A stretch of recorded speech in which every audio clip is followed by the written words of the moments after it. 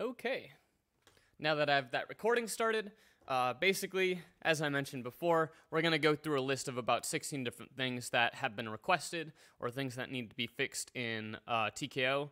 A lot of these are related to uh, just tiny little usability things, but we have some big things I, I want to accomplish. Uh, mainly some benchmarking of the MMU I implemented, some benchmarking and protocol rework on the um, on the server and client stuff, uh, like the network scaling. Uh, I want to do a lot of work on time travel debugging. Uh, those might be really hard depending on if things play well with us today. But if those things end up being easy, uh, we're going to be able to demonstrate some really, really cool techniques where we're going to be able to jump around forward and backward um, in execution deterministically. And that will really help with repro. And hopefully, if we get a lot of these things done, we'll actually go into calc.exe crashes and we'll start trying to um, use our repro and our time travel debugging to root cause some of these.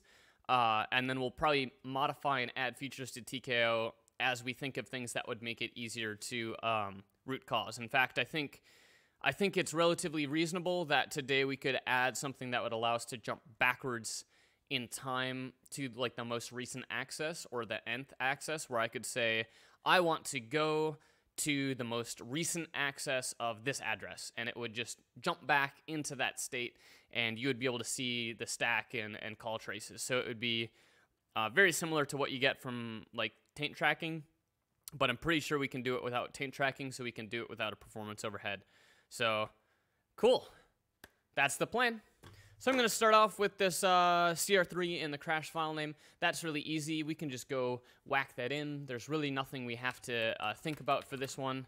It's pretty straightforward. We're just going to go into, I'm going to clean the clash, crashes folder now that we've, uh,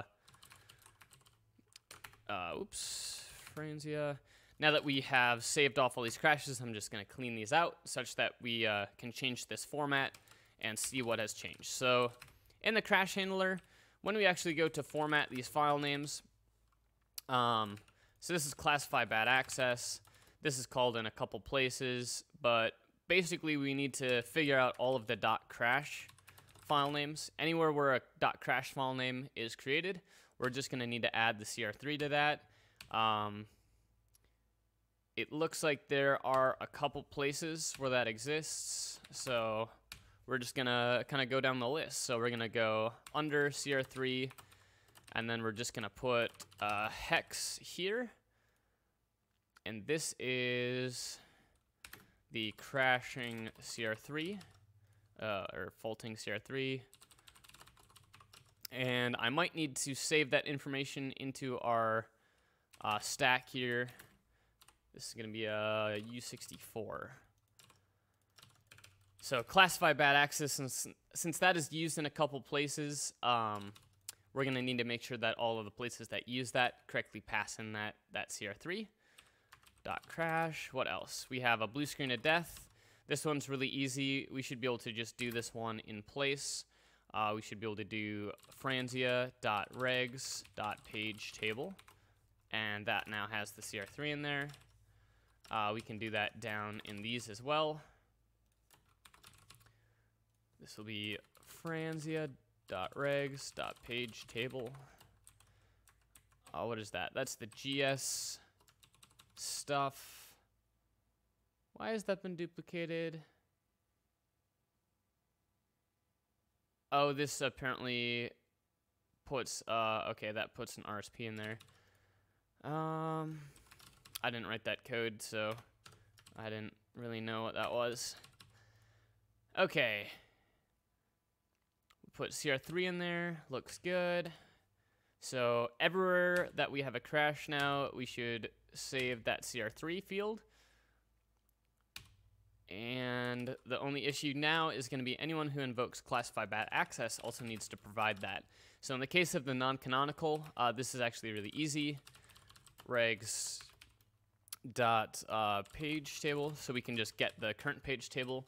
But for stack stuff, it's a little bit more complicated because uh, when we get a page fault, we don't actually know if it's a fatal page fault or not. It could be like uh, a page fault that is going to get handled and something will get paged in.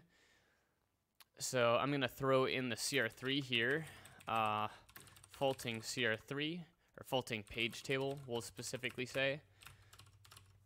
Um, page fault stack. So now anywhere that pushes to here, so in this case, on page faults, it will log here. So we'll do franzia dot uh, regs dot page table. And then finally, where we go to consume things off the stack. This one's fine. That's just uh, popping that depth. Here we're going to just grab faulting CR3. Uh, actually, faulting page table. And then finally, we're going to throw this at the end in that classify bad access. And I think everything should be good. See if it builds. Uh, 140 expected U64 font U size. Yeah, I have the page table set to be. Uh, I guess I have these as a U size, so I'm gonna maintain them as U sizes, if that's what my API returns. So we have dot crash, and I think in our classify this needs to also be a, a U size now. Okay. That should get us everything.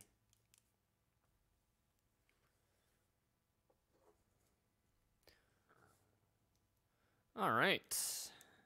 So now we just need to double check that our everything we implemented works. I'm going to hazard that this will work out of the gate. Let's do a double check of the code. Crash file has an under CR3 under a hex, which is a faulting CR3. This one gets the page table page table, page table, um, page, uh, cool.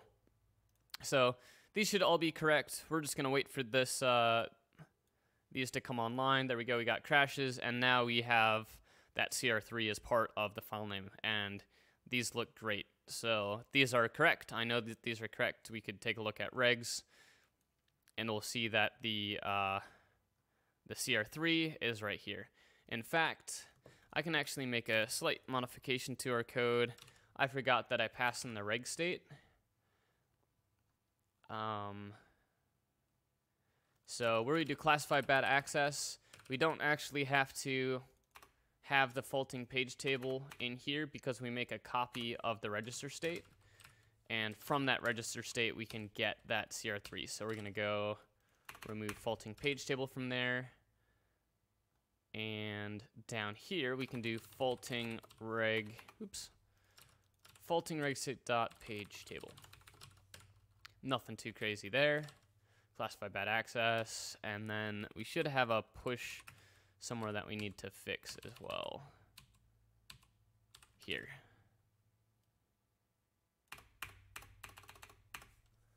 Okay, so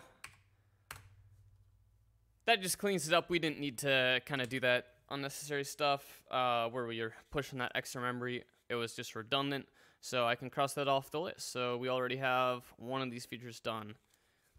So now the next one um, that I think I want to add is we want to add support for, um,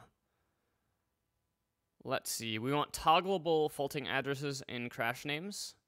So let's go do that while we have the crash handler open. So we saw that we are um, in classify bad access. Uh, we have it currently printing out the faulting address in here uh, at this location. What we want to do is we actually want to make that conditional. So what we're going to do is we're going to say if franzia dot um, if franzia dot uh, let's see, faulting adder in file name. If that, then we'll format with this. Otherwise, we'll remove that field. In this case, it's the faulting address, and we'll just delete that. Subtype CPL shared memory, uh, format mod off, crash type CR3 that. So we're going to have to implement this in Franzia. So um, verbose mode include faulting address in file name. And then this is um, do not print faulting address in the file name. Do not use. Okay, and then we're just gonna hop into Franzia quick. Uh, shared libtko source this.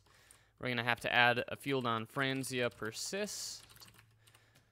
This is where we kind of store all of these internal variables, and then here we're just gonna put in a uh, faulting address and file name. Make this a bool. Uh, if set to true, uh, crash file names will contain the crash, uh, the faulting address that they accessed. In the case of non, in the case of page faults and non-canonical memory accesses. Um, this is off by default to reduce crash file spam. And we're just going to need to make some accessors for this in Franzia. We'll just whack these up here.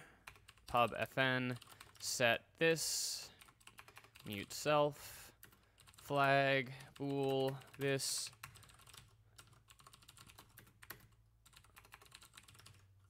Okay, and then we'll make a copy of it for getting it. This is going to take an immutable self. It's going to return the boolean. That's the current flag, and that should do. So, um, allows a user to uh, gets whether or not we are currently saving crashes with uh, faulting addresses in their file names, and then this will be sets. Okay, so that should all be plumbed through. Uh, that doesn't need another arg. All right. And faulting address and file name. Okay. Here. Do do do. It's going D. How's it going? Thank you for following. Welcome to the party. Just doing some quick, light development here. We're just kind of banging out these boring issues first. Um, these are kind of just simple, nothing fancy. Uh, let's spin up a server quick and let's see if these crashes come through. Dev TKO Franzia. And I just want to make sure that these don't include the faulting address because we don't set that in our plugin right now. But this one should be done. We should be able to cross this one off of our list. Where's this at?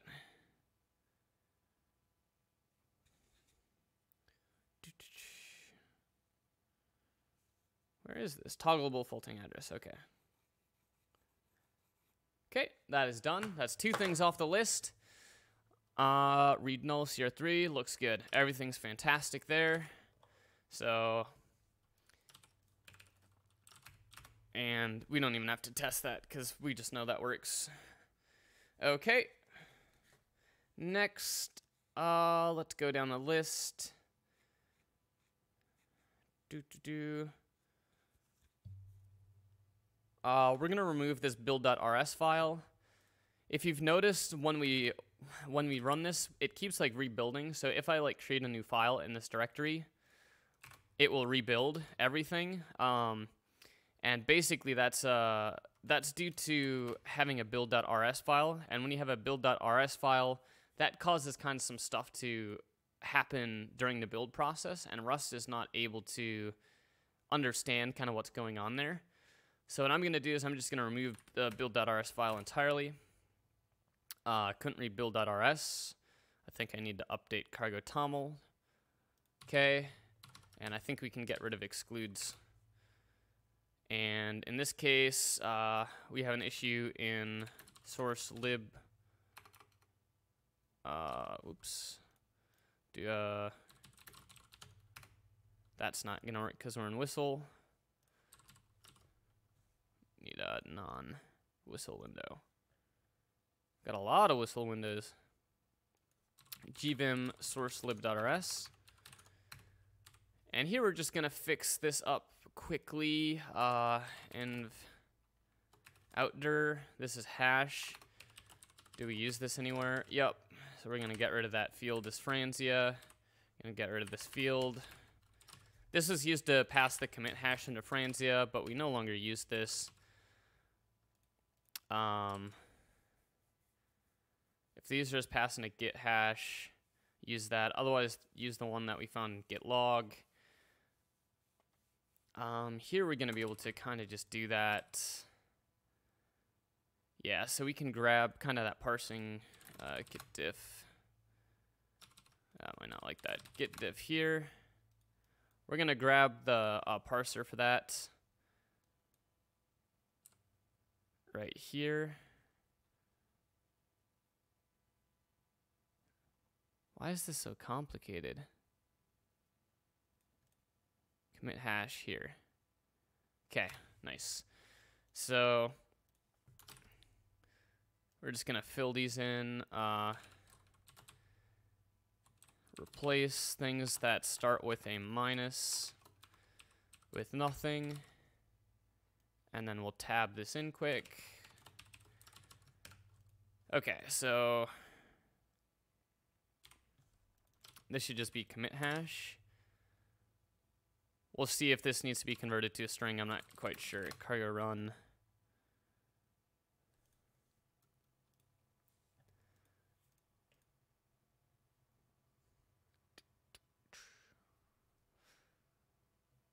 All right.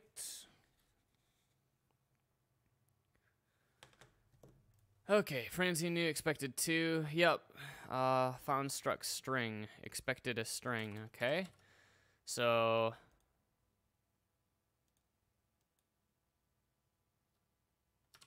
Uh, this will do this. Commit hash. Trim to owned. Sign equal to that. Okay. Looks good. Now we'll jump into uh, new on Franzia. This will no longer take a hash. We can get rid of this field, and then somewhere we'll reference hash and Franzia, and that can go away now. Um, 2100. Okay. We don't need to serialize that, and then hash here.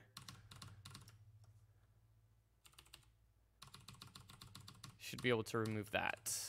That has now changed our keyframe format, so I'm going to have to re-keyframe. Uh, oops.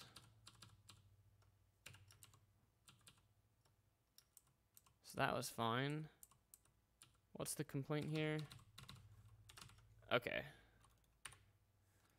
Go slice the remaining bytes. Looks good. This should build, uh, keyframe should fill the load, uh, oops. Is that a lifetime issue? Yeah, it is. So what we're gonna do is I'm gonna change, since this code doesn't need to be performant, it's not a big deal. At 620, we're just gonna do, we're gonna return out a string here. Here we're gonna do a reference, and then here we're gonna do a dot into to, to convert that one into a string. It'll cause a heap allocation, but this is only in a, like a debug mode, so it's not a big deal. Or in a update mode. Okay, so cargo run update. Let's see what happens. Uh, couldn't find that. Git log 611. Good. Okay, so that's working. We've gotten rid of the build.rs, and we should now be able to create a new file here like we did before. But now it won't rebuild. Yeah, nice. Okay, so that's gone. So build folder exclusions, we can cross that one out and remove build.rs. Done. So we've done four things already and it's been like 15 minutes, 20 minutes. How sweet is that? Okay, so the next thing we want to implement is uh, let's see. I want to implement. I'm just trying to get rid of the boring things quick. These these boring issues will take probably half an hour to do. Um, and once all of these are done, then we'll get into actually some really sophisticated system style uh, development. So we got our brawler version handshake. Uh, currently in my libbrawler stuff, I don't have a handshake. So what I'm going to do is when you connect to a server, I'm going to send it a magic number stream dot uh, uh, write all, and we're going to pass it a magic number. This is going to be the pub const uh, brawl version number u size or u64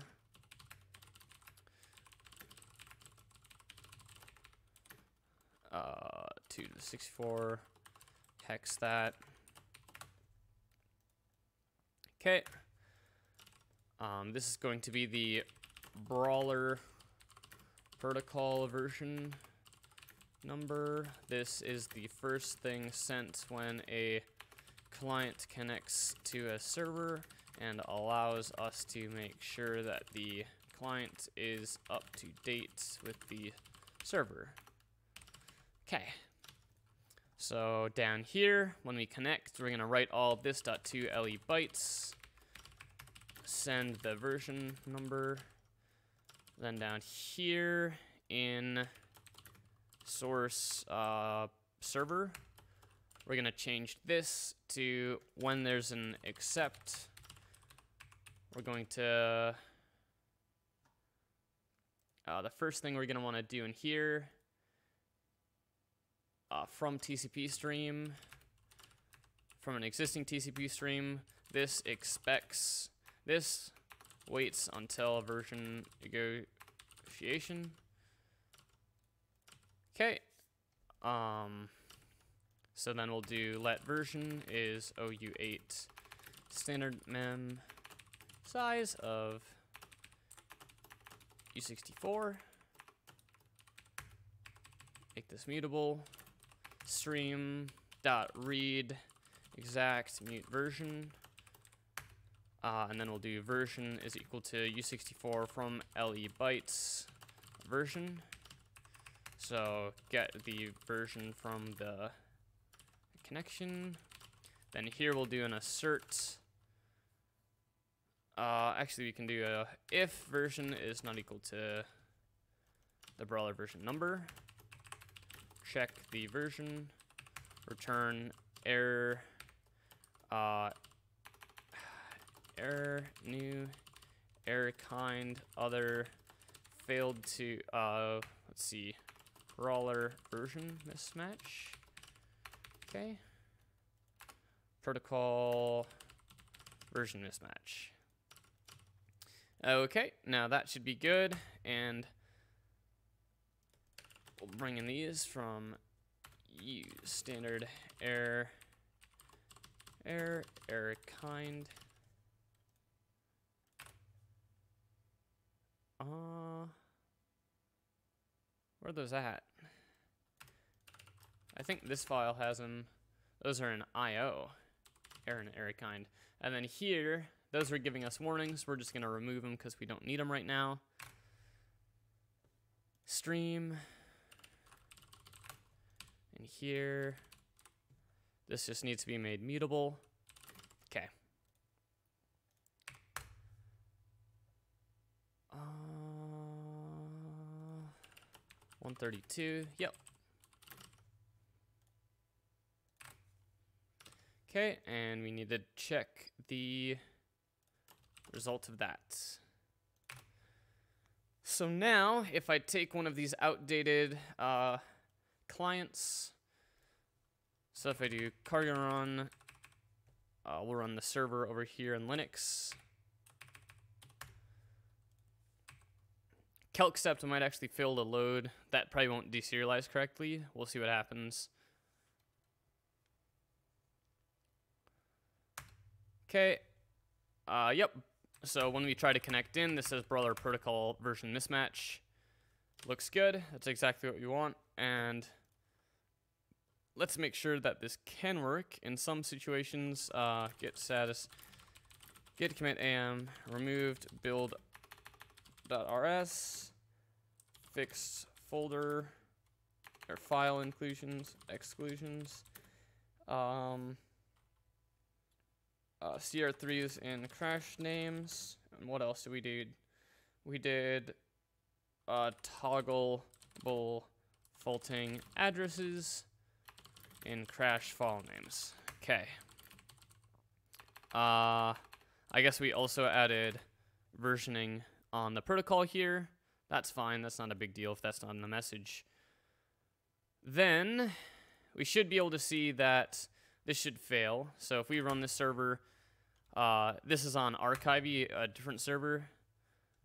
Oops, we don't want that. We want start the server. Here we connect in. Uh, that just fails due to a protocol mismatch. And then we can do a git um, pull. This will pull in those updates and we'll re rebuild it. Hey, MetaConstruct, how's it going?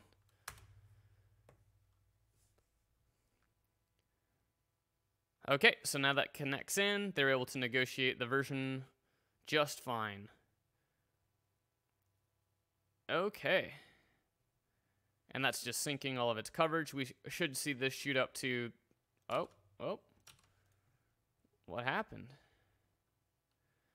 Oh, uh, I think it's because, yeah. That's not going to work because we changed the, the keyframe format.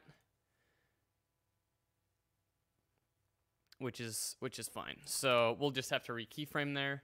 That's not a big deal. Okay, so we now have that versioning stuff done. What else? Cross that out. Uh, we need a keyframe name API. So when we were working on our plugin before, um, plugins, calc, fuzz, source this, uh, we kind of had to conditionally turn this rekeyframe on and off a billion times, which was really annoying. Um, let me actually get a, a rekeyframe done. Let's get that scheduled up. So cargo run keyframe this calc. So we're gonna have that rekeyframing kind of in the background while we're thinking about this. So the issues here are uh, we have this like rekeyframe constant, and I know of other users of this tool who have the same issue right now. So what I want to do is inside of um, inside of Franzia, I want to give access to that keyframe name to a to an end user. So let me see if I can do that. So we have loaded keyframe. Uh, last keyframe. Last keyframe. Yep. So that has the path to the TKO file name and the option optional server port combo uh, for the server. Okay, so what I want to do is I want to get that, I want to see that what that keyframe name is. So last keyframe is equal to this. We're getting that as path. I think the path that pa is passed into here is kind of bunk, so we're going to actually replace that path uh, pretty soon with something we get over the network. So we're going to have the network ship down the, the name of that keyframe. So this re-keyframing should be done, all good. And basically the API that I'm going to design is going to be uh, pub fn get last keyframe name. And then this will uh, get the get the name of the last keyframe that was loaded. This can be used to behave differently in your fuzzer based on the keyframe you are using. Then this will be self dot last keyframe dot zero dot as ref. Actually, last keyframe. Okay, that's an option. So this will be a an option uh, returns none if no keyframe has been loaded yet. This will do self dot last keyframe dot map. Um, and actually, what are we storing in there? Path buff. So this will be uh, string. And we're going to put this at the end just in case we index this tuple. Optional server port, and then name of the keyframe file without extensions. Okay. So then this will take last keyframe map x x.2. That should just work.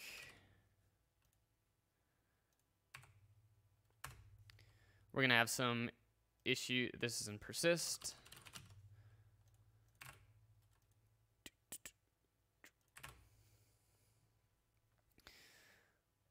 Okay. Uh, string. Yep. Expected stir. Found that. Okay, so here I can do, um, what do I want to do here? Dot to stir, I think. Or as stir, I think it's as stir. Yeah. Then at 2320, we have some issue here. This is just not putting in all of the information we need. This will take the uh, keyframe name. Okay, and that doesn't exist yet. We're to go fix this other issue at 2710. This is, we're just to ignore the last field because we don't need it.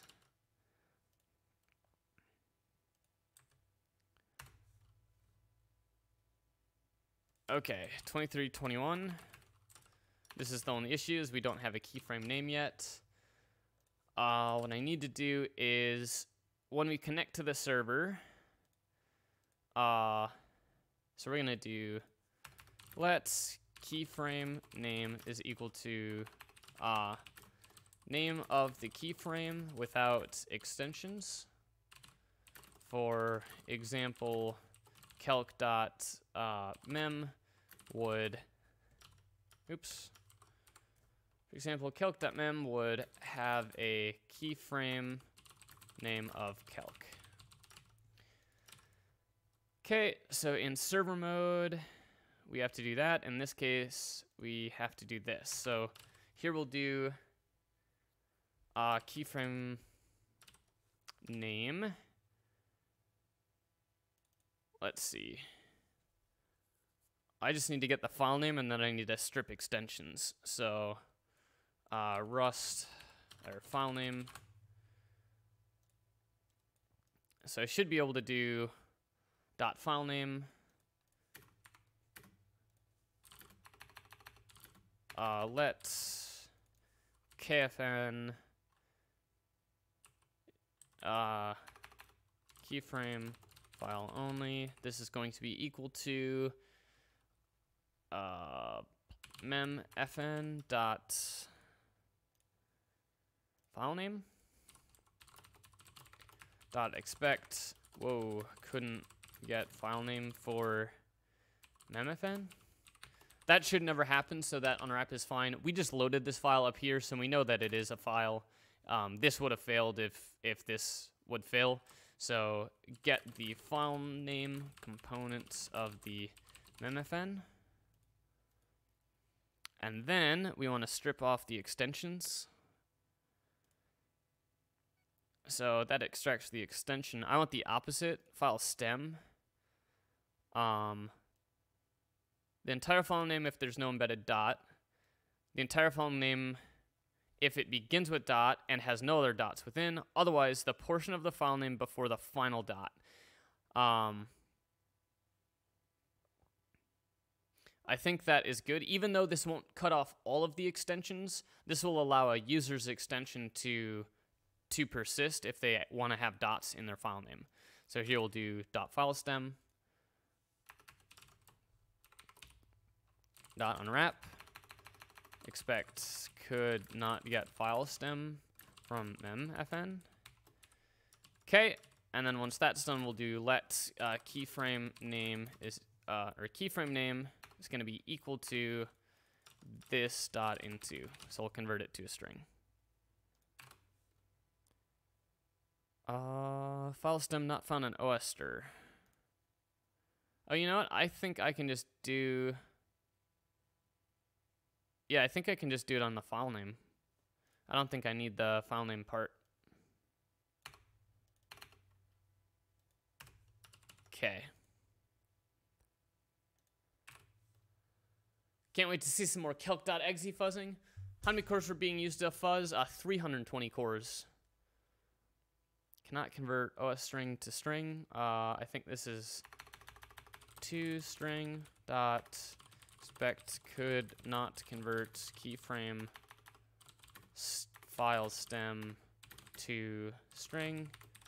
That should never fail, so I'm not really going to worry about it. Uh, to OS string.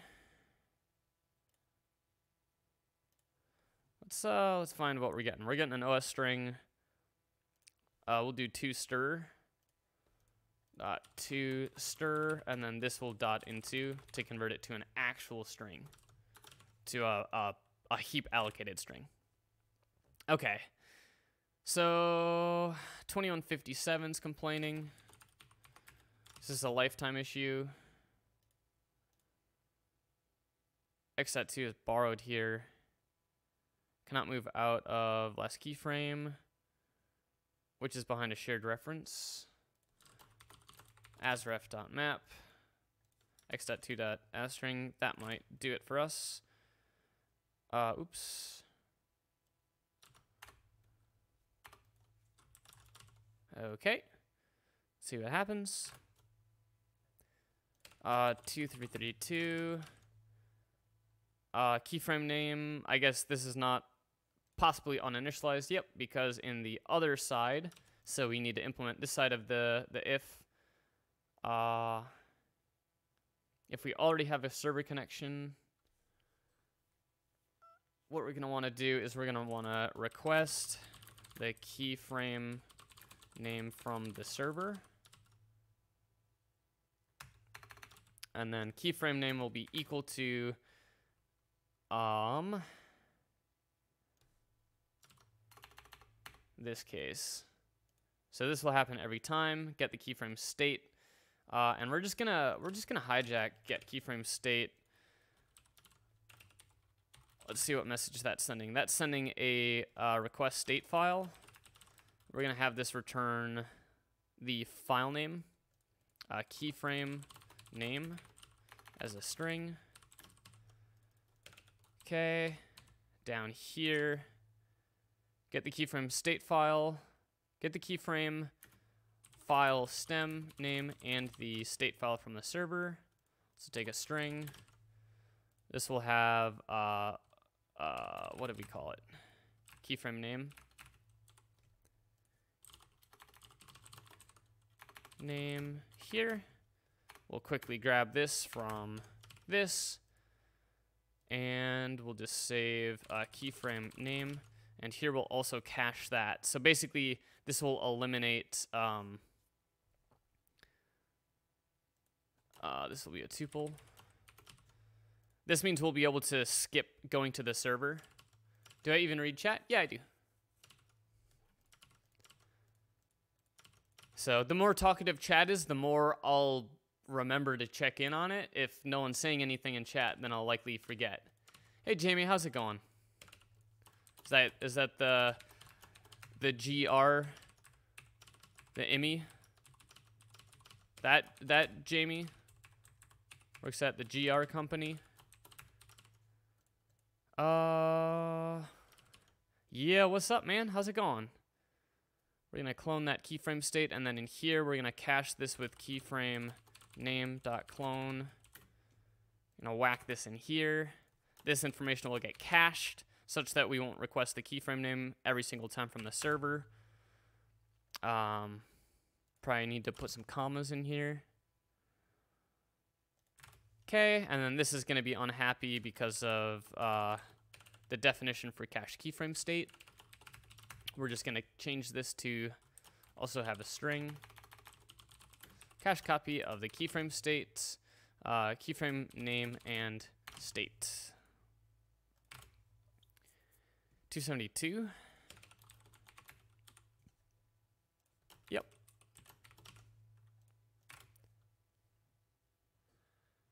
Skirt, skirt, dick hurts. Now following. what is up? It's a, it's a unique name. If and else have incompatible arms. Yep, that makes sense. So if we look at 2272, uh, oops. So this arm, we just want the, actually, you know what? We're going to go with that model. This will be the keyframe name, and then the serialized buffer will be grabbed from here. Keyframe name, we already have that there, and then in this case, we're just going to um, let keyframe name is this, match, return,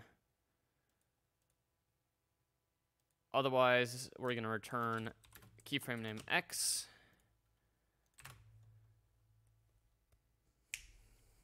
Okay, and now the server just needs to be changed. So, so server, we need to change this so that when we send a request state file, uh, here we get just get the file stem, let file stem is equal to this, and it's going to be basically equivalent to this. Um, file stem is going to be equal. Whoa.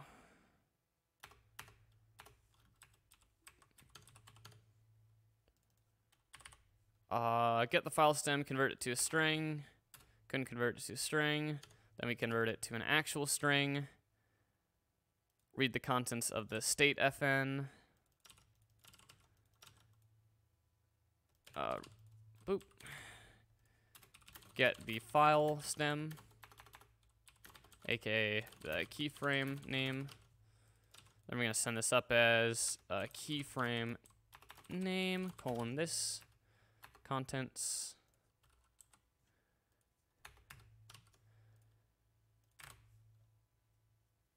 I think we, I think we did it. Okay, so now what I should be able to do is in here, instead of have, or in my plugin, CalcFuzz, instead of having rekeyframe, I will have this if franzia.this is equal to sum calc. Then we'll go into the rekeyframing mode. We'll also go down here. If it's equal to some calc, then we'll do that stuff. So uh, we're gonna have to let this keyframe finish. Skart, skart, greetings. Love myself a box of Franzia in the evening. Hell yeah. So I think we, uh, I think we finished this feature as well. Keyframe name API. Nice. And we'll just double check that it works. Uh, so the server ones should go into fuzz mode and then the client ones, uh, yeah, so if I do a cargo run keyframe start of calc, we should get it to do calc stepped, so it'll re-keyframe.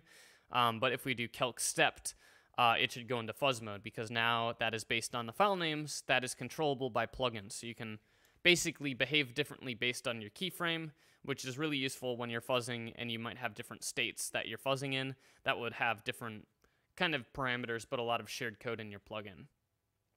So let's see what happens. Cargo run starts uh, calc. Okay, we got calc stepped, and now if we run calc stepped, this should go into fuzz mode. Fantastic. And let's make sure this works over the server as well. Get that up and running. We'll have this one connect in.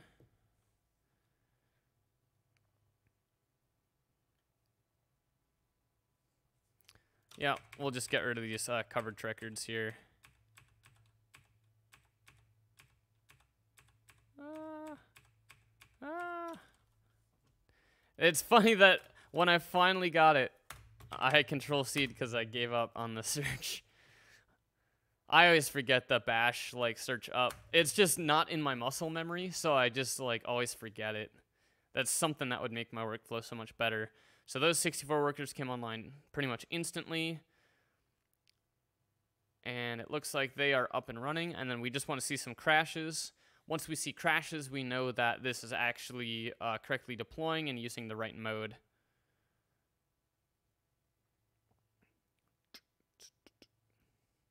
Yep, we got crashes, so those are correctly in fuzzing mode. Uh, that means they're getting their correct name. Actually, I want to double check it, triple check it, quadruple check it. Here we're going to print the... Uh, uh, get rid of that. Okay. Here we're going to print the keyframe name. I just want to make sure that this looks sane. Uh, KFN is, put this in quotes, keyframe name. Okay. So if we do a start calc, we should see a KFN of calc. Yep, KFN is calc, stepped, calc stepped, KFN is calc stepped. And then let's see what happens in server mode.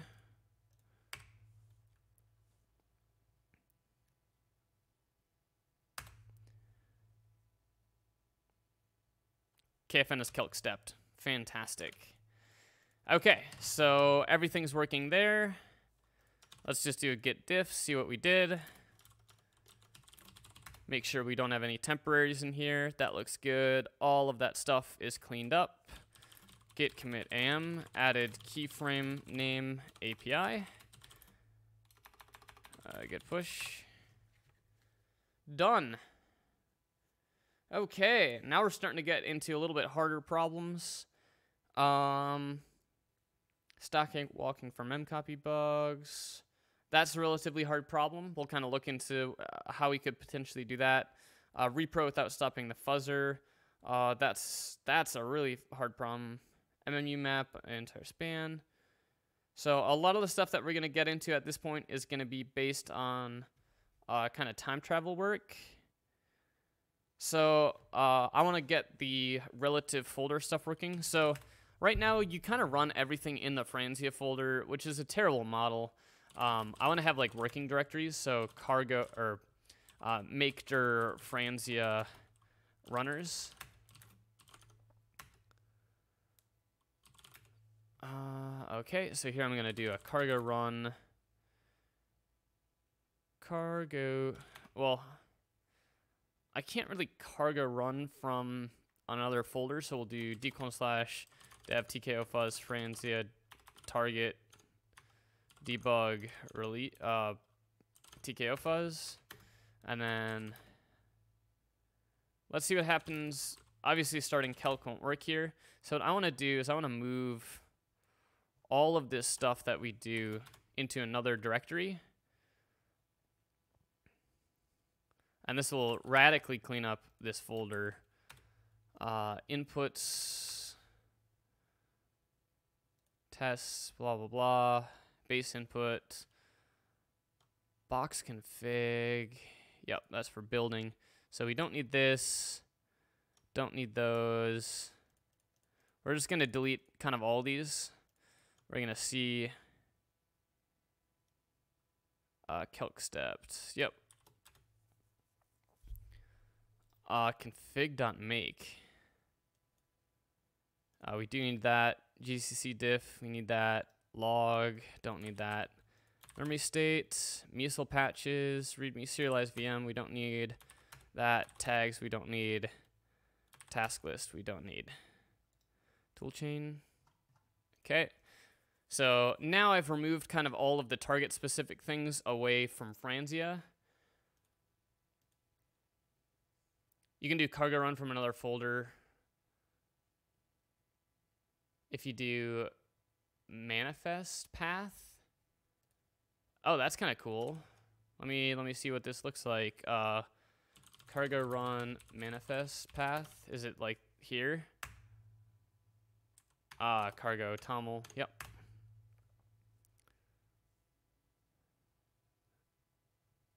Okay, that's pretty sweet.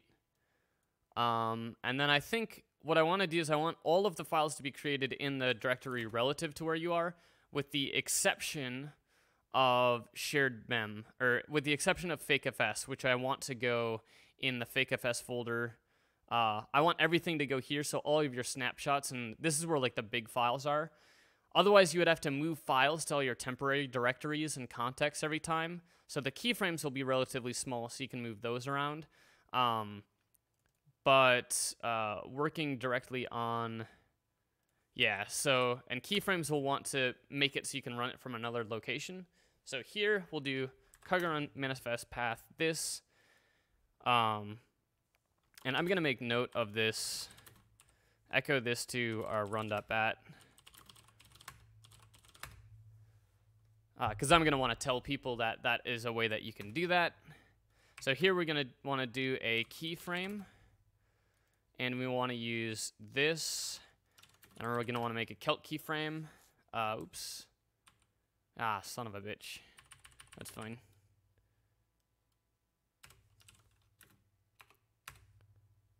Okay, uh, couldn't find memory.ram. Uh, make sure blah, blah, blah. So what I want to do is I want Franzia to know that its fakefs folder is always relative to where it's being built. Um, so is I want to get the uh, cargo toml path in box or, or not in box in uh, Rust.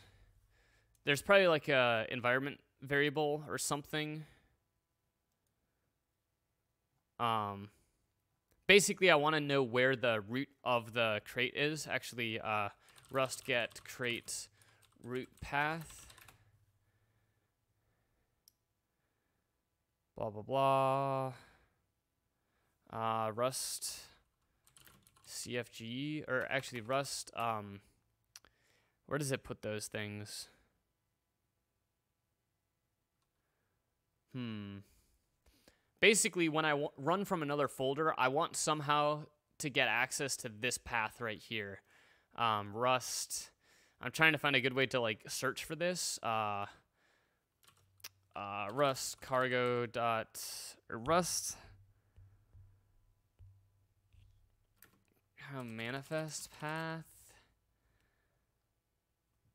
Yup. Environment variables. Cargo home. Local cache, blah, blah, blah. Location where to place all the generated artifacts relative to the current working directory. That might be good enough. What else?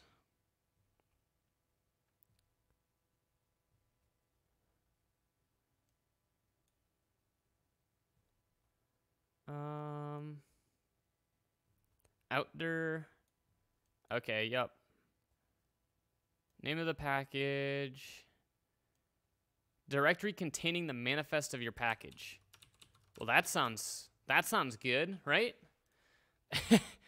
that sounds fantastic. So let's go into uh, main.rs and we'll just print this.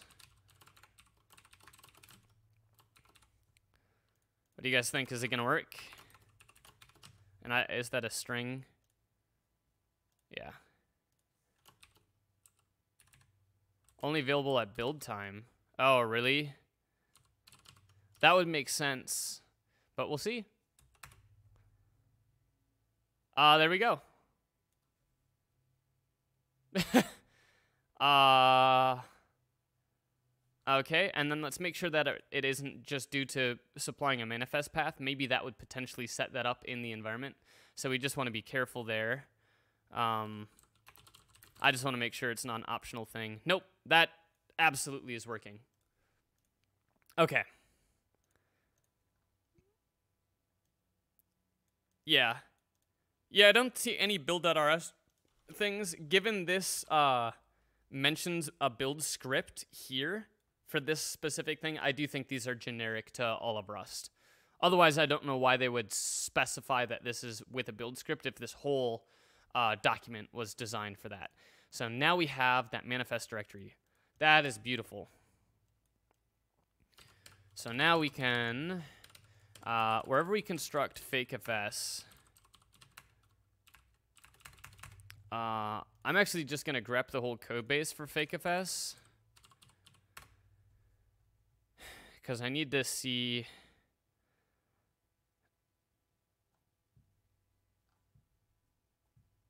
Okay. Yeah, so we have a bunch of potential issues here where we kind of reconstruct this. So we're going to go through almost everywhere in this code base where we use fakefs. Uh, and let's see, e source box, fakefs.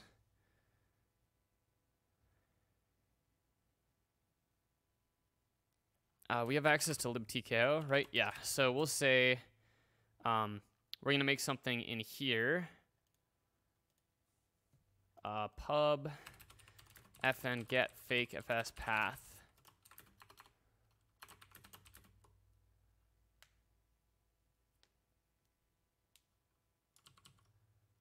I'd avoid a dependency on cargo when running. I I see what you're saying. Um, because it wouldn't know where that fake fs path is. Uh I mean, it, we're gonna we're gonna have to do this anyways. Path buff. So this will get the uh, path to the fake fs folder. This is the only way you should ever get a path to fake fs.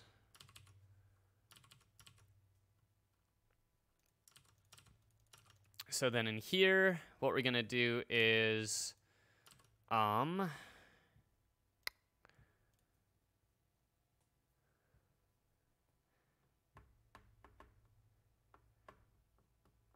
Yeah, it's kind of it's kind of tough. Um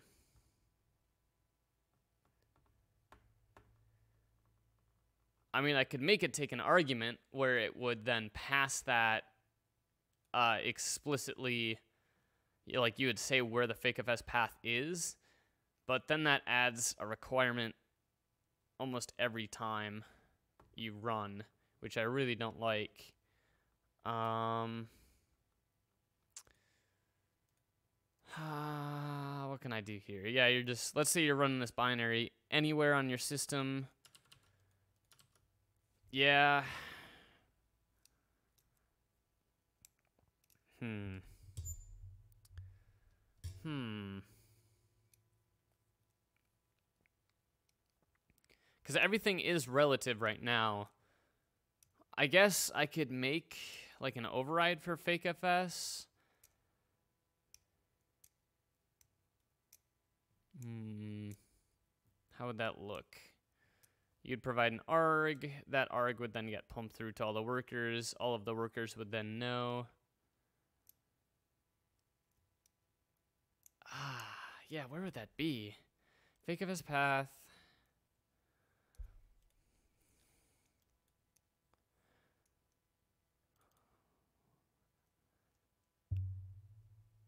Um...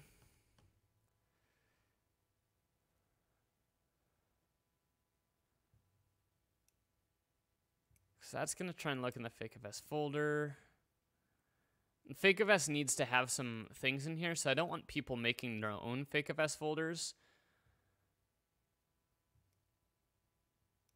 Um...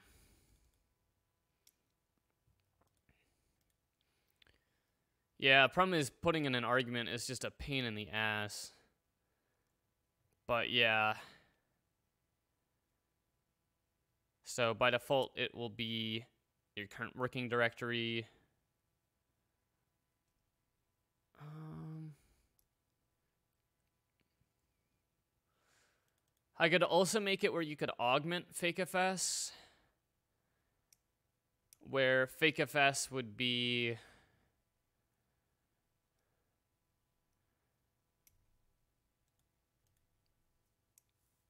I could do an environment variable. That actually would be a lot easier.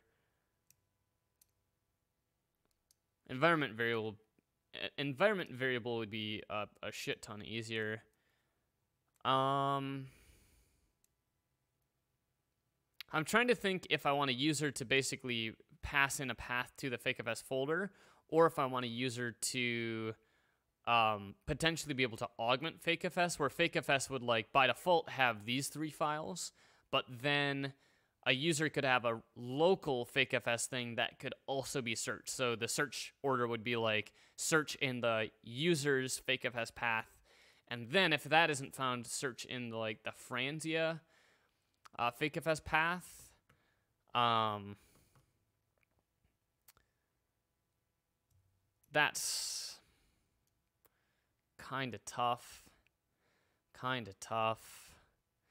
I think we do relative or environment variable. I think that's going to be the play.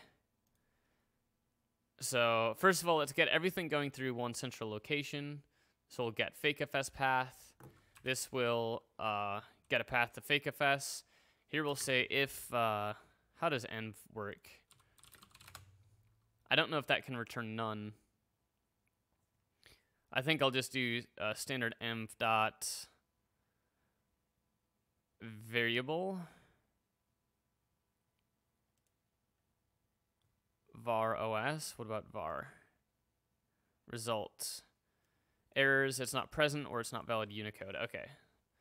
So do standard env var fakefs path. Uh, if let some path is equal to this, then uh, path dot into else fakefs dot into. I don't know if we have dot intos on those. Uh, this is actually a result. So we'll do this. Much better. Okay, so now, if you specify a fakefs path as an environment variable, then it will use that. Otherwise, it will um, just use fakefs as a relative uh, file name. Okay. Now what I need to do is I need to find every place in the code base that has a hard-coded fakefs. So let me, uh,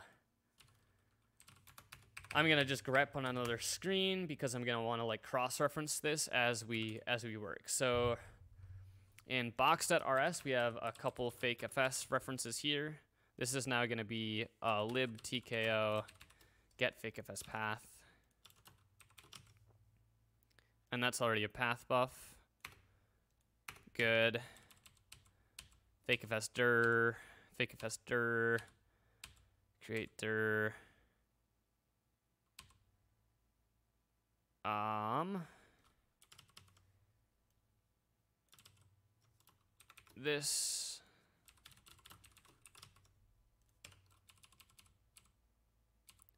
push config. Jesus, how many times is this created?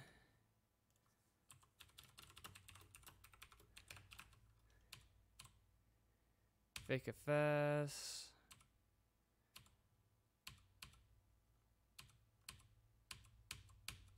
I think we got them all. What you really want to search for is like fake FS in quotes.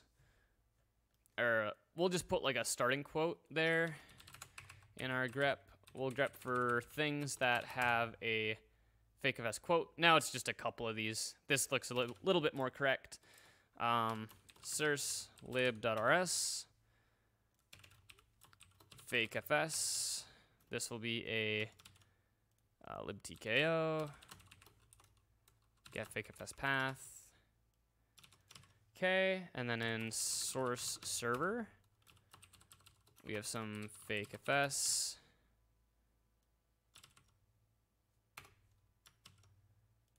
Get an absolute path to the fake FS folder. Down here, we'll do the same thing. Okay, and then we have shared libtko source lib fakefs into, yep, e shared Unix emulator source lib fakefs uh, let host file name is equal to libtko get fakefs path. Mute this stop push file name. Okay. Here we're doing the exact same thing. Paste done. Okay, so now if I grep, I don't see any fakefs string references there. I could also search for things that have a, a string anywhere nearby. Move to fakefs slash. Okay, that looks good.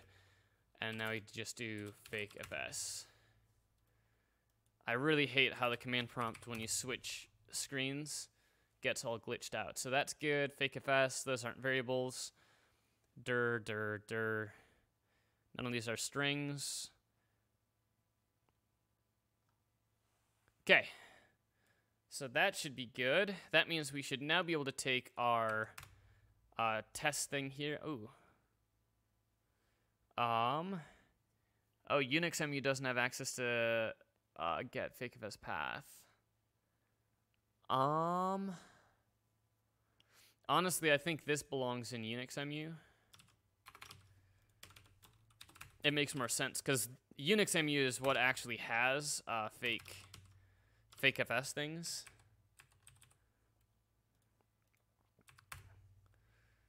Uh, okay, now that's not in there. Yep, that's fine. Then uh, libtko. This this is just going to be the local one. This makes more sense to have the Unix emulator handle its fakefs pathing. Um, 1035.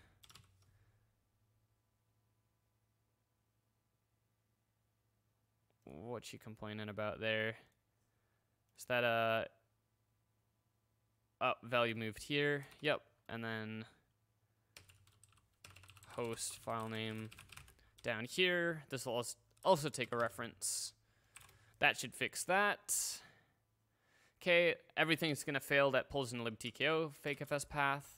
Here we're gonna do uh here we're gonna use a uh, a come on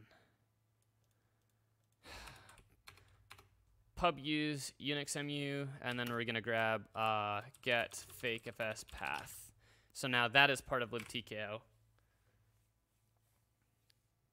Okay, and we don't need PathBuf anymore in lib.rs. Oops. PathBuf.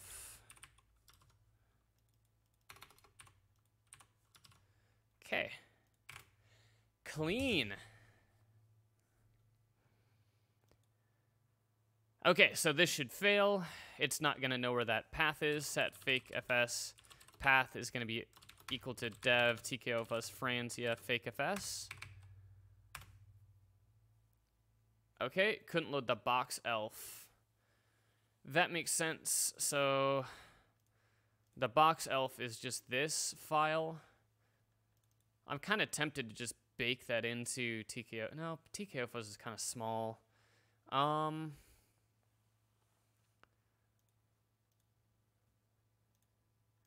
I think I might move box into fake FS. I think this makes the most sense moving forward. Uh, set rust backtrace. I need to see who references that. It's going to be someone in... So this is in run. Uh, 2480. Load base, and then this will be let box path is going to be equal to, um, we'll get the, what we, what did we call that? Uh, get fake FS path. Yeah. Okay, and we'll do meet this, and then box path dot push box. So now that's in the root directory. That makes a little bit more sense, to be honest. Add an elf. Okay. So now... Uh, we can get rid of box old. So now this should work, and this is going to do this in place with this fakefs folder.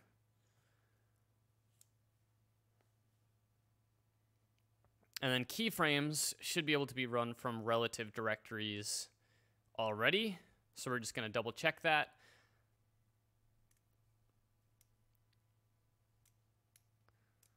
Project, GitHub. Ooh, I could add a lot of these commands. I'm, I'm kind of new to streaming. Help! Sorry. Yeah, I'm very new to streaming, so I don't have any commands set up. Uh, let me get you a GitHub link. Um, commands uh, GitHub HTTPS com. Okay. Let's make sure that that. Oh, I 404'd it. Uh, I did that wrong. It should be this. My bad. I'll fix it. Edit this. GitHub. Okay, that should now work. And then GitHub, uh, gamozolabs.github.io. We'll put this as a bang blog. Sup, Coil? How's it going? I'll say blog. Okay. Let's see if I can make a help command. I don't know if I can. I would love for something to like automatically uh, have something that can show all of the commands. Add command, quotes.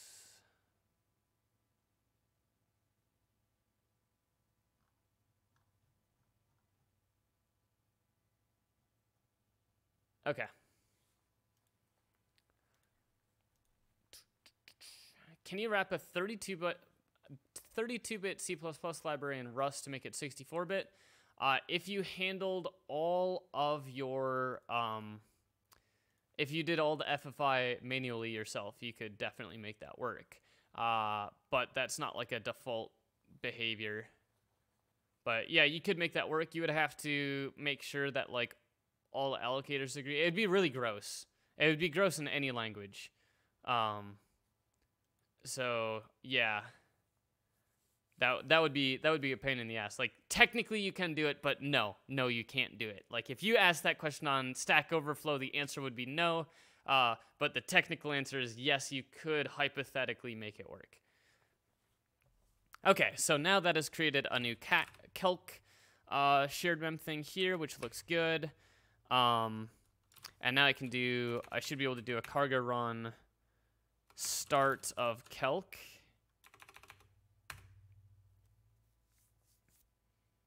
Okay, and that made our calc stepped, and I just want to try make dir temp. I want to see if I can do this on like a relative path as well.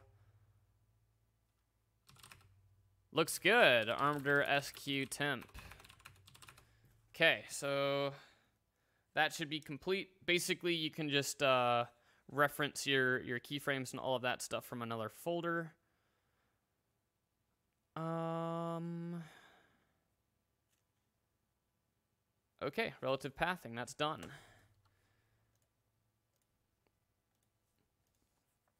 So git status, let's make sure it builds on, on Unix as well. It should. Uh, that's not Unix. This is.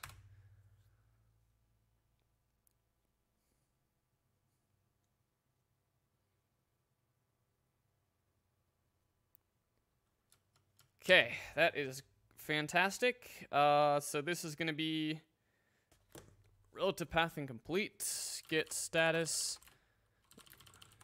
git diff. I like always looking at my diffs to see if there's anything that looks uh, terribly wrong. Git commit am um relative relative pathing support and fakefs path and var support. Git push. Okay. Uh, what are we trying to do? Right now, I'm just kind of going through a list of a bunch of uh, bug fixes and feature requests in a, a system level fuzzer. Um, all of these are kind of simple, so we're just banging out the easy ones right now, and then we're going to get into complex cases. So repro without stopping fuzzing, that now works. Uh, time travel I count delta, time travel memory accesses, okay, M MMMU, uh, min repro, stack walking for memcopy bugs, that's kind of hard. Brawler IPS moving average, stack overrun enlightenment, and fuzz cases per second uh, moving average. I already have that. Brawler IPS. Okay, so there's another request that I got today uh, to show the number of instructions executed. So every time that a keyframe is loaded, which is kind of like the end of a, a fuzz case, uh, load keyframe, um, this calls report load keyframe. This goes into here where we're going to report some information up to the, the server. In this case, what I'm going to want to do is, um, let's see. I need to get the instructions executed in this uh, fuzz case. So what I'm going to do is in Franzia persist, I'm going to put the uh, do do do do do keyframe start uh, keyframe start instructions, and then this will be a option uh, or start iCounts. This is the number of instructions current or at the start of a keyframe. Number of instructions executed at the start of the keyframe. This allows us to compute the number of instructions run during a fuzz case. Okay. And then I count, where do we get that from?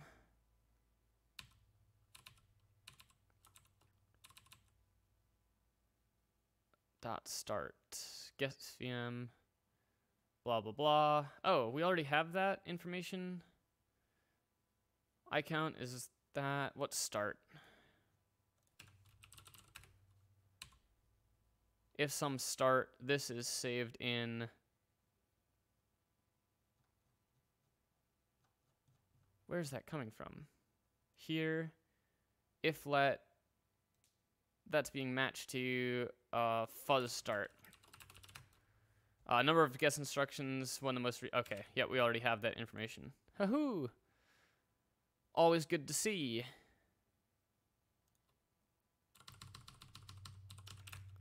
So now, um,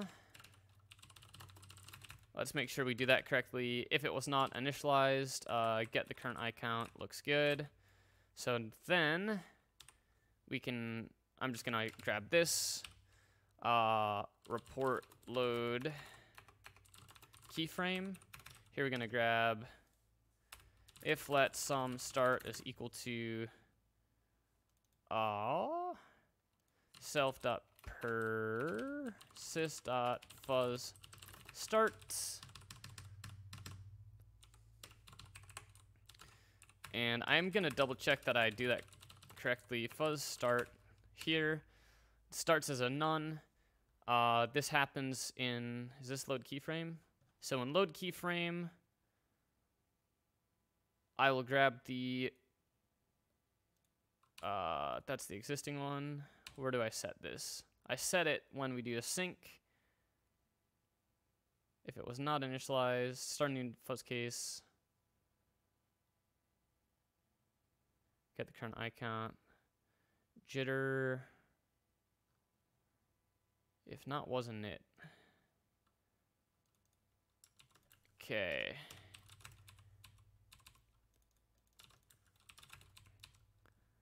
I want to see where we set this to false and load keyframe. Okay, nice. Okay, so that will cause that code to get re-executed. That means our IPS are correct. So right now we're just adding instruction counts so that uh, the server knows how many instructions we're executing per second.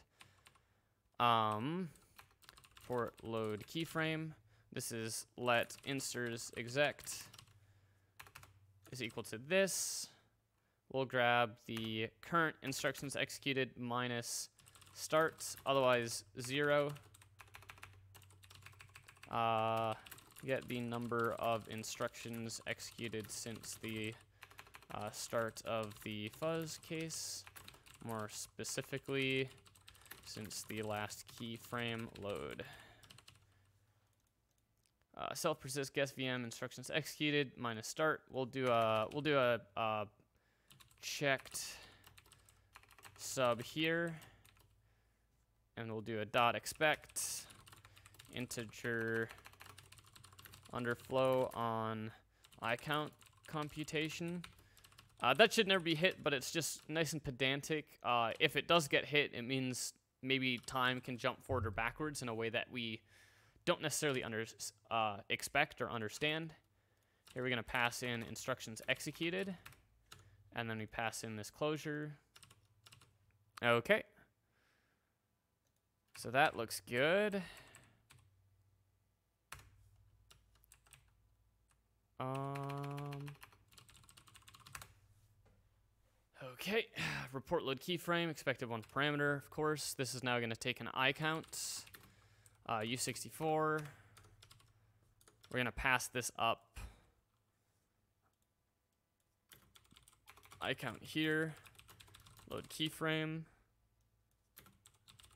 So U64.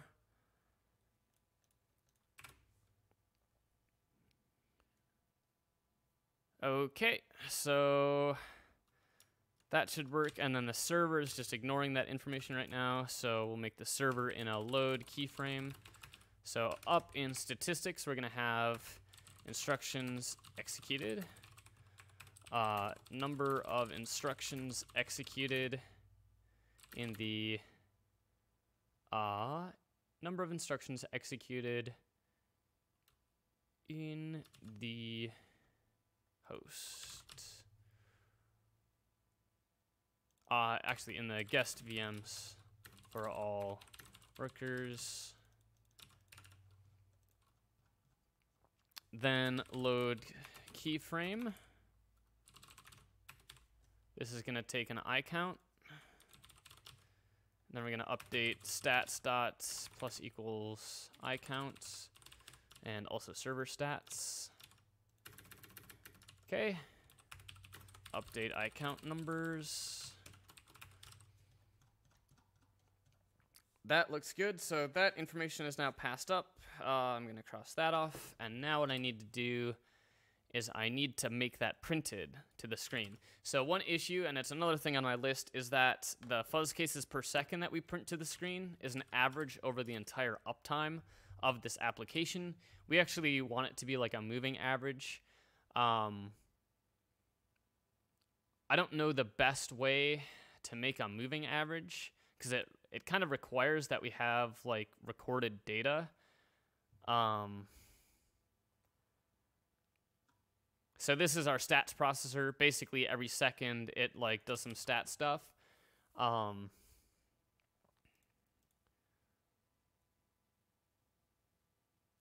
uh,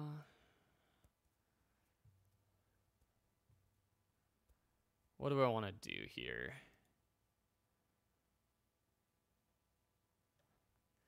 I think I could just do like a queue. Um, uh, moving average stats queue. And then here we're going to do a, let me, uh, uh, moving average stats is equal to a hash dq or a VecDeque. And this will be a use standard, uh, where do we put this? It's not collections. Why am I thinking? Oh, it is collections. Okay, so we're going to do a VecDeque here. Uh, basically, every second, we're going to say if the moving average stats dot len is greater than um, const window usize we'll just say 30 seconds. Uh, moving average window size. If it's greater than the moving average window size, then we'll do a, or actually, while it's greater than the moving average window size, even though it should never be more than one above, uh, we'll say uh, let this is equal to mavg dot pop front so make sure the moving average window size is kept. Okay, and we're gonna pop that to 100 temporarily just so this uh, is actually a three second window. And then for our moving average stats, we're just gonna do mav stats dot push back. So we're gonna push it to the back of the list and then we're going to pop things out of the front of the list if the if the queue is bigger than we want it to be. So we're going to push back the uptime, which is uh, float. And then we're also going to push the stats.fuzz cases and stats.icount. So push some stats to the to the moving average window. And then if I print this, moving average stats, this should uh, grow up to 30 and then shrink. Uh, whoops. Let this is equal to this. Uh, moving average stats. Moving average stats. And stats.icount, uh, instructions executed is what we call it.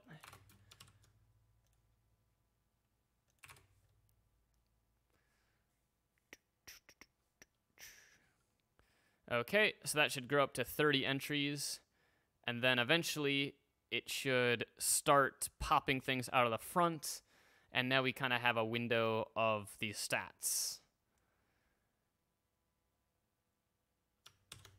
Well, that's pretty slick. Uh, okay. Now, what we're going to do is, um, that's going to push back. So temporarily, it will go larger than that window size. Um, actually, we could do that down here. So we could push, push the stats, then we trim it down to the correct size. So now the stats are the size that we want them to be. And then what we can do is we can compute the deltas. Let uh, moving average delta is equal to the, um, so we'll do moving average first is equal to a reference to moving average stats 0, which will always exist. And then we'll also get the moving average stats.len minus 1. Uh, this is the moving average last. Okay, let moving average uh, delta. This is going to be the time delta. Um, we'll just say time delta is equal to moving average last dot uptime. Uh, well, we know uptime is the first field, and then minus moving average first dot that, and then one two one two. This will be the uh, fuzz delta, and then this will be the instruction delta. So this will be compute the uh, moving average window deltas. And then we can do moving average fuzz cases per second. This will be the moving average fuzz delta as an F64 divided by moving average time delta. And then we can do the uh, IPS, instructions per second. This is going to be the instruction delta divided by that. 0, 0, 1, 1, 2, 2, first, last. Okay, that should be good. Um, we might get a not a number here uh, if the window size is zero, but that's that's fine. I think Rust will print that. They'll it'll format that just fine. So then this is the fuzz cases per second. This is now moving average fuzz cases per second. And then we'll also have the um, insters per second and we're going to call this minsters per second, million instructions per second, because otherwise the number is just going to be huge. So fuzz cases per second, 10.2 is fine. And then for this, I think like an 8.3 is fine. Uh, that lets it go up to a billion. We'll do 10.3. And then we put that right here, which is going to be IPS divided by 1 million. And we'll put uh, separators in here so it's more clear. Okay, that looks good. Argument is never used. Um, stats commands, yep.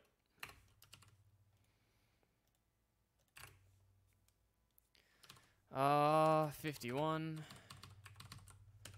we just kind of we got rid of that statistic with a rewrite last night. So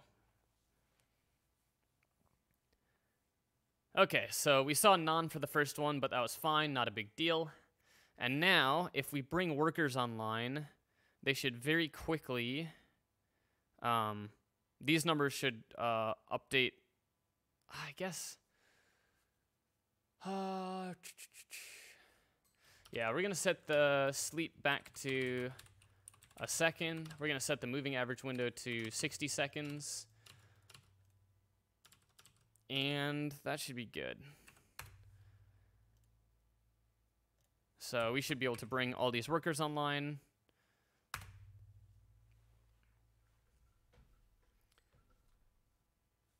Oh, that's going to fail because we're in a...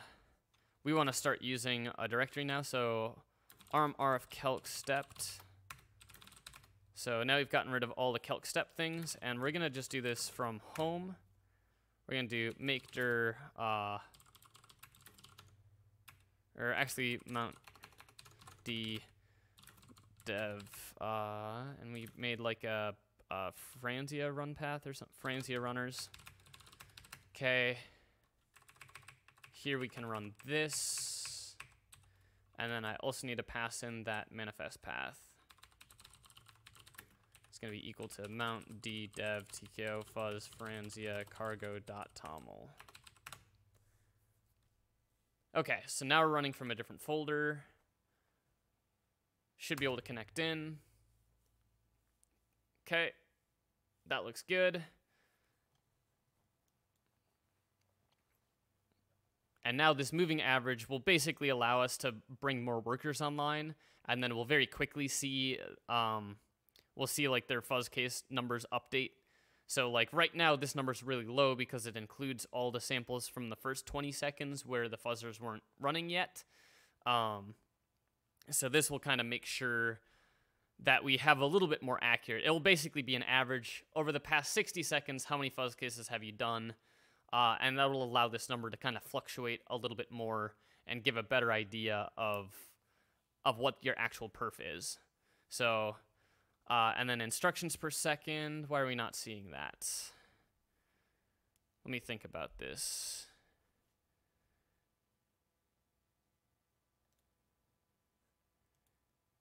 Why are we not seeing instructions per second? That means that information might not be getting reported correctly. So here we're going to print Instructions executed. If let some start, fuzz start. Oh, uh, we probably nuke this in this function, maybe? Oh, yeah, yeah, yeah. Yeah, we need to do this very early. Yep. Okay, this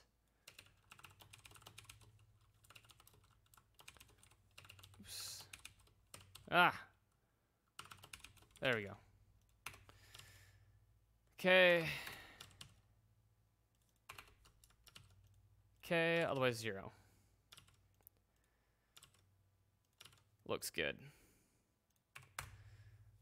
We just weren't reporting those stats correctly. Now that's up. We'll run our server, get that connected in. Looks good. Everything's looking fancy.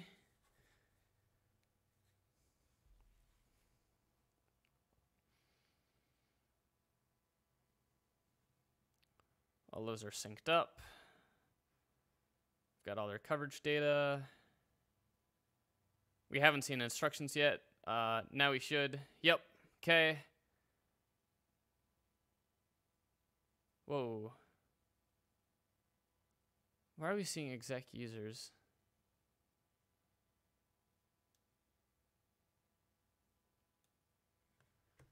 Well, what is going on?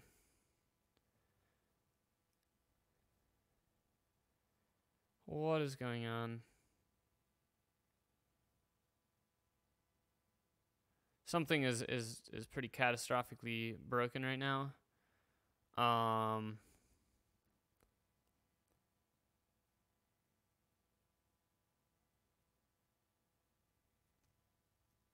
What is happening here?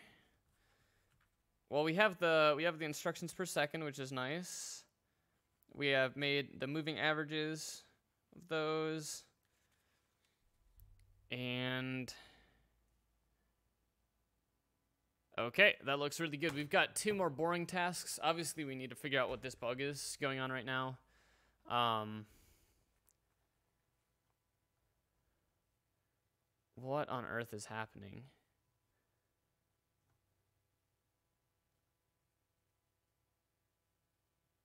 What are these? Panic, run, run, run, handle syscall. Failed to read server backfile. Yeah, that's because we killed the server. Wait, is it? Yeah. Um. What is going on?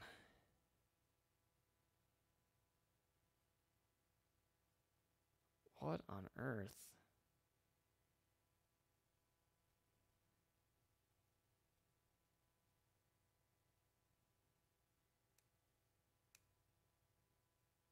What is broken?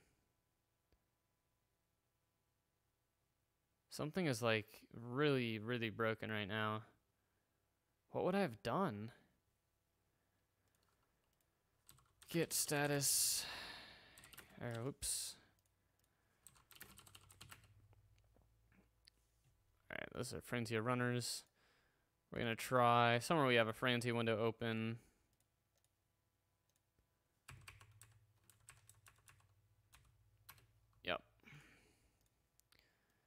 Okay. Let's run it in local mode. See if it's a networking issue. Uh, cd. We can do this. We can run start calc stepped.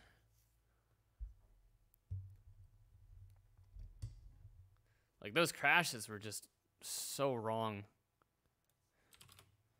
I don't even know what was happening there.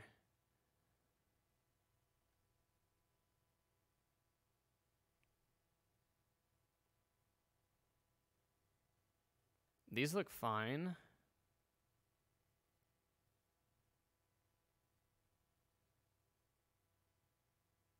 That looks fine.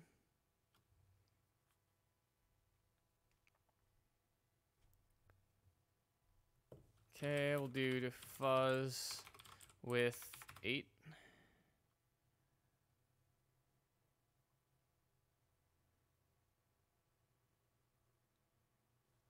Hopefully that doesn't hurt the stream.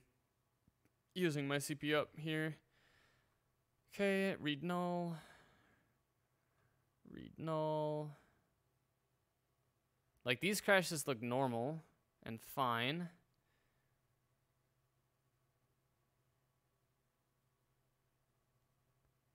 That all looks good.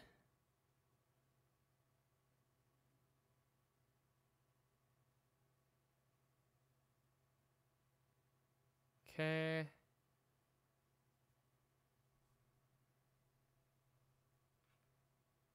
I'm just trying to see if like one of those blue screens come in. I don't know what I've what I've done in the past like day that would cause those. All of these crashes are are legitimate.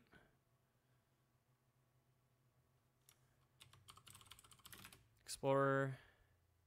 So these crashes these look completely normal, completely fine. But for some reason, these, we're getting like the weirdest bugs. Uh, try this again. Yep, that's fine. We just need to remove the... Ah, that's gonna... That just killed our keyframe. Uh, cargo run, start calc. Oops. Start calc. That'll re-keyframe it at the new point for us. Spin up the server on calc stepped. What could possibly be wrong here? Let me, uh... Got rid of all the shared memory stuff. Let's see what happens.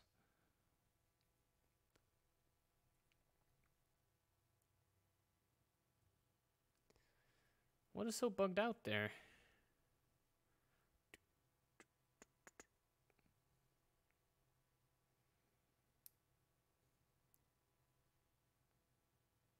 Like, I kind of want it to not reproduce because I don't have to deal with this bug, but at the same time, I would really like to know what this bug is. Yeah. What on earth?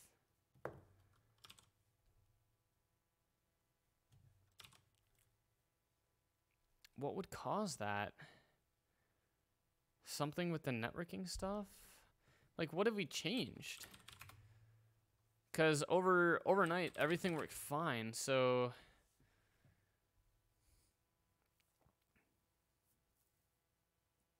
Fix brawler on Linux, that's fine.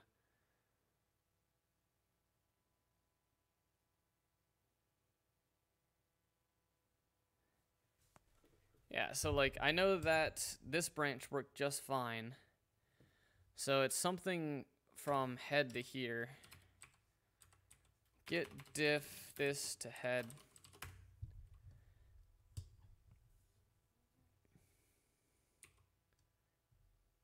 Oh, is it? It's the it's the protocol change. It's causing the protocol stream to get unaligned.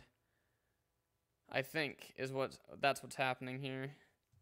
That would make sense. Let's update the brawler. Uh, since we added a, a field, we should change this version number.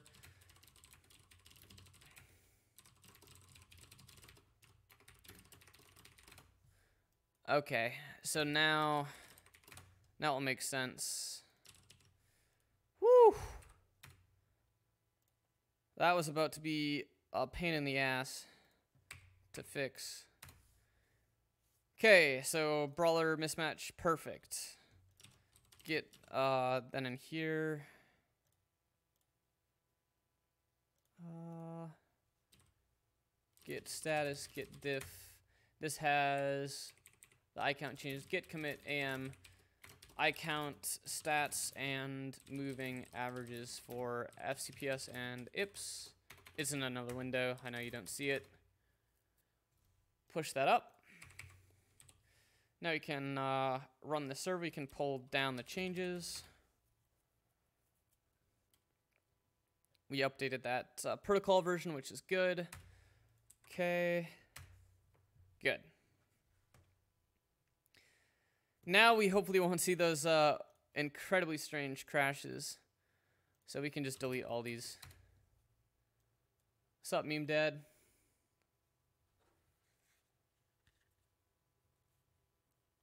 Okay.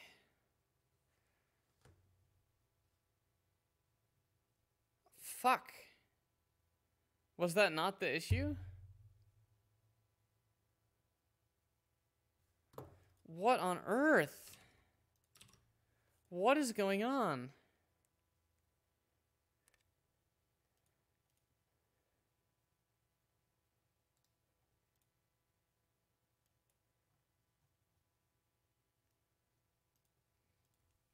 What is happening here?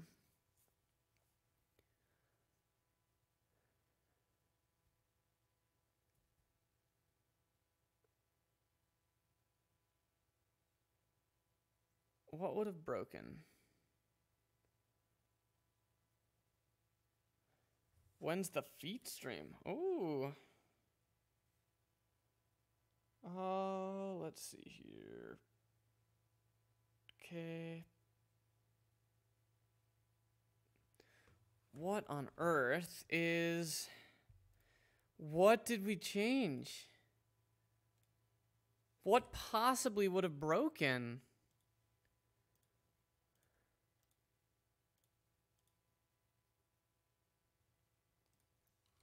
Uh, we remove that. That should be fine. Rekeyframing stuff should be fine. Faulting CR3.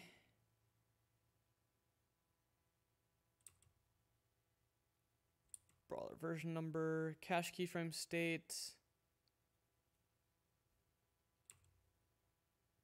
Get the keyframe state. Report load keyframe state. Faulting Ederson file name. The instructions executed. That shouldn't affect anything. MFN. If there's a server.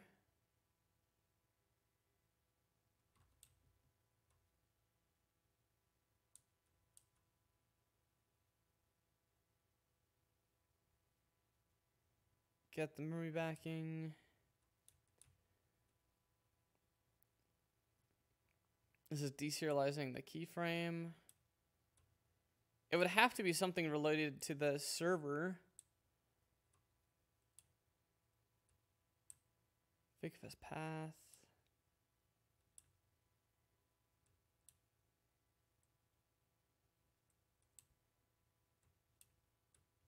Uh, what do we do? We got rid of the hash.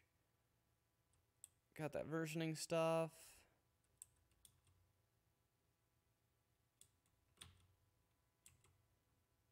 Keyframe. None of that really stands out to me as something that could cause uh cause this issue. Classify, bad access.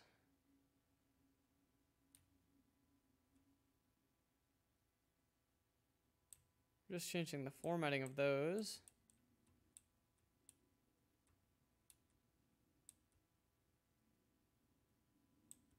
Vaulting reg states page table. Format mod off. What is going on? Okay, let's see if we can reproduce it locally. So we'll do a we'll run a server here. Cargo run start. Uh, we'll also do this. Cargo run start server. Okay. Tikos Franzia Brawler. Cargo run release. Uh, yep. Cargo run start server, and this is calc stepped. Oops. Cargo run server, calc stepped. Okay, and we'll connect in to localhost. Oops. There we go. I just want to see if these bugs reproduce locally. I want to see if it's like an, a Linux issue or a networking issue. So we got 12 workers online.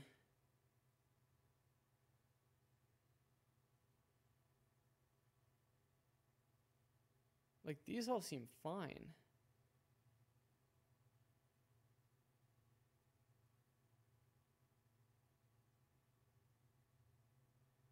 Oh, hmm.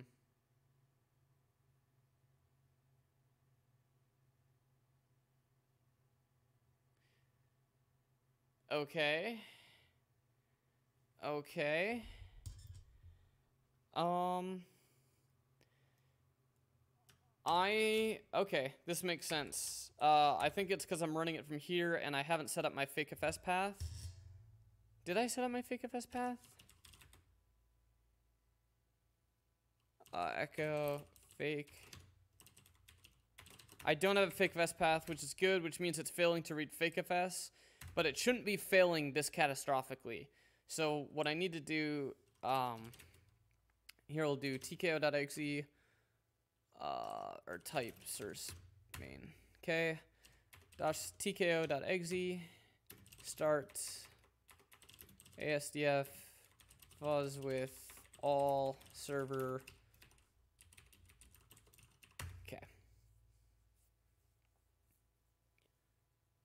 this should this should give the blue screens again. Basically, it's failing to read those files, which is then causing, uh, I think, bad things to get paged in. I think that's exactly what's happening. It shouldn't fail silently like it is. Uh, yep, nice. They're all the fucked crashes. Okay, so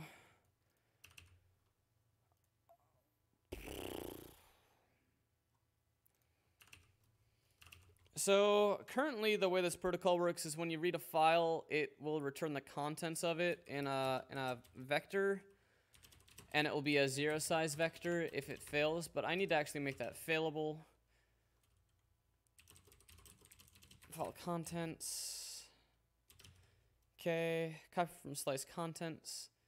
So this will, that's to do read file, and then in the server, file contents.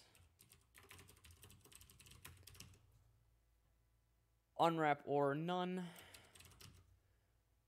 This will return a some buff.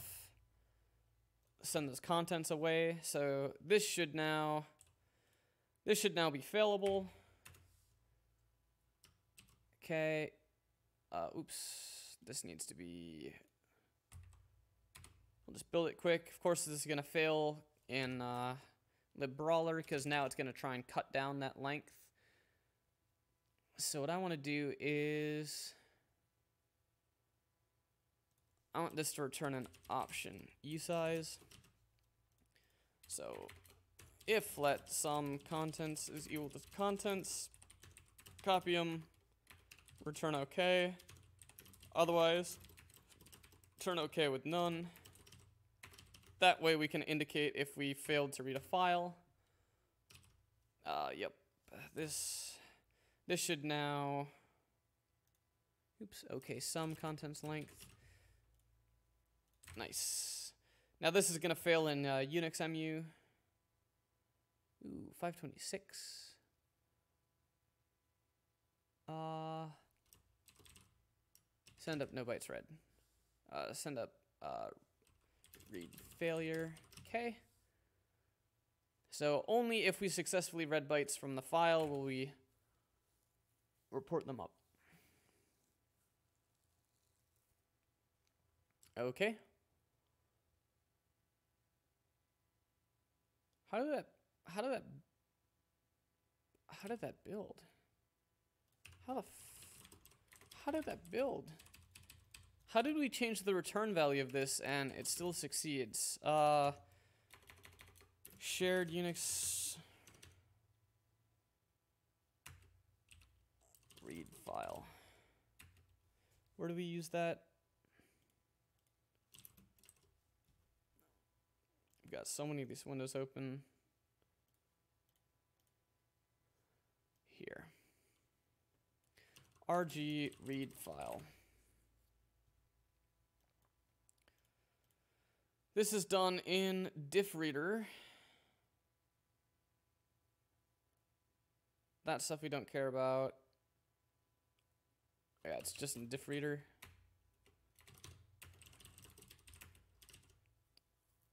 Expect field to read temporary. Uh, failed to read server back file. Expect file does not exist. Uh, actually, failed failed to read from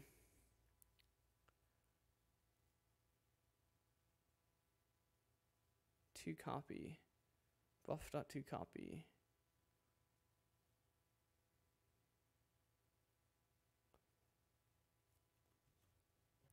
okay and then this will be bread is equal to that. Failed to read this from server. Uh actually uh, offset or file. I don't want to say does not exist because it could potentially just be out of bounds.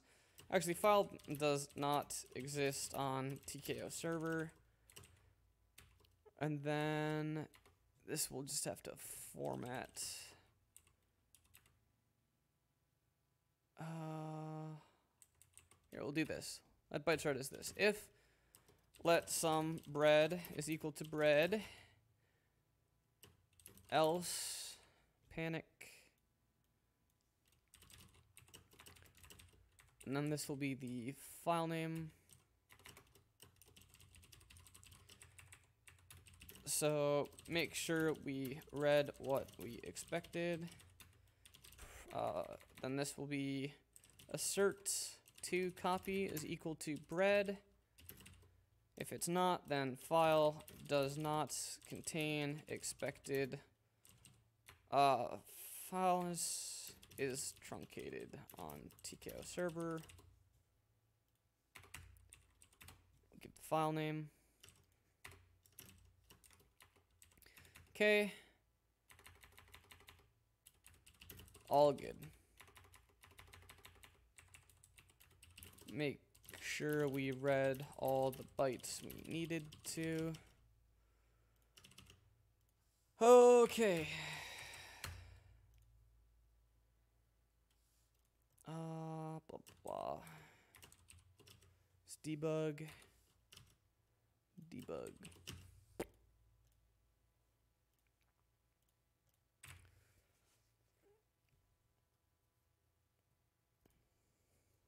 Now this should fail much harder when we run this.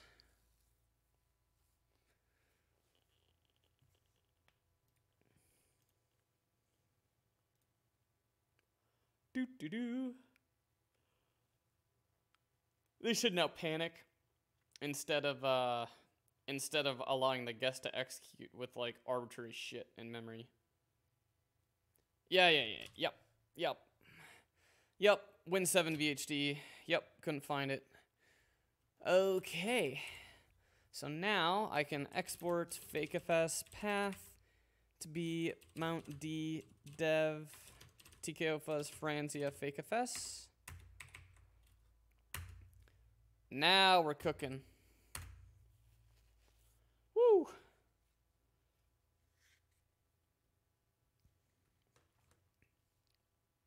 Look at that. We fixed it. Well, we don't know. We definitely fixed it. Technically, we don't know if we fixed it or not, but we definitely did. Oh, shit. Uh...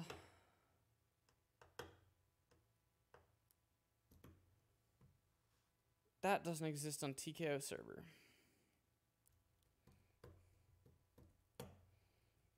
Really?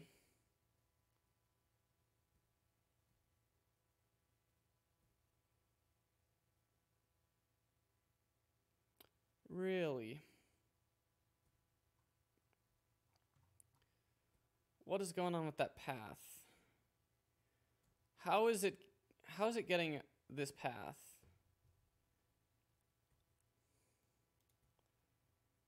This is file name. Server's none. Otherwise, if there's a server, send a read server, uh, read file name request.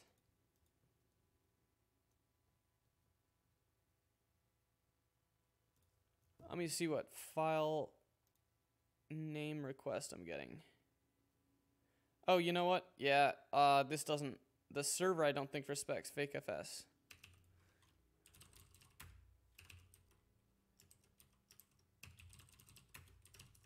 Okay.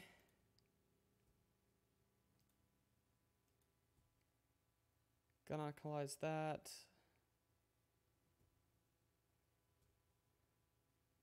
Quest file name or file length. Read file.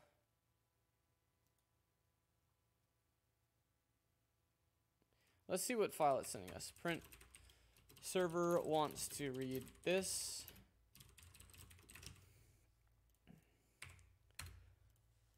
I think in server mode, I need to always have it request uh, slash fakefs.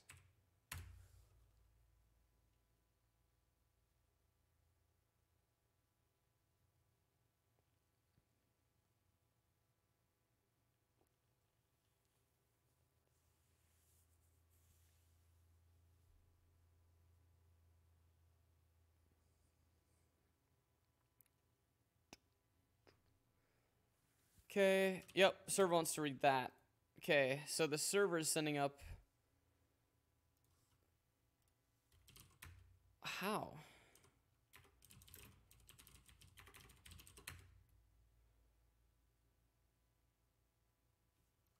Where is that full file name coming from? Server wants to read that. Read.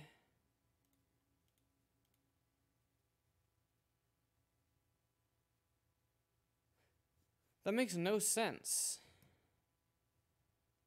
How is a Linux server constructing that file name?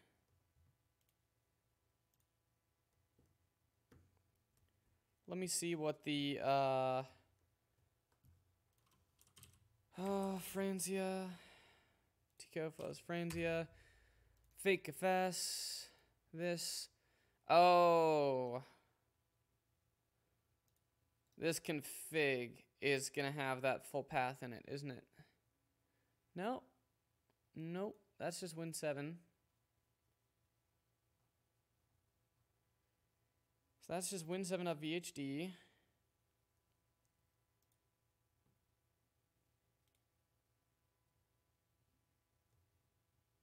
Uh,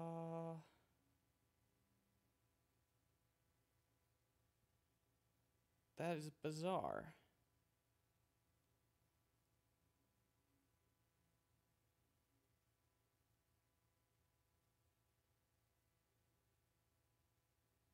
That is really strange. I'm trying to figure out where it's getting that path from. Uh, I took the keyframe. Oh, is that because it's where it took the keyframe? Ah, shit. So if I use the fakeFS path when I take a keyframe, that's causing it to have that whole thing in there. Okay, okay, okay. Okay. So what I should be able to do is look at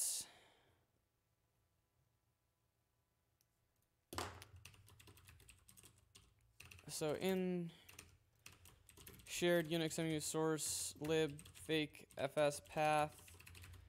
So when we open a file, this is going to get the chrooted file name, but we want to have a different file name. So when we make a diff reader new, we basically need a way to track two different file names. So file name file, okay. And then I want to implement a fakefs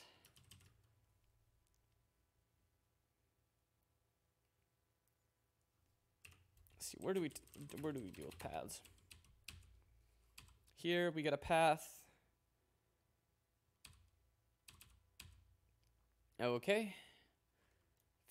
Get fake, FS path. This is going to push it here. If files contains this. So I'm to open. Yeah, I think I want to change this. I want to change this to uh, honestly, I might just want file name. Yeah, I just want the, uh, the direct file name. If it contains file name, then we're going to create file name here. Okay, same down here. Uh, uh,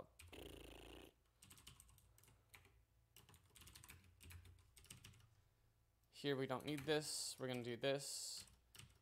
I'm going to give it a file name. Okay. So this will give it the non-chrooted file name. This should build. Yep. So then that would fail locally. So what we need to do is we need to now make a absolute path, or this is the relative chrooted file name. And then this will be the host file name PathBuf. This will be the host's uh, path to the file that backs file name. Okay. Uh, so now we need to look through anything that uses file name in here.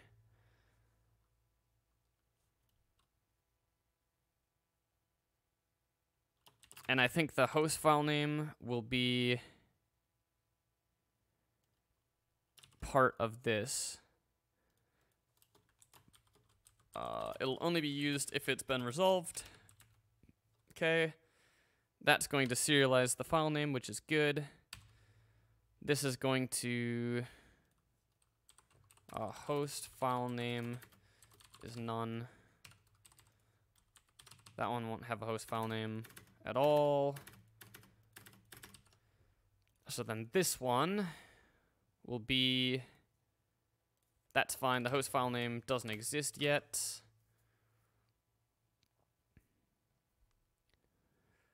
Then host file name is none.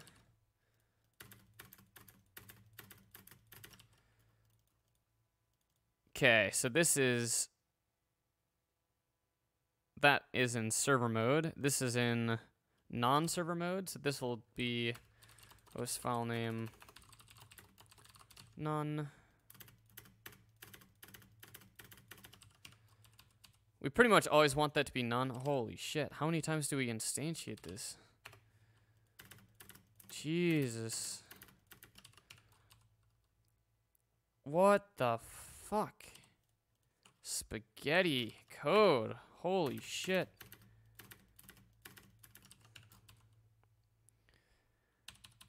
Okay, so let's take a look. Host file name is there. Good. Good. Uh, that needs to change.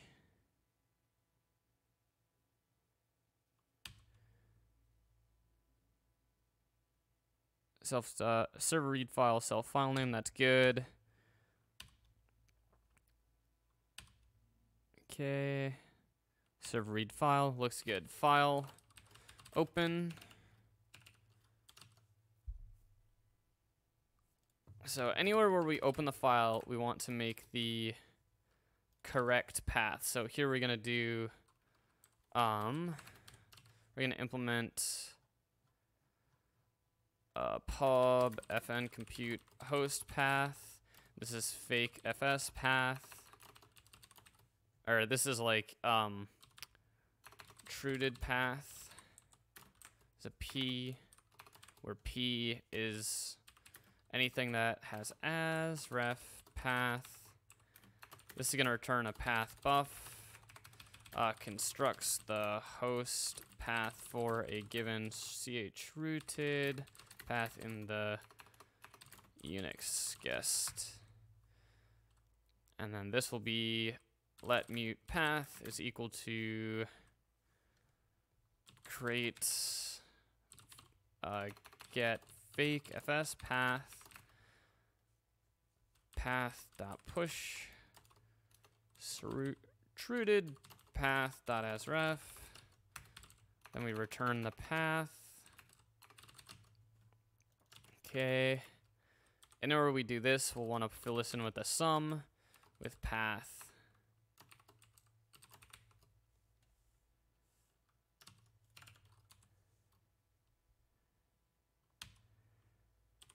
Okay, so here, if we succeed, self dot host file name is going to be equal to self uh, compute host path self dot file name.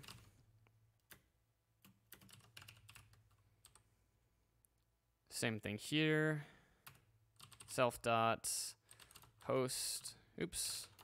And we also need to change what they're using for paths. So this will be the let host path is equal to this. Compute the host file name for this file. Take this, this, that. Same thing down here. let host file name is equal to this. Good. Then fill this in with a some this. Technically, we don't use the host file name field, so we might be able to get rid of that in the structure. self.host file name is equal to some host file name. Kind of more just have that for record keeping. Okay, so that should be good. Uh, 31. Okay. Oh, shit. Not bad. So we need to test this in server mode, and then we also need to test this in client mode. Or when we're running locally.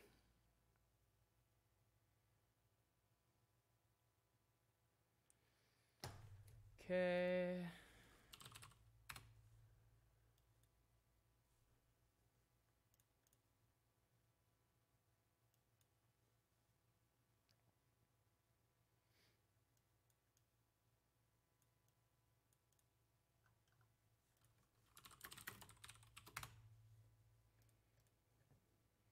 All right. This is panicking. Son of a bitch.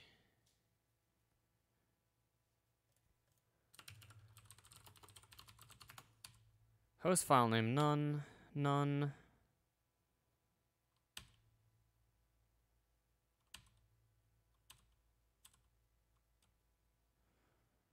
Host path, that's what we open. Down here, compute host path. Open, good. Compute host path, this, this, this, this. Host file name is this.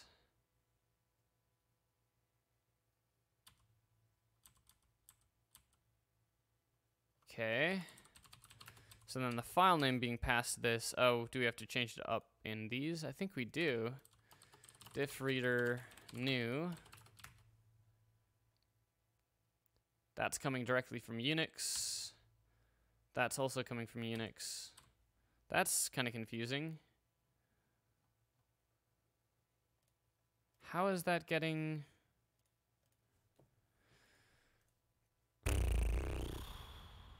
Oh, it's because it's in the keyframe name. It's serialized in the keyframe. Yeah, yeah, yeah, yeah. Yep, because the file's already open.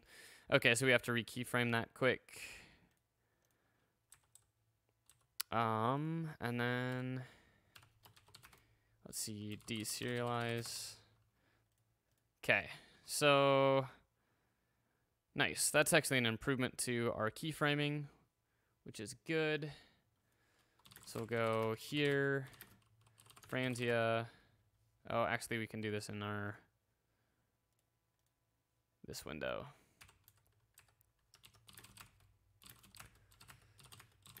I might have closed the window I wanted actually. Okay, it's not there. Type run. Dot bat. Grab this. Uh, here we're gonna want to do uh, set fake fs path. Franzia fake fs. We're gonna run this command. Keyframe. Uh, do do do.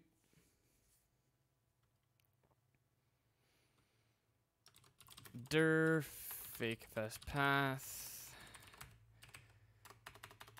keyframe of this into calc. Okay.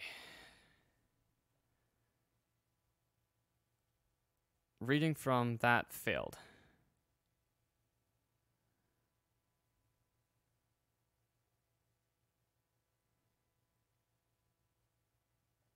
Okay. Host path, compute host path.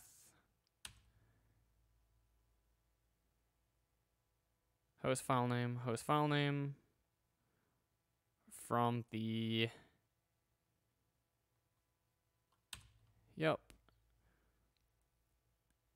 Host file name is that.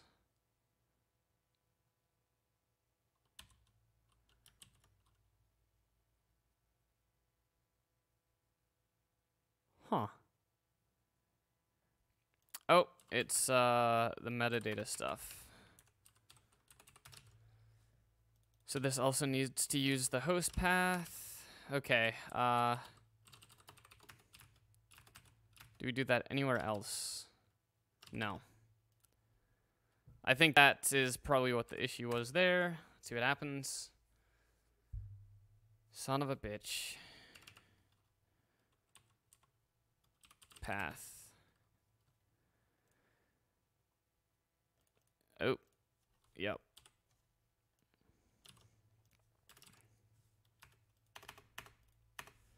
Okay, if the host path is not a file, then do host path. Now the only place we're using path is just to set the file name for those, which is good. Um.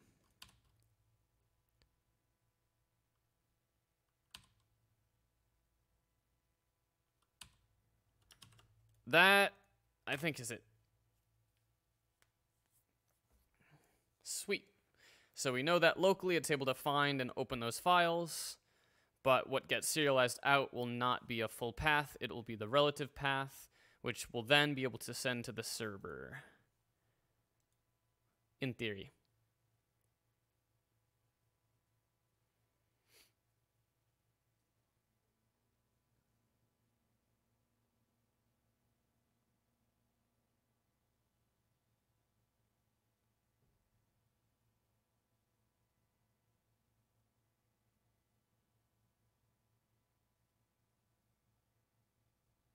Come on. Okay. Saving keyframe. Then we'll re-keyframe this over to the calc stepped.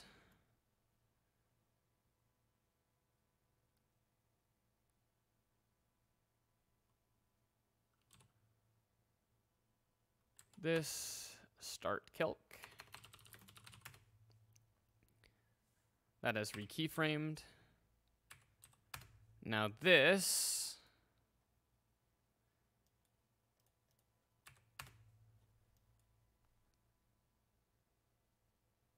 So the server needs the fakefs path, which it uses.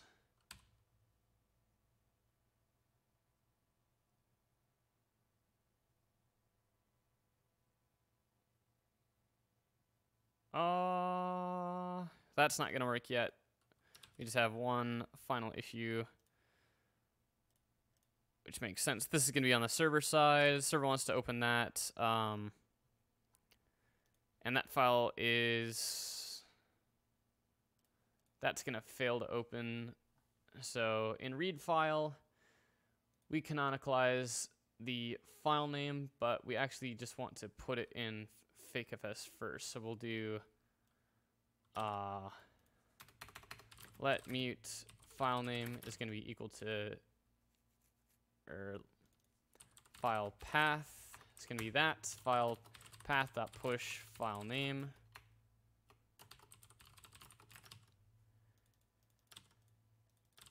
Okay, file name.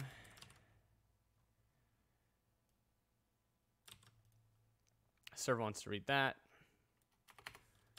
So get the fakefs path from libtko, push the uh, remaining part onto it, and print canon path is, or this is the uh, path to fake fs is file path.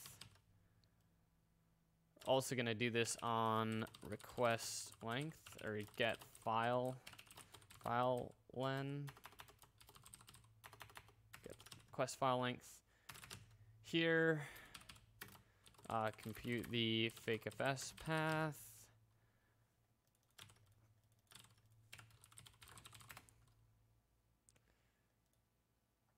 Okay. Good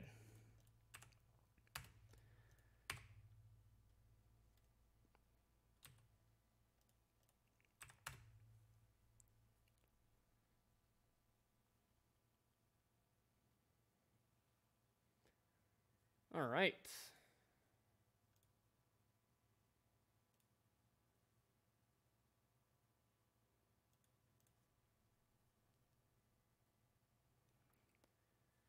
Now I think everything should be fixed. Path to fakefs is that.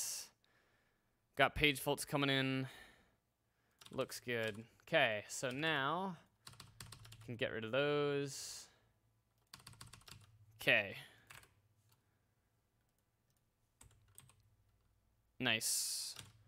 So now everything inside of frames is going to work on a relative er, or in a C-attributed path name.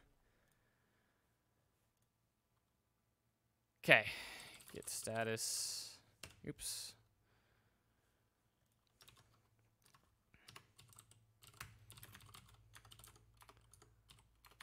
git status, git commit, am fixed, fake FS pathing issues with server mode. Git push. All right, nice, nice, nice, nice, nice.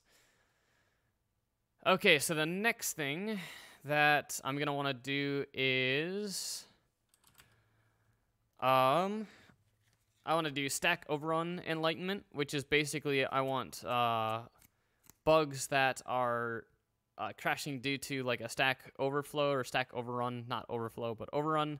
Uh, I want those to crash I want those to be classified slightly differently. So we're going to go into uh, source or share plugins, crash handler, crash handler, source this. And then up here, what I want to do is when we classify a bad access, so if it's that, Otherwise, if it's less than 32k, otherwise if the faulting adder as I64 um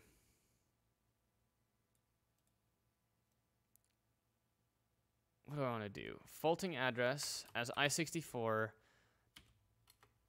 minus uh, dot wrapping sub of the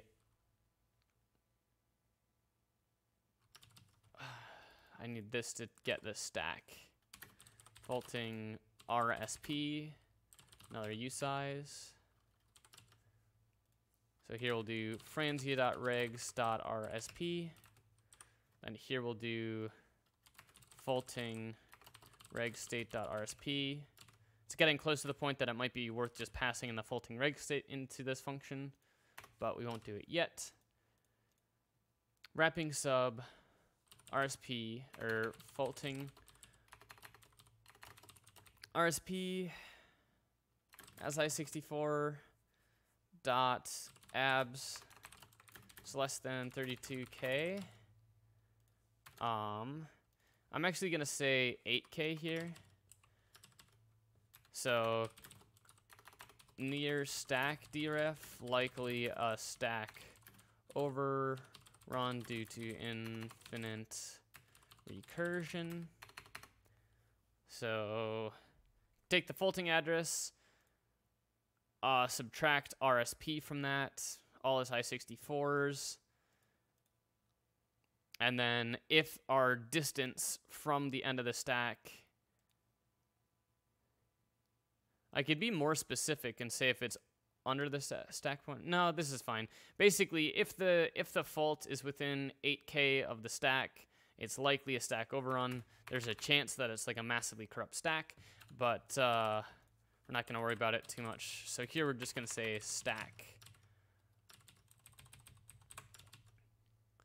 So faulting address is I64 wrapping sub RSP, distance from RSP, dot abs, is less than 8K. If we're within 8K of RSP with where we're faulting, with the address that we're accessing that's faulting, it's very likely that we're, we just have a stack issue. Okay. Um, I guess technically that's a U64.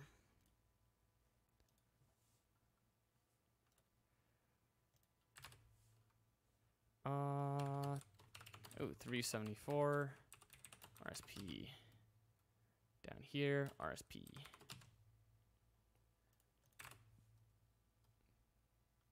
Okay.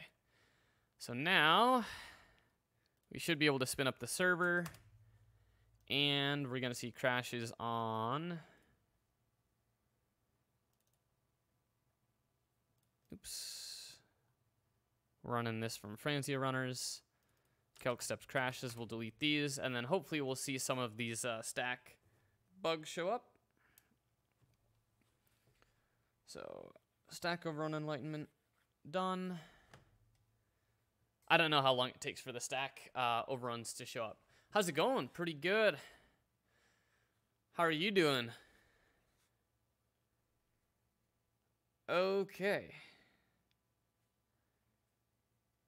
Almost there. One, two, three, four, five.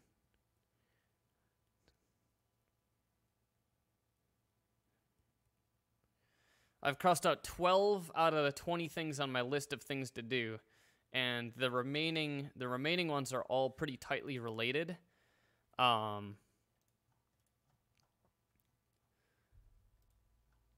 so since all of pretty much the remaining ones are related, that means we're going to be working on kind of the time travel stuff, uh, which is going to be really fun and really complicated uh, development there.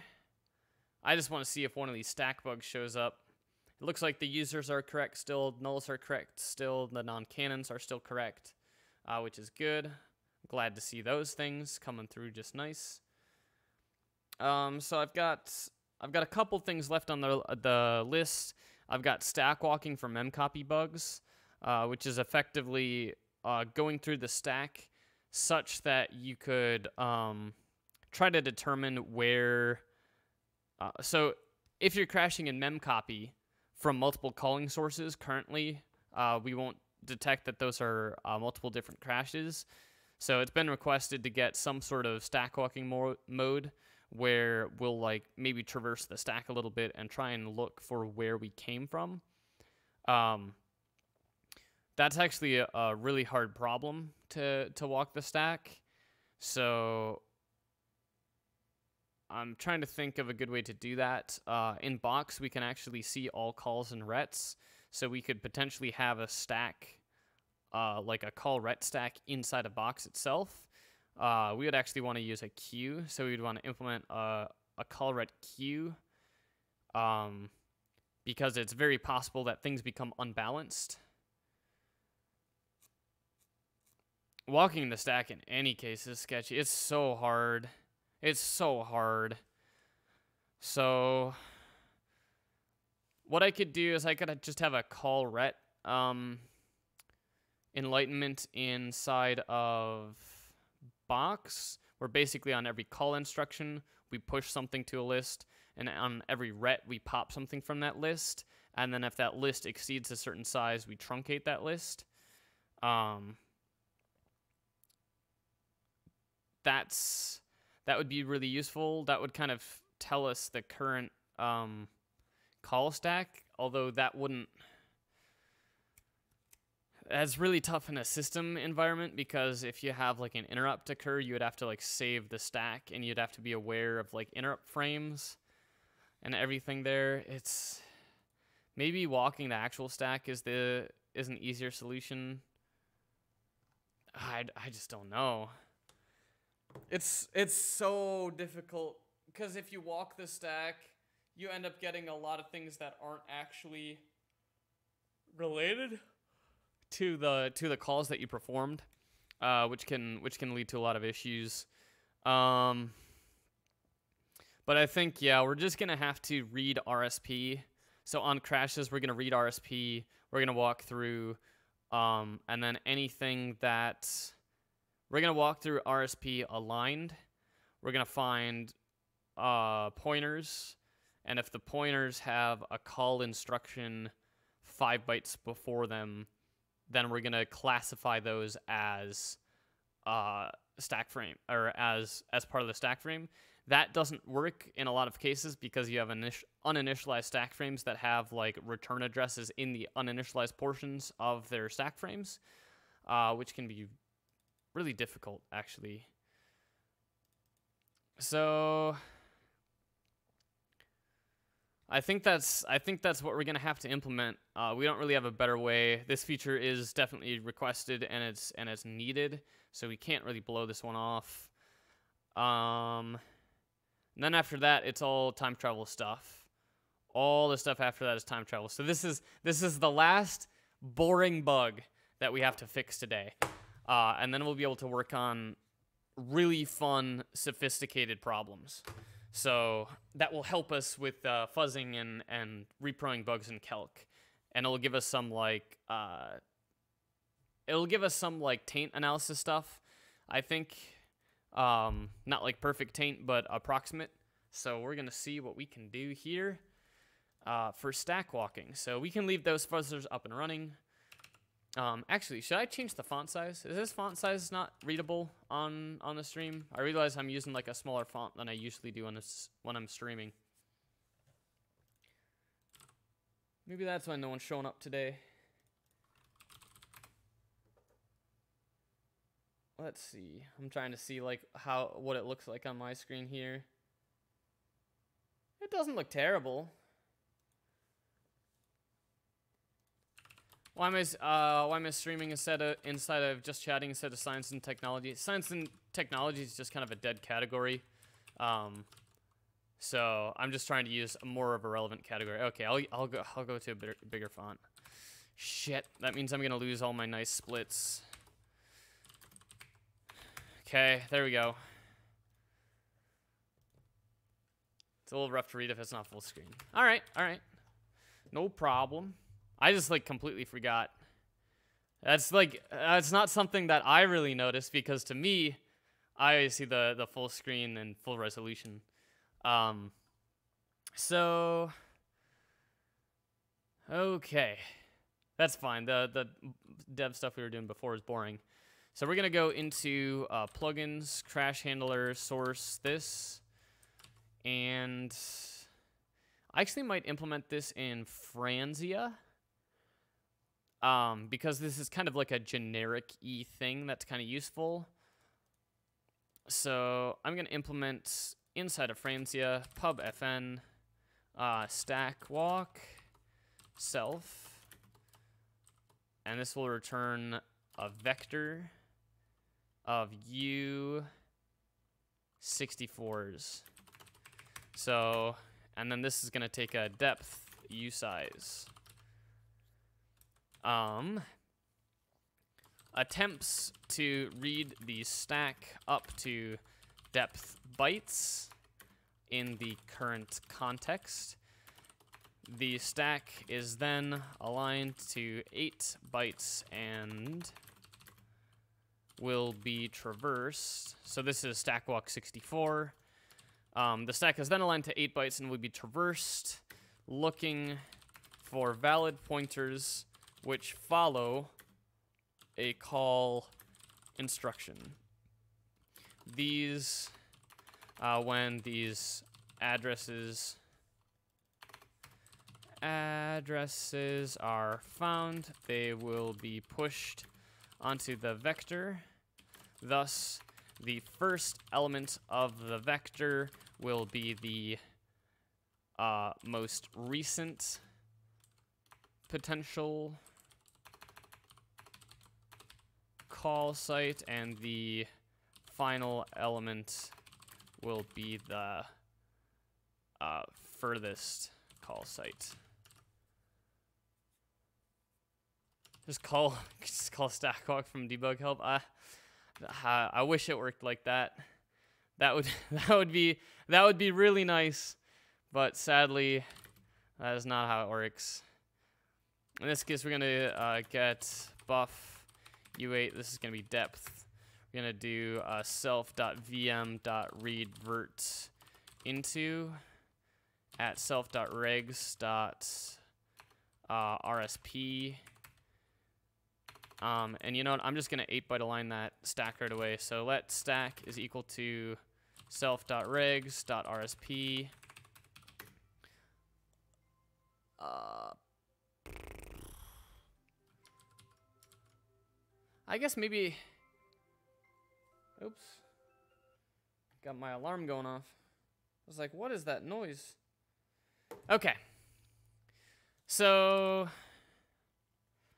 if I get the stack, so here we're gonna get a stack address and align it. So we're gonna take this plus OX7 and not OX7. So we take that stack address, we're gonna align it up to the nearest 8-byte boundary. We don't wanna align it down because then we're gonna be working with potential uh, addresses that are invalid. Regardless, this function is gonna handle invalid addresses. So allocate a buffer up to depth bytes. Um, shared VM source This is going to be uh, read vert into. I just want to see on success, all bytes read returns that. Otherwise, it returns the partial bytes read. So we'll do let bread is equal to this. Um, I actually, is there a way on a result to get either of them? Like I, I have a result and basically I just want the respective one. I'm going to take a look at that in a second. Uh, read vert into, we're going to read from uh, line stack into mute buff. And then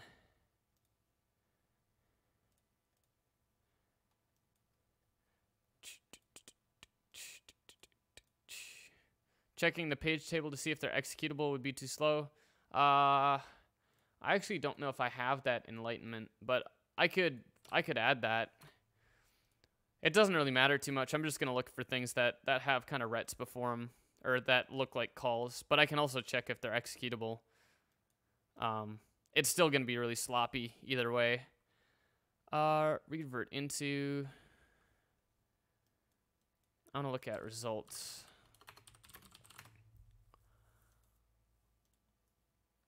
Basically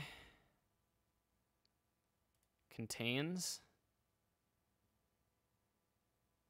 error expect is error that iter map mapper else transpose. Okay no. Okay or I actually don't know a good way of doing that. So we'll just do let bread and then here we'll do uh, let bread is equal to bread dot unwrap or bread dot error dot, unwrap. So basically, get the success case. Otherwise, if we couldn't get the success case, get the error case, and then we'll truncate down this buffer. Um, we'll go uh, four four quad word in buff dot chunks pointer uh, size of u64 for each quad word in buff to bread we'll go through go through each quad word on the stack. Here we'll do let chord is equal to u64 from le bytes. Um, convert to an actual quad word. Okay. So now I have like a quad word on the stack that I want to potentially try to read. So what I could do is I could look at the so read fizz that's going to do a translate um yeah, I could add like a check permissions Let's do... Where would this be at? Physical memory, write fizz from, read fizz into, uh, t translate, and this will be shared VM x source x86, and then translate And then this, we could have return out a permissions structure. So let's do pub struct permissions. Uh, the permissions permissions for a given page. This will take in a, a read, write, execute, Uh, page is readable. Page is writable. Page is executable. Okay, and then we'll change our translate routine. This will now return an option, usize, and permissions. We're gonna grab all of these things for permissions. Also grab partial ord and ord. Okay, so, and we'll throw hash in here too, why not? Translate, this will return now the permissions as well. In this case, we can now, uh, if it's a sum, uh, I guess I need to figure out how I want to necessarily do that in a second. Down here, this is now going to return a permission structure. And we just need to extract the permission bits from here. So uh, permissions start off as RWX. So let mute permissions equal to, uh, let's see. This is going to be the, uh, by default, everything is read, write, uh, everything is RWX. We'll do read, true, write, true, exec, true. So then, as we traverse the page table, um, if it's not present, we return out. Otherwise, at this point, it is present, so we can do uh, permissions. Here we're gonna update permissions. Permissions dot, uh, and here we just gotta grab these page table entries. So we'll go to Intel manual, software developer manual. Oh. System. Going to paging. We're going to go into 64-bit paging. Then we're going to take a look at where the bits are. I think they're in the same places for all levels. At uh, execute disable is the top one. Uh, read write and is right there. So, okay, so if if entry and pt bits, uh, pt bits, where do we define that? Present writable, execute disable. Okay, so if pt bits execute disable is not equal to zero, then ex uh, execute is false and that sets it to false forever. Uh, if entry and pt bits writable is equal to zero, then uh, permissions dot write is false.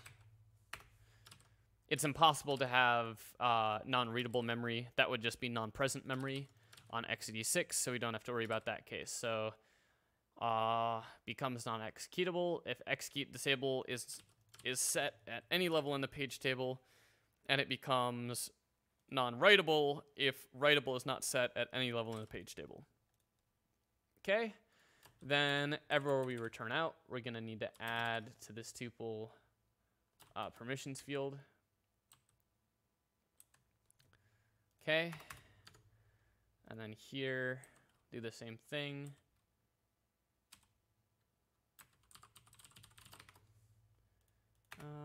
Okay.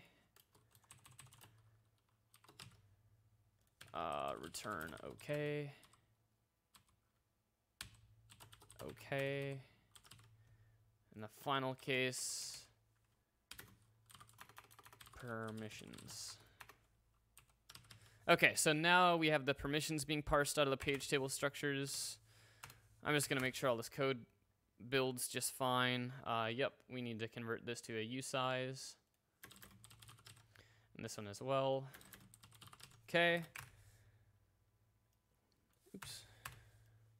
Um. Come on. Come on. Okay, undocument comment. Uh,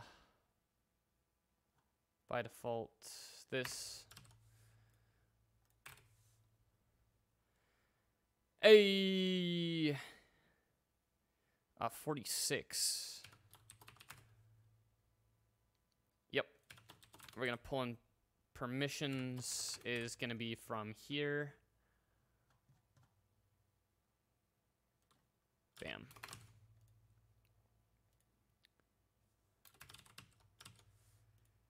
Okay.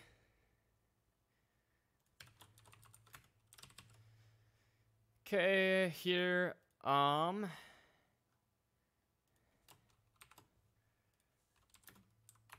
we can just ignore the permissions. We don't care about the permissions in pretty much any case.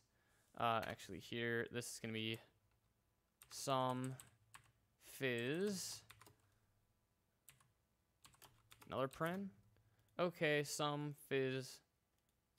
Looks good. We're gonna do that uh, in one other spot. Oop, and then here this will be uh, use crate permissions. Uh, and then we need to make all these public. Okay. And 47.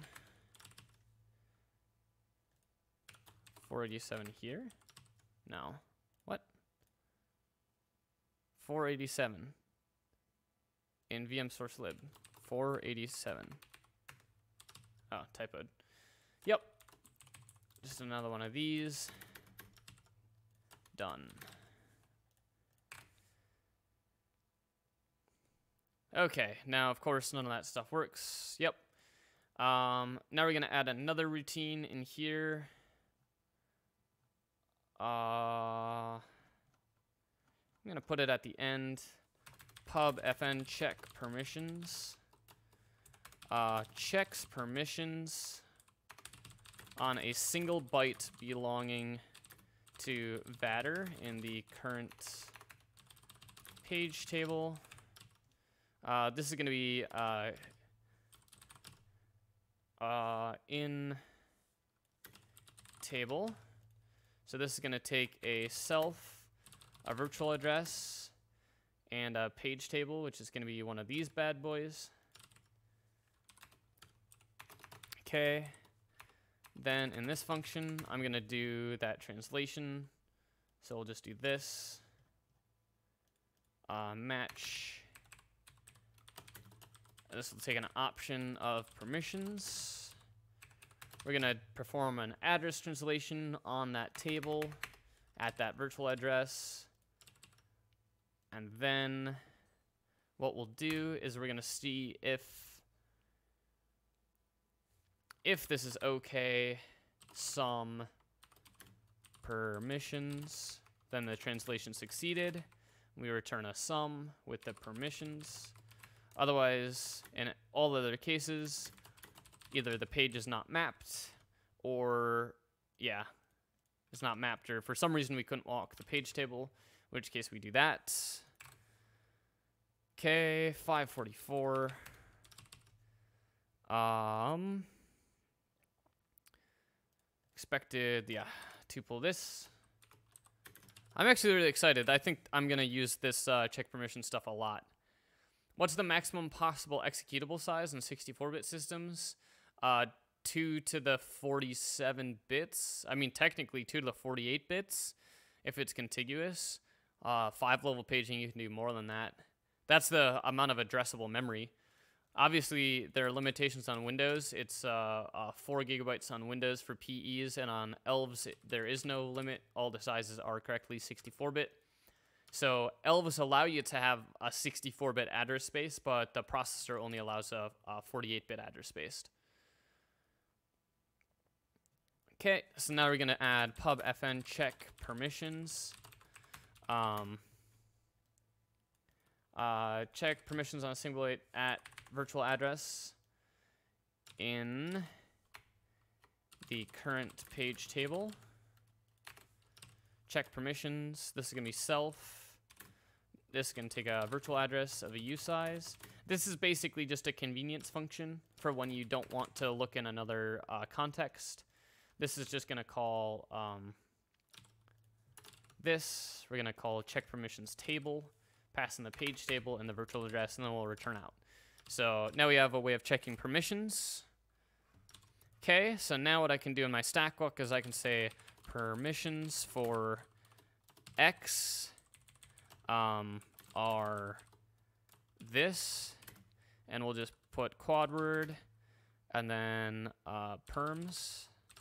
Let perms is equal to franzia.vm.check permissions on quad word, and we'll cast that to usize. Get the permissions for the memory pointed to by this address. Remember, there's a chance that this is just like a random value on the stack, so that might actually not be an address. Here we're going to uh, print the permissions, uh, and then we're going to just do a stack walk in our plugin. We'll go into plugins, calc fuzz, source this, and inject. What we're going to do is if we're in the fuzz mode, what we're going to do is quickly take a look at the little stack. So do franzia.stackwalk64. Uh, depth will do 32k to look onto the stack. And uh, we can get rid of the return value for this temporarily. This is standard mem size of. Okay, and we're just gonna panic uh, testing. Okay. Then we'll go over into uh, Franzia runners, type run.bat, color run this. We'll pass in calc stepped and just start. Uh, frenzy not found in this scope. Um,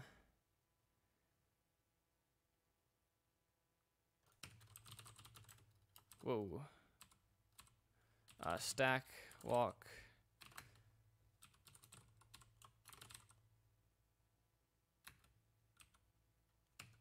Uh, walk 64. Oh, stock walk. Stack walk 64. Stack walk. We even typed it wrong here too. Or we probably copy pasted. Hard to say. Uh, Franzia not found in libtko source 2172. Self. Uh, 2163 and 2169. 2163, uh, this is probably expecting uh, size, And uh, 2169, uh, this is going to be a try into dot unwrap because it was a slice. We want to convert it to a fixed array. Okay, so that should be good.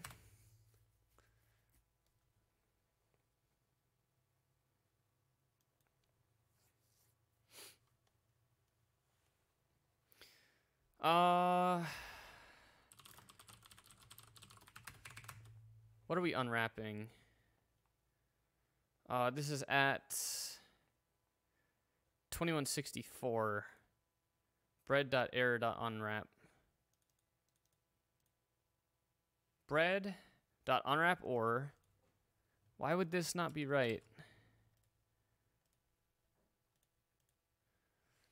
Um isn't dot error? Doesn't that get the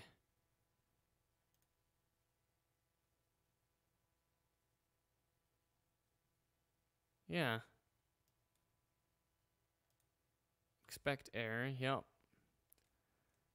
I could do just dot unwrap error. So Oh, it's going to try this every time. Um so we need to, if we want to do this, we have to use a closure. So we can do, um, um, I could do an unwrap or else. Yeah. Or else x. And what does that do? Unwrap or else passes the error. Oh, unwrap or else x. Is that only passing the errand? Uh, fn once that takes an E and it yields a T. Okay, unwrap or else that. That should be good.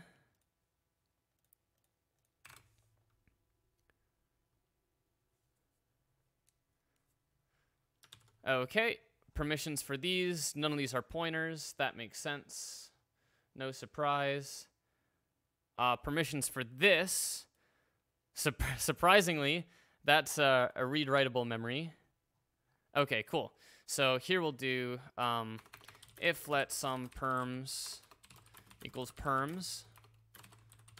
Um, then we'll do this. Uh, check if this memory even is paged in. If it is, then we'll just put an 016x here, or 018x.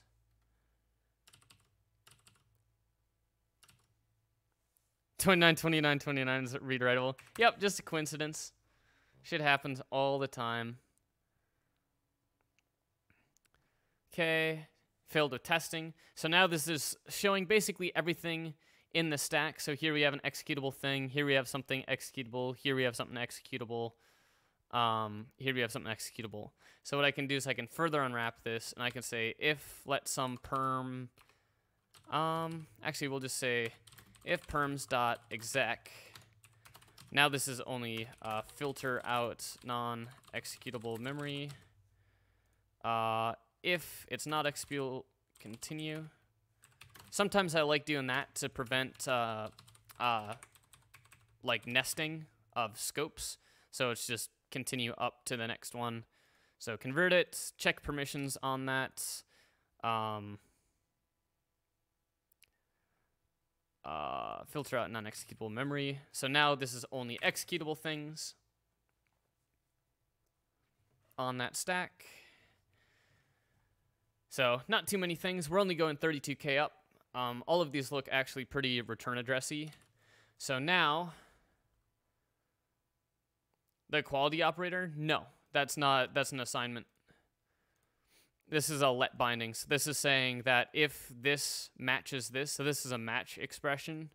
So this is saying that if permissions is a sum value, then give me in this scope the contents of the sum value as perms. Uh, it's extremely powerful. It's unbelievably powerful. In fact, in here I could do like permissions exec true, and this would only execute this code if it were executable. It looks weird, but you get used to it. And then it becomes standard, and then you wonder why no other language has it, because it's just it's just so good. Okay, so now we're gonna take a look at uh, call instructions. I think it's just E8, and uh, so we're going to have a short call, which is going to have a, a, one byte offset. We're going to have an indirect call, uh, which is going to have a mod or m byte, and then we're going to have, uh, yeah, there should be like a call near, a call far. So we're just going to look at call instructions. We're going to see all the different encodings. So an E8 with a word, that's only valid in uh, compatibility mode. Uh, E8 and 64-bit mode will be uh, relative. So what I'm going to do is I'm going to make an assertion here. Um, assert uh, panics if the processor is not in 64-bit mode. And then here I'm just going to get uh, assert self.regs.efer.lme. Um, actually, LMA. Long mode is not active in stack walk 64 function. Okay. I don't know if I actually have that function. Uh, not found on U64 on EFER. So if we take a look at uh, shared VM source x86 EFER, uh, that's LME.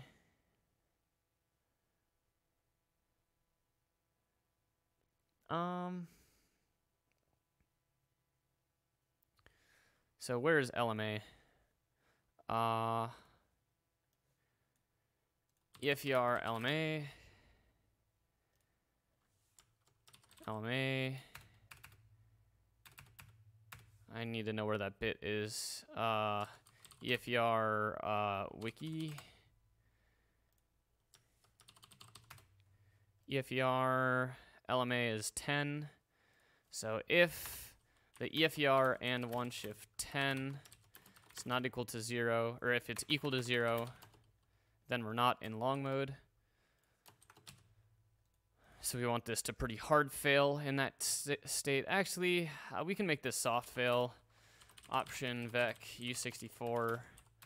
Um, if this is equal to 0, return none. Uh, um, check if we're in 64-bit mode, if you are, and this, one shift 10, if that's equal to 0, then long mode is not active by checking EFER.LMA. Okay. Then uh, the encodings that we care about, E8 with a, a rel 32. So we have uh, possible calls uh, and E8 followed by uh, OFF, or we'll just say offset. Uh, this is going to be a near call, where that's a relative address. Then we're going to have a uh, FF. So if we take a look at this, we have an FF slash 2. This is going to take a mod RM.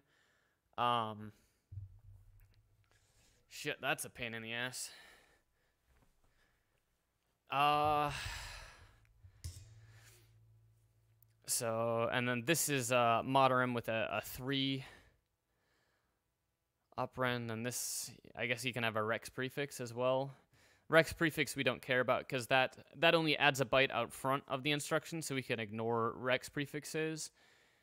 Uh, so what we care about is E8s. That will get us relative calls, which are most calls. Then uh, this with a mod slash 2.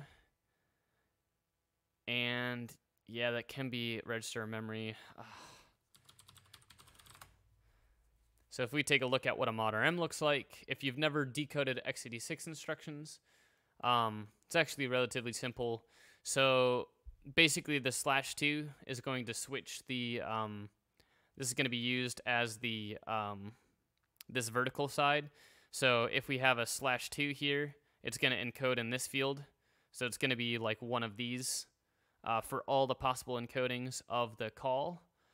Um, a slash 3 will put it in these encodings. It gets a little complex, so basically, mod RM is broken down into three pieces. The mod, which is the top two bits, the RM, which are the next three bits, and then the uh, register, which is the final three bits. The modifier tells you what type of um, sandpile. Is that XOR EAX, EAX, EAX's thing? Uh, maybe? I don't think so. Sandpile has been around for decades. Um, is this Christian Ludloff? I don't. I don't think this is him. This this has been around for. This has been around for. Uh, uh, twenty three years. yeah. So basically what's difficult about a mod RM is we actually don't know uh, the size of the instruction, especially when looking backwards. So um, if we take the top two bits of the mod RM, we can get the mod. And basically, if, if the mod is zero, uh, only slash three, no, slash two and slash three are valid in 64. So a slash two here, this is going to be a, an indirect address. And then this is going to be a far address. Um, I guess this is going to be gated. So if it points to a gate, then this is the, yeah, so this is going to be a, um, uh, a far um, a far call, which is pretty crazy. Uh, we're just gonna ignore the fall, uh, uh, far call case entirely.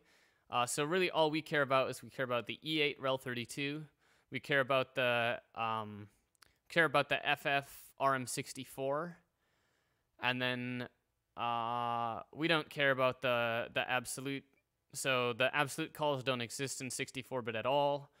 Um, but there is the far call in 64-bit, which is valid, um, and we're going to ignore far calls. Yeah, we, will never see a far call in, in a stack that we care about, uh, but we will definitely see these. So um, basically, these can decode to kind of multiple different sizes. So an RM, so what we'd basically... Uh, RMs can have many different sizes based on kind of different states. So uh, with a with a normal mod, it's typically a direct deref of a register. Um, if you have a rex prefix, it will change which register is being accessed, which is fine. But it's possible that if you're using this encoding for a, a 100 for an RM, then you have a SIB byte, and then you have further decoding because there's an additional byte there. Um, we don't actually care about the validity of that. So effectively, what we're going to want to do is we're going to want to find all the different combinations of a call, and it should be, we should have, um, these have those bases added to them, uh, and those have the none operations. If mod that, then the base is that, SD word. Okay, so yeah, this is just saying the different. Is this saying the different RM modes or the different SIB modes? Yeah. Oh, this is the different mods. So effectively, we could have an FF followed by uh, a mod RM byte. So we'll have FF followed directly by a mod RM byte, and then that will be followed uh, potentially by a SIB byte if we have a, a SIB uh, a following Otherwise, if we don't have a SIB byte, it's possible, well, in the case of a SIB byte, it's possible that we have another byte, uh, uh, another byte immediate, and or another D word immediate. And then this is register selection. So basically, if I were to do a um, call, so if I did an FF and then like a C, uh, if I did an FF and then we're only going to be in this column, if I did like an FFDO, that would be a call of RAX. And an FFD1 would be a call of RCX, a call of RDX, and, and kind of going through all of these different things. Um, if it falls into this group, then, um, yeah, basically, I need to, all I need to do is see if there is an FF followed by how many different sizes are there? There are, you can do a two byte call, you can do a three byte call, you can do a four byte call. So, what are the, what are the possible combinations? Uh, it is possible that you can have an FF uh, reg, which is going to be a two byte call. So, we're just going to call this a two byte call. A three byte call is possible because you could have a, a SIB uh, with a, I'm going to say RM with a SIB byte. So a three byte call is possible. You can also have uh, an RM um, uh, immediate. So that's another three byte possible combination. You can also have an RM with a four byte immediate which would be a six byte call. And then finally, you can have an, uh, this is the most complex call possible, which is a seven byte call. So if I'm not mistaken, these are the only possible uh, calls that you can have. Obviously, we can also have the E8 call, which is going to be an E8, uh, which will have uh, immediate, immediate, immediate, immediate. So this will be a five byte call.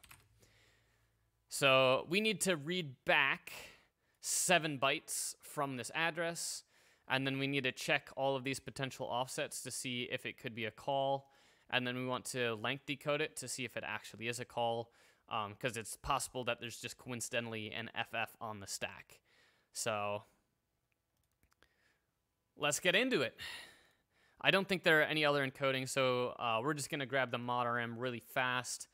Um, mod RM followed by the R field. We don't have to worry about the rex prefixes. The rex prefixes are a prefix, so they go out front. So we don't even care about those. And the rex prefixes can't actually affect the length of the instruction. They only affect the meaning of the contents of the instruction, which we're going to be ignoring. Um, I think this is RIPREL addressing. Uh, yeah, so in this case, it is possible to have Uh, yeah. So another one that's possible is a FFRM, and then the uh, RipRel, but that's the same basically as this. So. All right, and then we said we don't really care about the other calls. So we're gonna grab this and whack this in a comment. So uh, passable calls E8 FFRM. So this is gonna be a, a call reg. Then we're gonna have an FFRMSI Uh, call.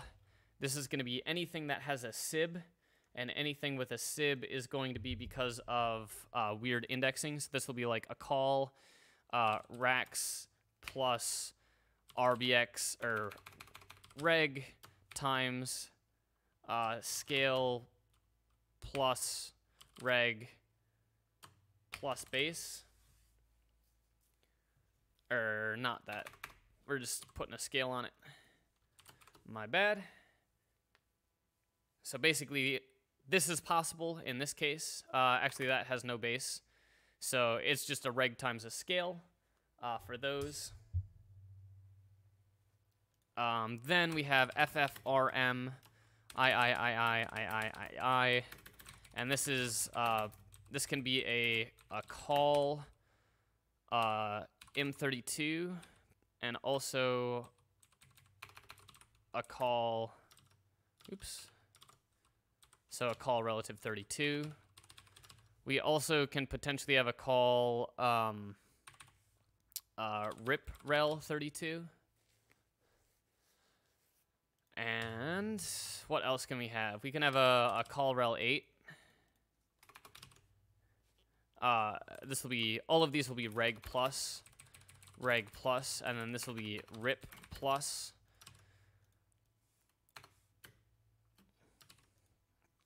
What else? There's FM, RM, SI, I, I, I, I, I, I, I. This is possible with a call reg plus uh, reg times scale plus rel 32.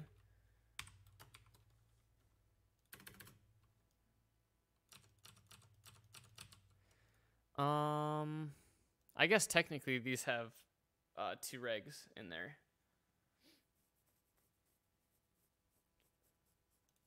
Do do do.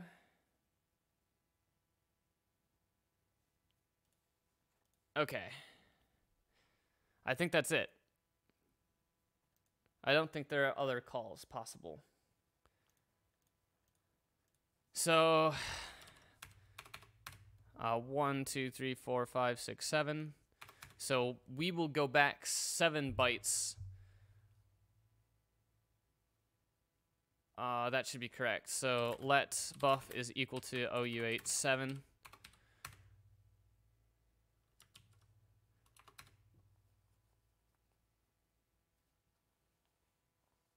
Um, what do we want?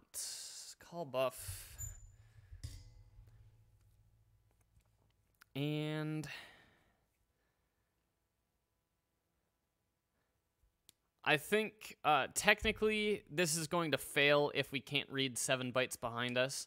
Uh, but in that exceptional case, we're just going to miss something on the stack walk. The stack walk is not meant to be perfect and I really don't want to write something that like goes through.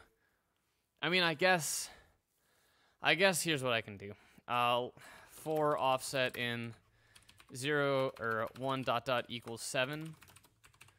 Let's uh, try rip is equal to the uh, the quad word, which is the address dot checked sub seven. Um, so here we'll say if let some vaddr is equal to check sub of offset, then we're gonna get try rip is equal to um, we'll say inst size. Then we're gonna get the bytes. Let bytes is gonna be equal to uh, OU8 int size, here's dynamic, so we can't do that. We're just gonna do this, maximum of seven. Here we're gonna do a, um,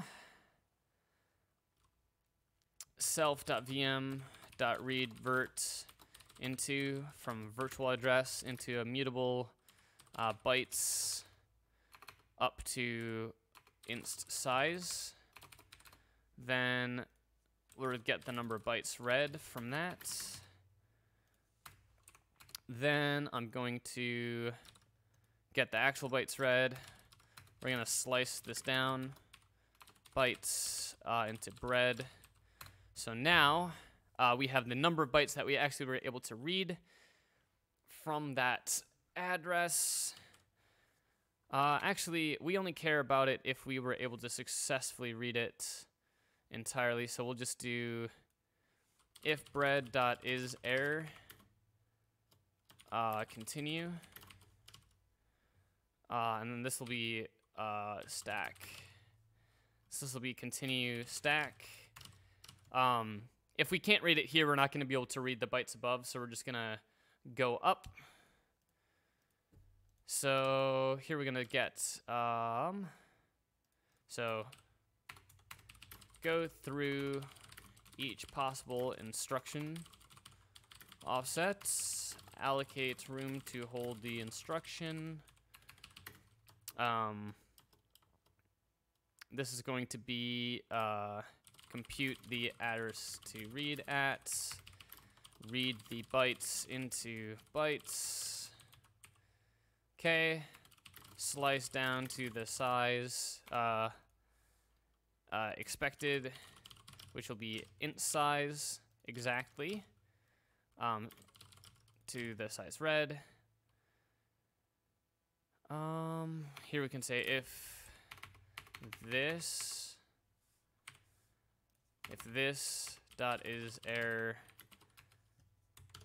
continue stack. So if we failed to read int size bytes exactly, then we go up to the next thing in the stack.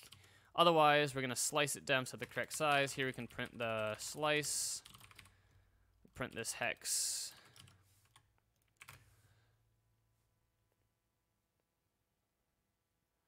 Uh,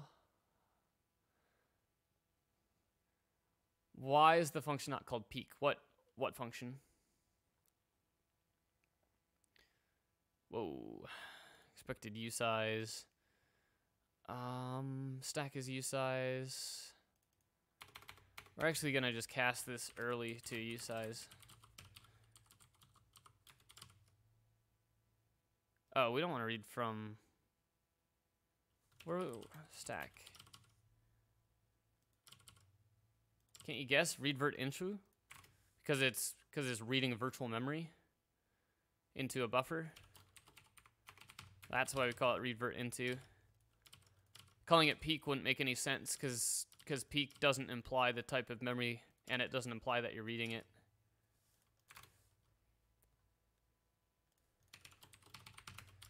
Because we have to be able to read physical and read virtual. We have to read virtual into not a buffer. We have to read uh, uh, we have to read VM's memory. We have to read phys- We have to read guest physical, host physical, host virtual, guest virtual, guest like. There are so many combinations that we that we cannot call it one thing because uh, we're working with many different address spaces in this context, which makes things a little bit uh, more confusing at times.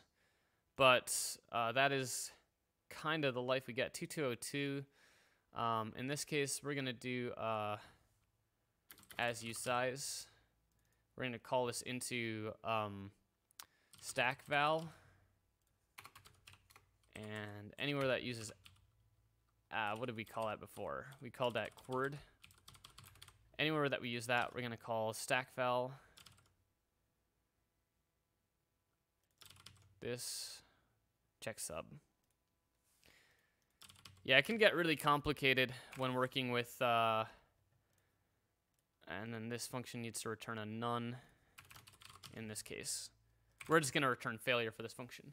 But yeah, uh, we have to kind of keep in mind all of the possible modes that the processor can be in and all the possible states that virtual memory can be in, which makes things uh, pretty complicated. Okay, so here we're going to go up here we read, yeah, look at this. So we found executable memory.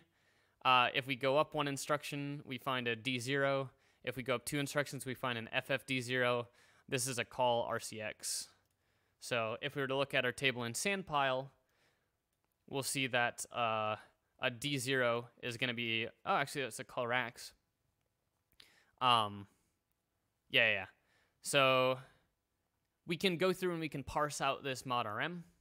So let me uh, let me do that. So we'll do let um, specifically we care about the mod field. Modf uh, get the mod. So what we're gonna say is if uh, what do we want to do? If the slice 0 is equal to a OX E8 and slice dot len is equal to 5.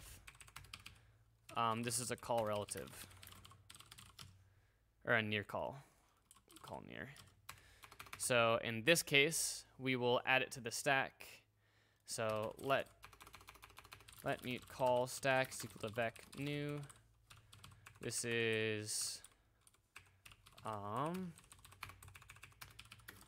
uh, uh, list of all memory which follows a call and is executed, which is pointed to by the current stack frame, or current stack. So we get the call stack. Here, this will now return some call stack. In this case, we're going to push the we're gonna push the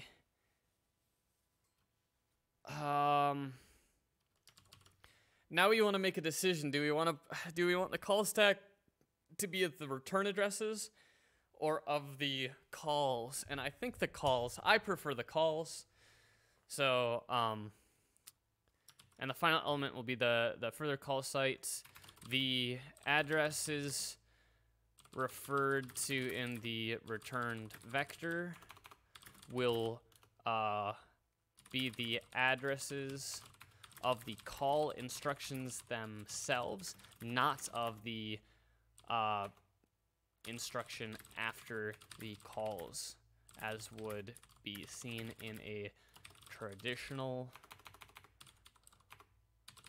call stack. Okay, so call stack.push. Uh, we'll just push the virtual address, and then we'll continue stack. So if if the first byte is an E8 and then the four bytes after it are, uh, and then there are four bytes after it, then we're going to push that onto the call stack, and then we're going to go to the next thing in the stack. Otherwise, if slice 0 is equal to OXFF, um, and then here, this will be can't possibly be a call. So in this case, we need to handle these. So, boop. Okay. So in the case of an FF, then we're gonna get the uh, get the RM byte. Oops.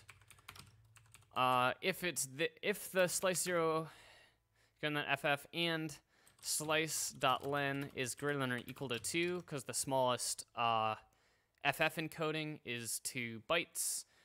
We'll get the mod rm byte. Let mod rm is equal to slice 1.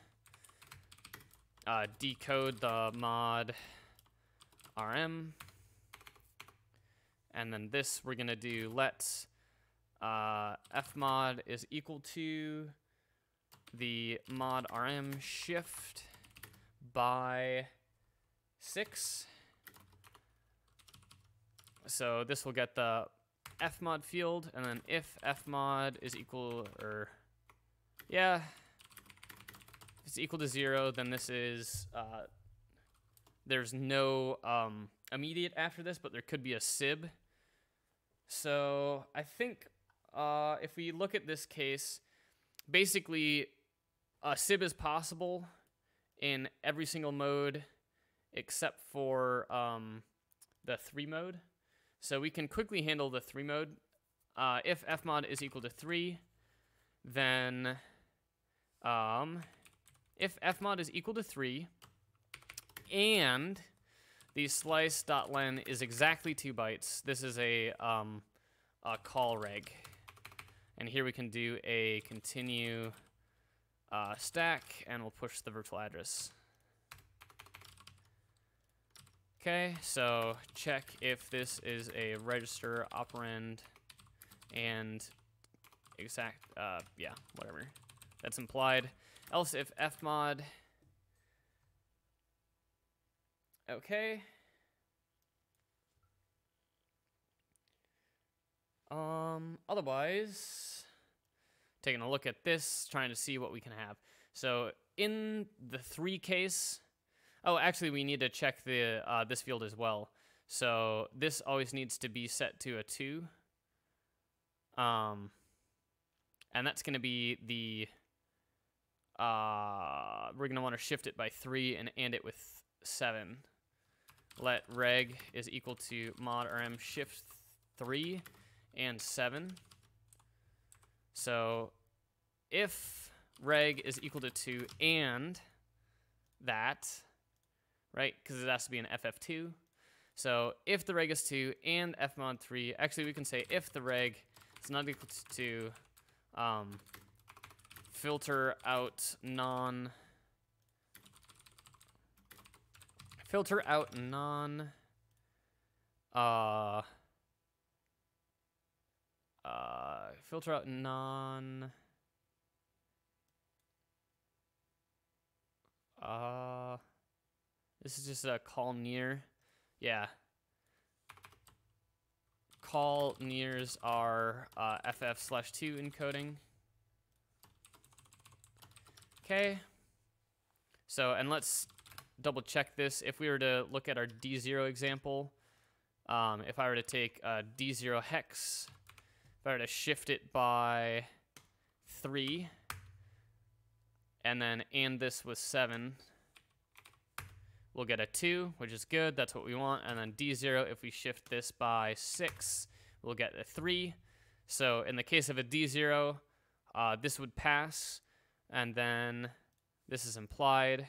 F mod is indeed three, and the slice length is two. That would call, cause us uh, to push that up. Um, you know what? I actually can't do this.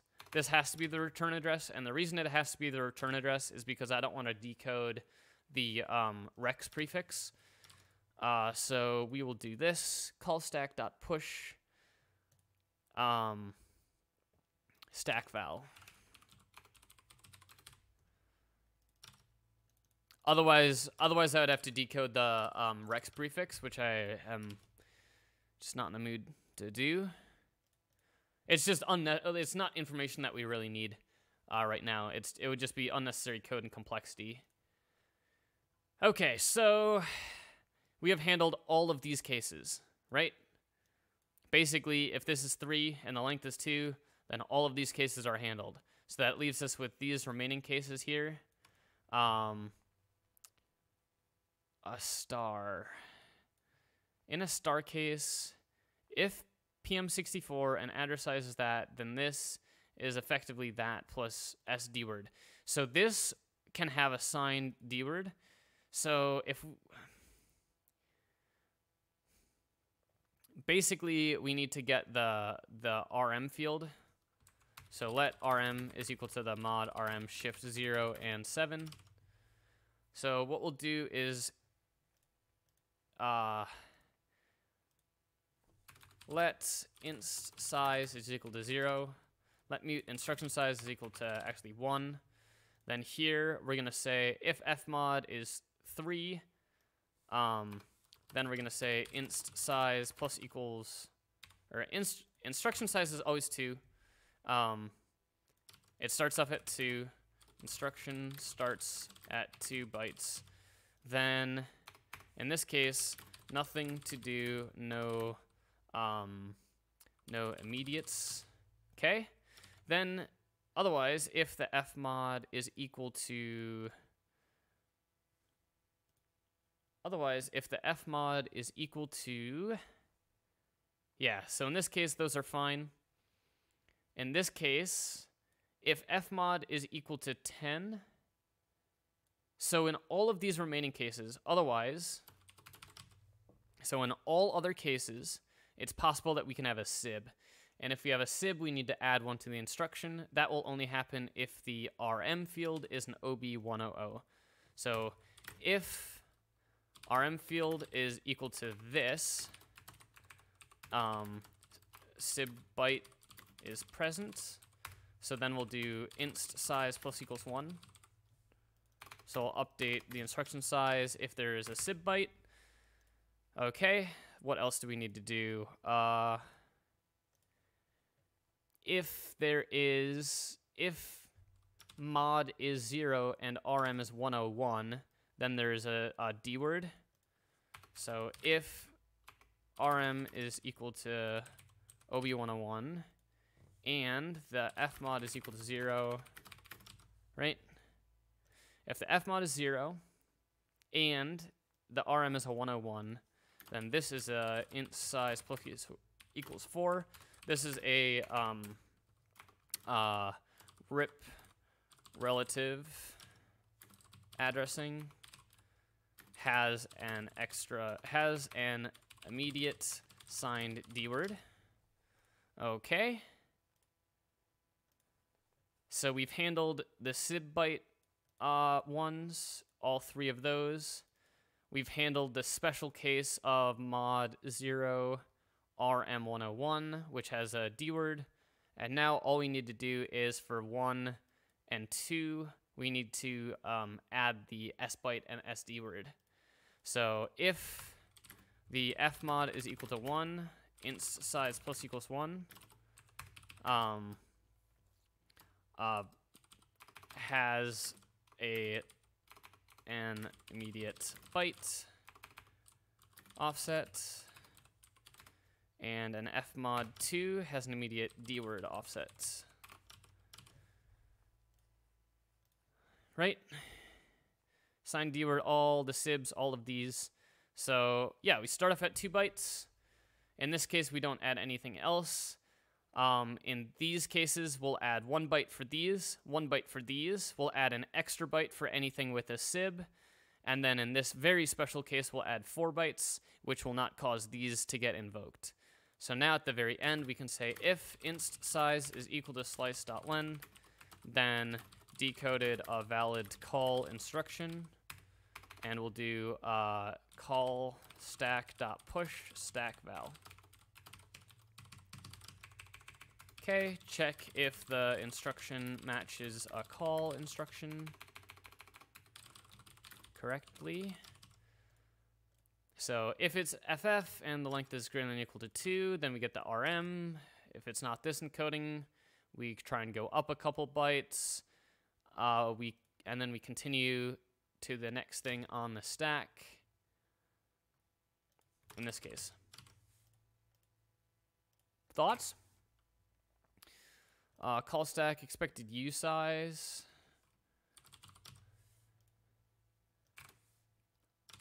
Okay. Doesn't like the prints on there, which is annoying. Okay. So now, uh, testing permissions on these. Yep, so at this point, we can now print call stack is uh, this.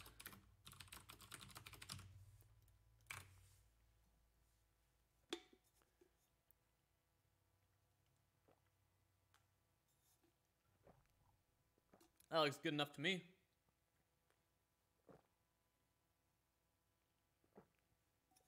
I'm just chugging some water. I just forget to drink water when I'm streaming and then I like get massively dehydrated.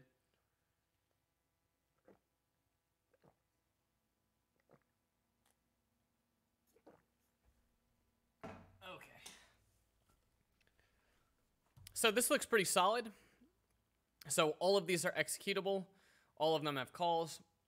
Parse symbols, I don't need symbols. Fuck symbols. Symbols don't help me here. Um, I will want to parse them into um, module offsets though. So this will be uh, mod off, format mod off, query module. Yeah.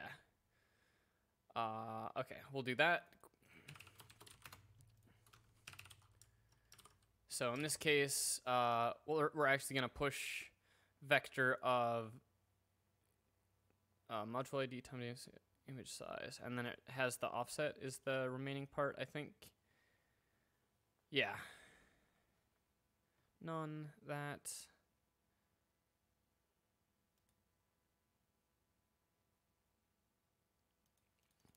I think that's the offset, right?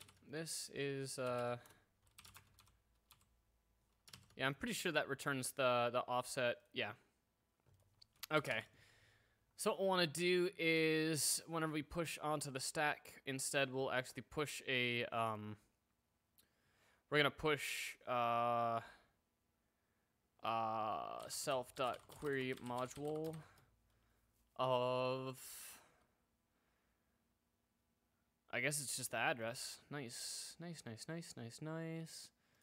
Look at that quality code. We're going to push this. And then this uh, vector is actually going to be a vector of these bad boys.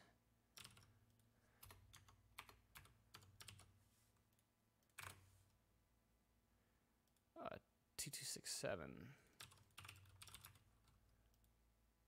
Oops. Going to be a vector of these.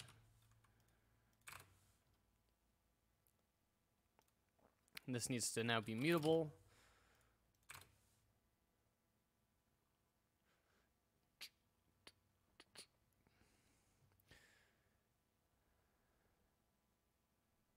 Really? Are we not printing it at the end? No, we're not. Print uh, for thing in call stack uh, for module offset in this. I think I have a format mod off. Yeah. So I can do a, a print where do I implement this? It's on shared mem. Okay. So let uh, shared mem equals Franzia or self shared memory unwrap print the uh honestly I can just do module name from ordinal this is easier uh, for this if let some ordinal uh, this this is equal to module shared mem dot this from ord offset.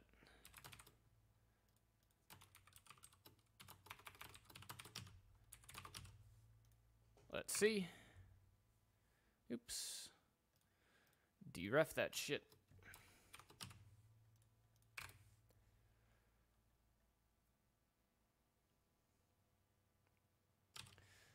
Okay, that looks good. Yeah, look at that. NTDLL kernel 32. Looks like a pretty standard call stack. Um, yeah. Looks good to me.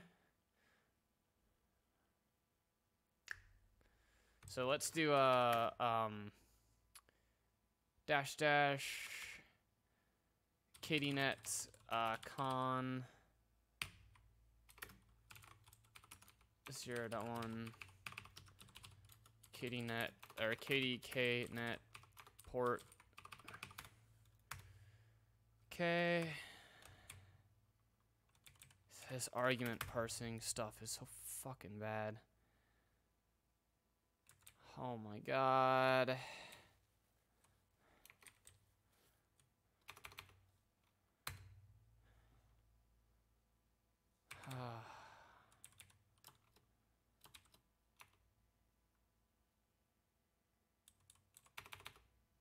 I don't think it's Kate. Yeah, it's KDNet.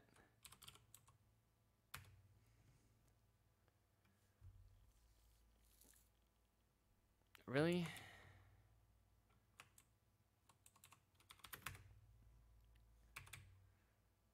Shit.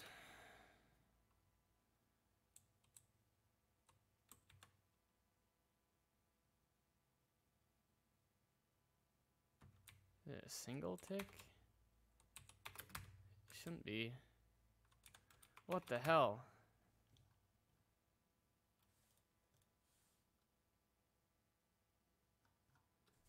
Okay, so that's, th- there we go.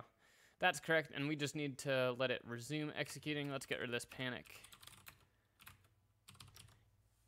And I just want to see if the instructions look like they are valid, that it thought it found.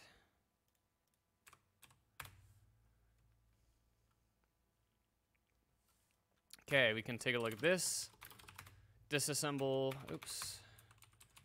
Uh, oh my fucking god. Reload.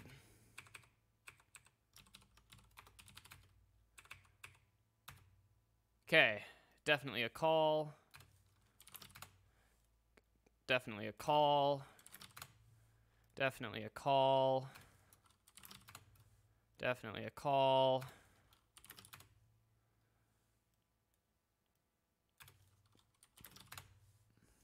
Nice.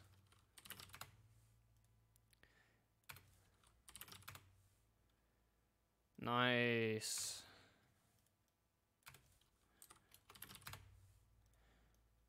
Call rax. Nice. And here's the base thunk. Now if we take a look at the actual call stack, I guess I don't have symbols for that binary any anymore. My call stack is even better than KD's. But yeah, that, that looked like a valid call stack. It looked like they were kind of going through relevant uh, addresses. Obviously, it's not perfect, um, but we don't intend for this to be perfect because that is just impossible. So we're going to uh, return module offsets for all of these things. Um,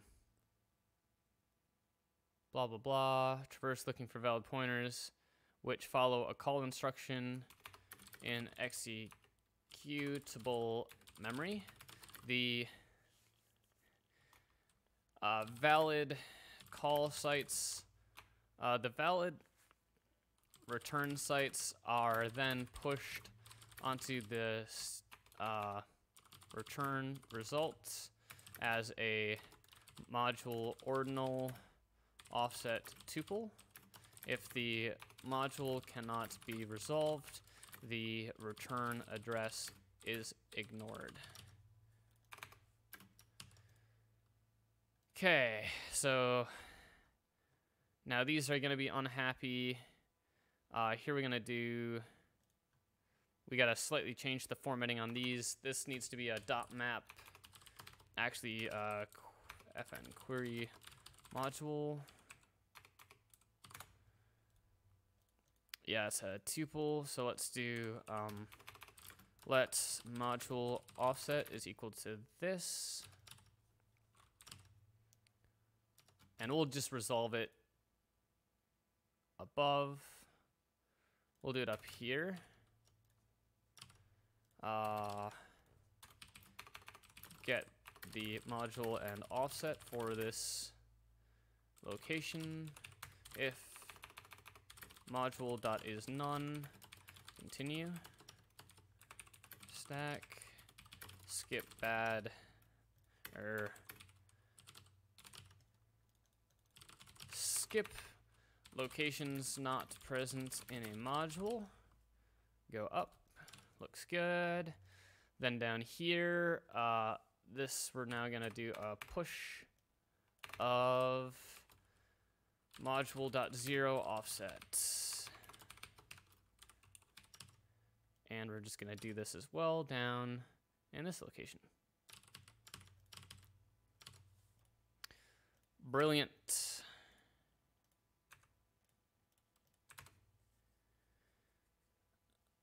Uh,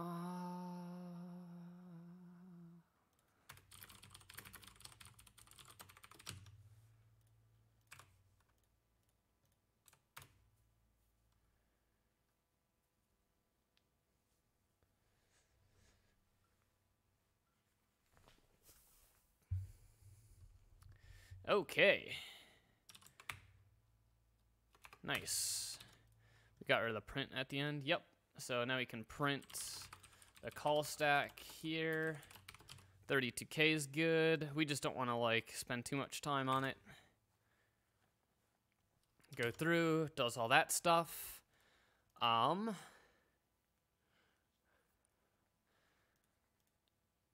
Okay.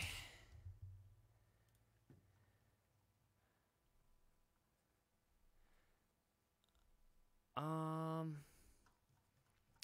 and then we'll do a pub fn stack hash 64 uh, mut self.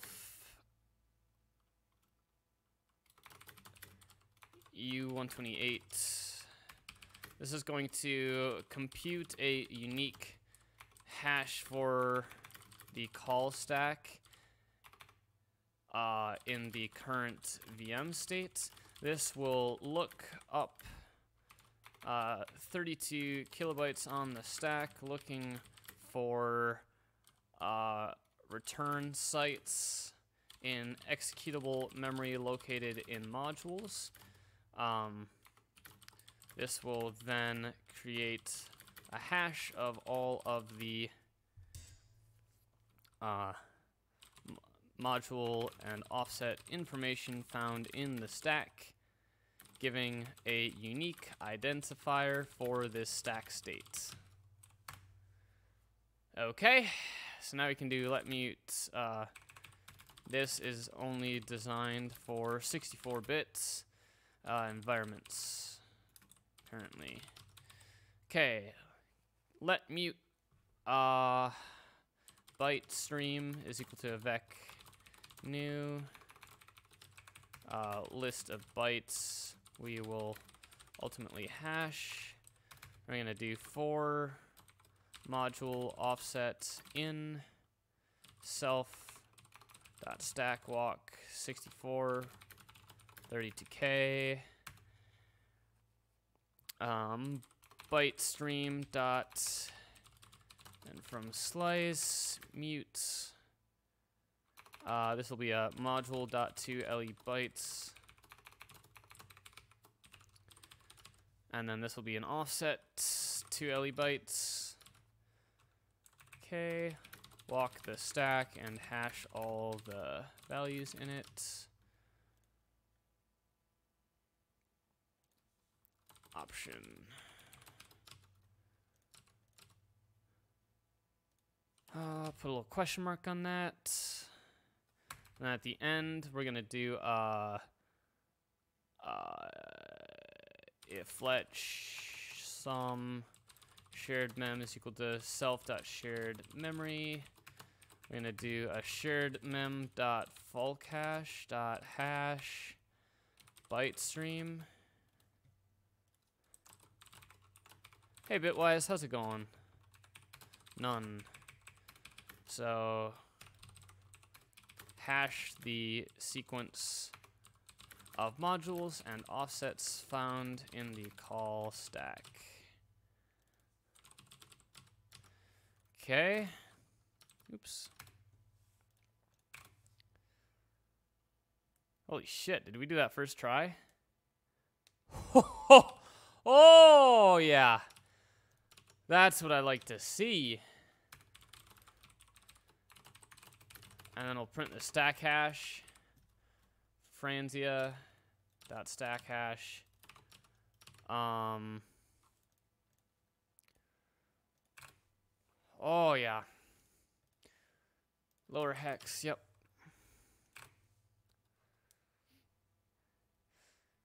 Okay, so 8A7. Yep. I'm just making sure that it's deterministic, which it should be. Um, all of the module ordinals are actually hashes of the module names. So, okay, so that looks good. That is a unique path into that location. In fact, I actually probably should change this to do um, full module info.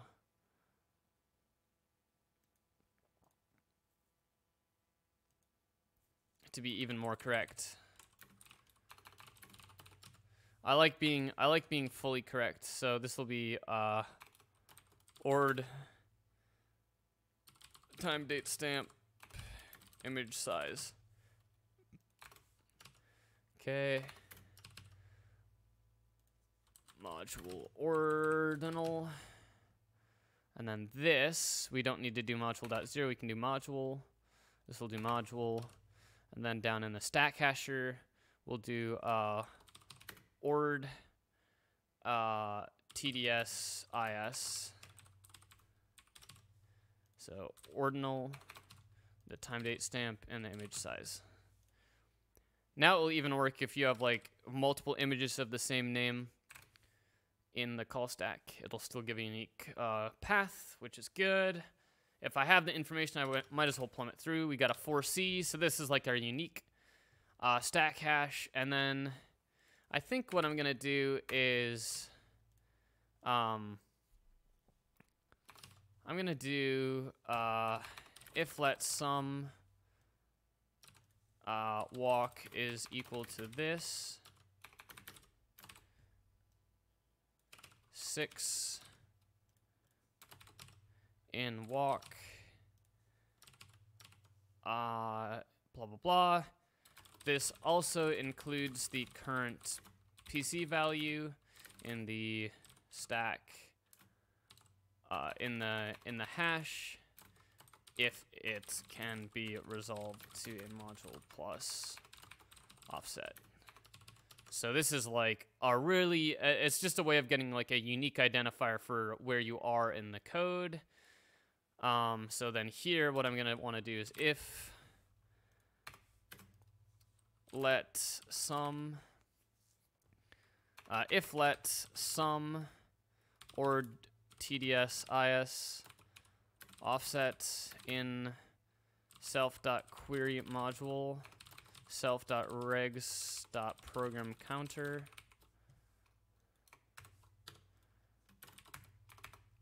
then we'll do this shit. Do do do three shift and that's it so first try to get the um, module and offset for the current PC. Then we're going to go through everything that we walked in the stack up to 32k, and then we're going to hash everything. Uh, for this, if let that, oh boy.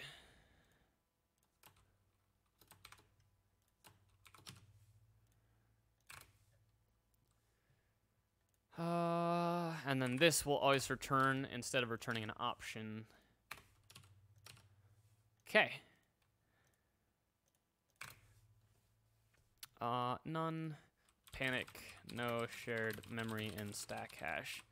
That should never happen, so panic is fine there.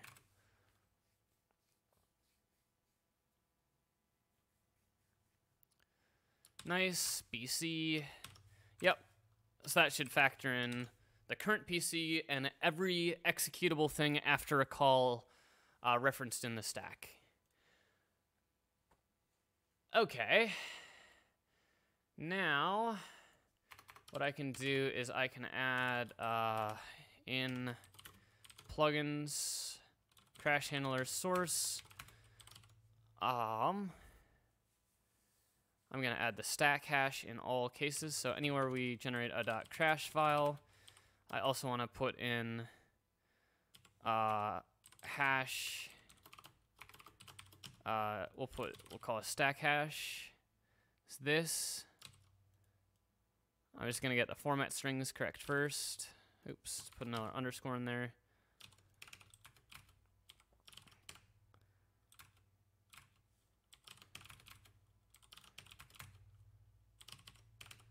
Okay. File names are starting to get large. Doesn't really matter, I don't care. It's more information in the name. I'm not losing sleep over a, over a file name length. Okay, now, everywhere where we mention stack hash, what we're going to have to do is we're going to have to put uh, stack hash. Here, we'll take a stack hash. What is this? CR3? Um, That's fine. So this will now take a stack hash. U128. We'll make a new line. We're gonna have to put this in our uh, page fault stack. Stack hash. Okay, looks good. And a blue screen, we can do franzia.stack hash. Here we can do uh, franzia.stack hash. Uh, franzia.stack hash. Okay, and then classify bad access. We'll go into here. This will take uh, franzia.stack hash uh, 64.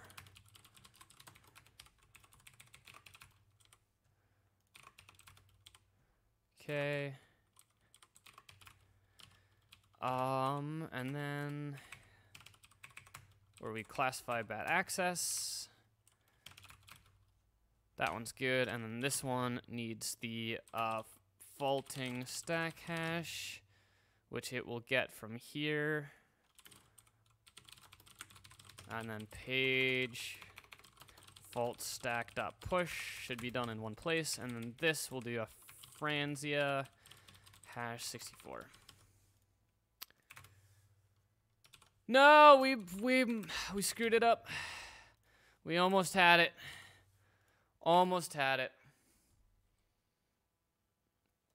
Uh, 378 doesn't like that mutable reference. Here we're gonna do uh, let stack hash is equal to this. Oh, maybe it's the. There's some reference it doesn't like there. Oh, we got it. Okay, so now crash file names will include uh, stack hash. So let's see what happens. We'll spin up the server. And hopefully these aren't too noisy, uh, but there's a chance that they are pretty noisy. So I think we're going to want them off by default probably. Uh, oops. Dot coverage star. So I do think we're going to want to make these, um, make this something that you can turn on or off.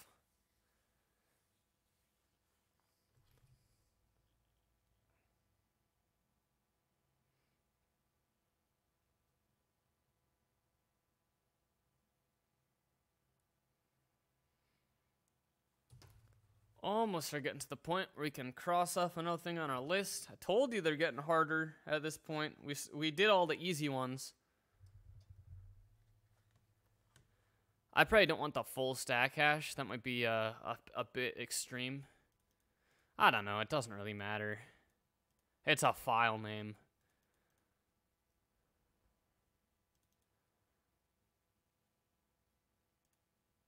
Yeah, so these, we're just going to get so many different variants.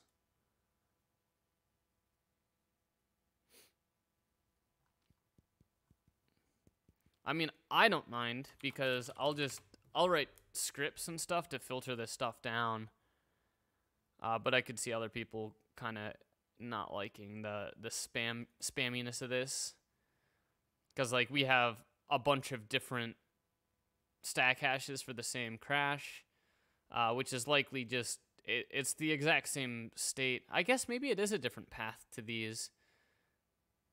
I don't know. I mean, if it's a different way to hit the bug, then uh, then who cares? But it's possible that there's like an address on the stack or like a bunch of stale things on the stack, and we're just gonna end up with like a billion different ways that this can crash, and it's just gonna completely bloat your your numbers. Um, yeah.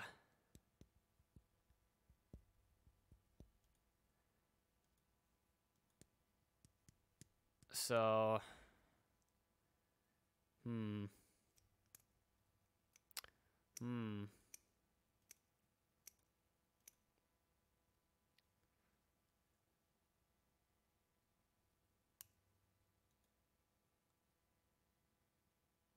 Like, I don't mind this.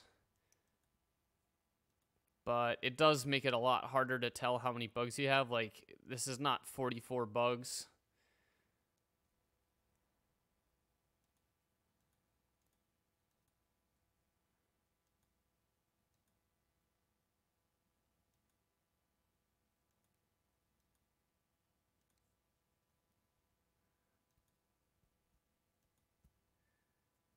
I don't know. It'll probably calm down. I'm trying to figure out if I if I want to make this an option or if I want to force people to have to deal with this. I think I'm gonna make it an option and have it off by default. So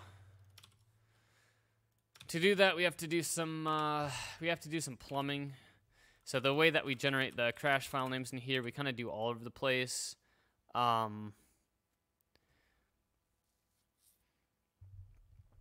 um,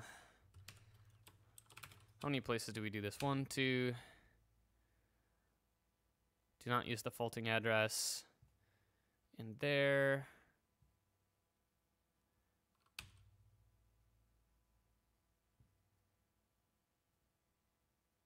Okay.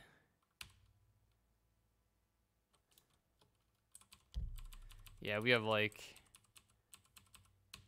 five different places.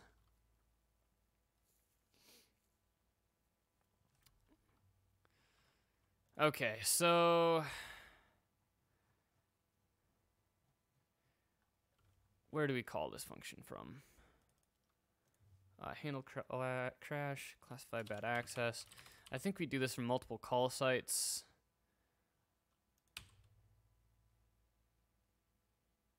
Non-canon access. Okay. So what we can do is uh,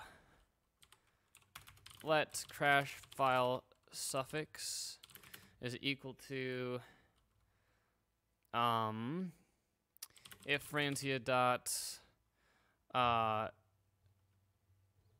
uh, stack hash crashes.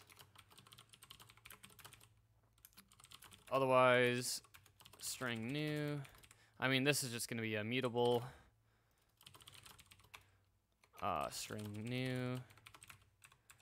Uh, optional can uh, configurables for uh, crash file names. Say if Franzia has this, then we'll do a. Oh, we don't have the stack hash in all state. Yeah, it's.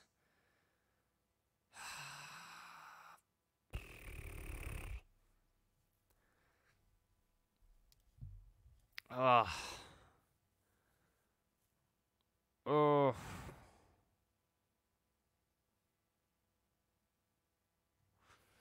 Yeah, we're gonna have to go the gross way. It's just, it's just gonna be so much uh, plumbing. So this will now be the stack hash field, and then this is gonna be this. If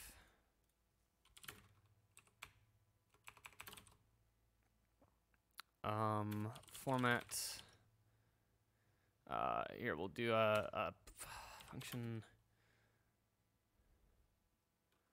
format stack hash. This will take a Franzia, return a string, uh, format a stack hash uh, for a file name. It will do if Franzia dot stack hash crashes, then this will be a format stack hash under, actually a, uh, an underscore stack hash x, and then this will be the hash, otherwise uh, uh, string new. Okay. Then anywhere that does a this, this will be self format stack hash uh, Franzia stack hash.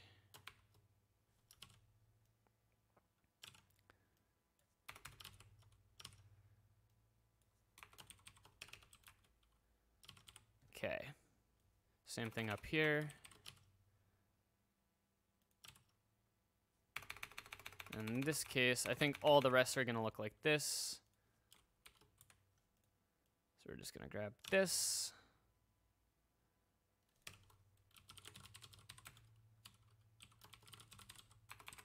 stack hash. Under that, that, format, format, that. Did we get all of them? Oh, uh, just due to the way that we split those lines, we are missing these ones. Okay. And then this one as well. Um, get rid of the hex.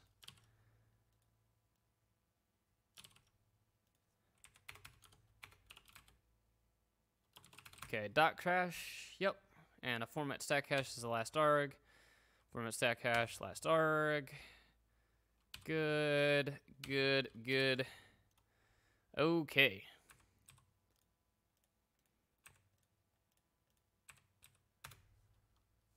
Uh, yeah, of course that doesn't exist. So now we have to add uh, Franzia persist.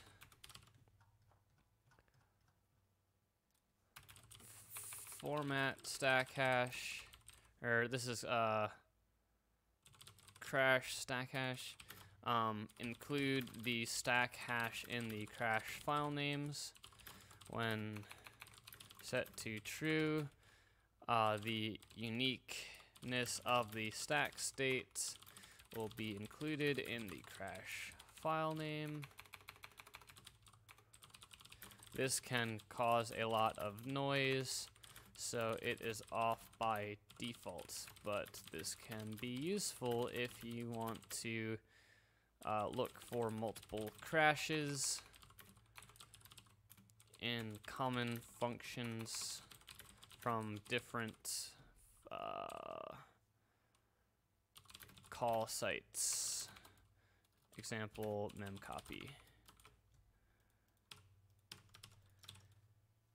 Okay.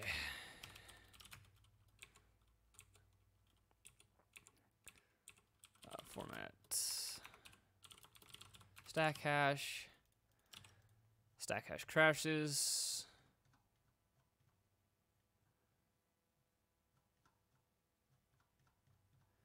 Okay, Impl Franzia. Just gonna grab these. Gets whether or not we uh, save stack hashes on crashes. Sets whether or not called this this set Okay, set stack hash this. Okay. So now it should be off by default. Son of a bitch.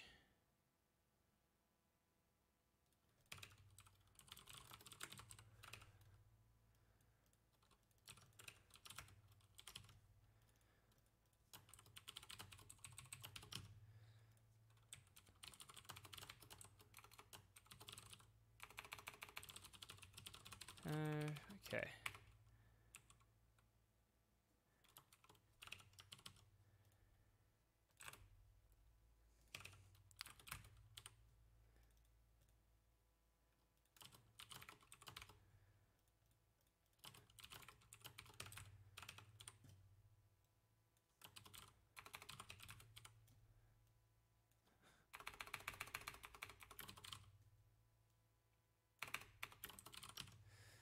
okay.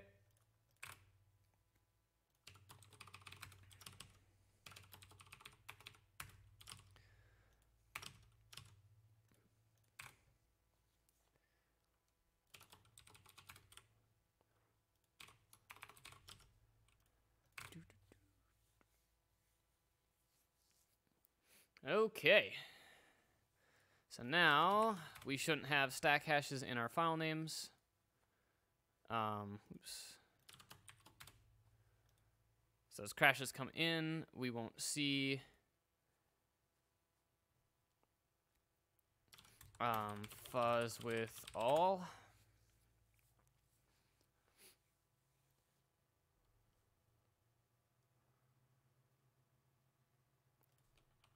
Nice. Crashes, okay. Those don't have the fields in them, which is good. Um, Navy Sneal, get some good sleep. See you around, man. Okay, so that's done. And let's make sure it works if we turn it on. It should. I mean, the, the odds that we screw this up are, are so low. Um, uh, in Calc Fuzz, basically in our inject routine, we'll just do uh, franzia dot set this true. So now we should have the stack hash in there, and the formatting should be good too.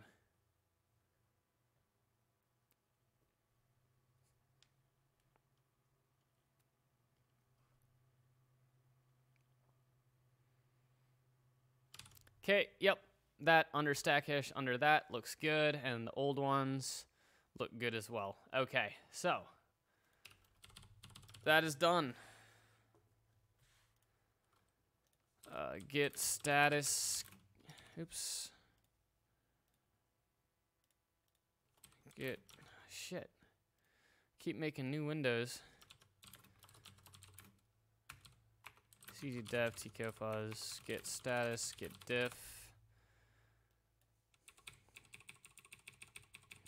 Git commit am added stack hashing support. Git push. Done. Done.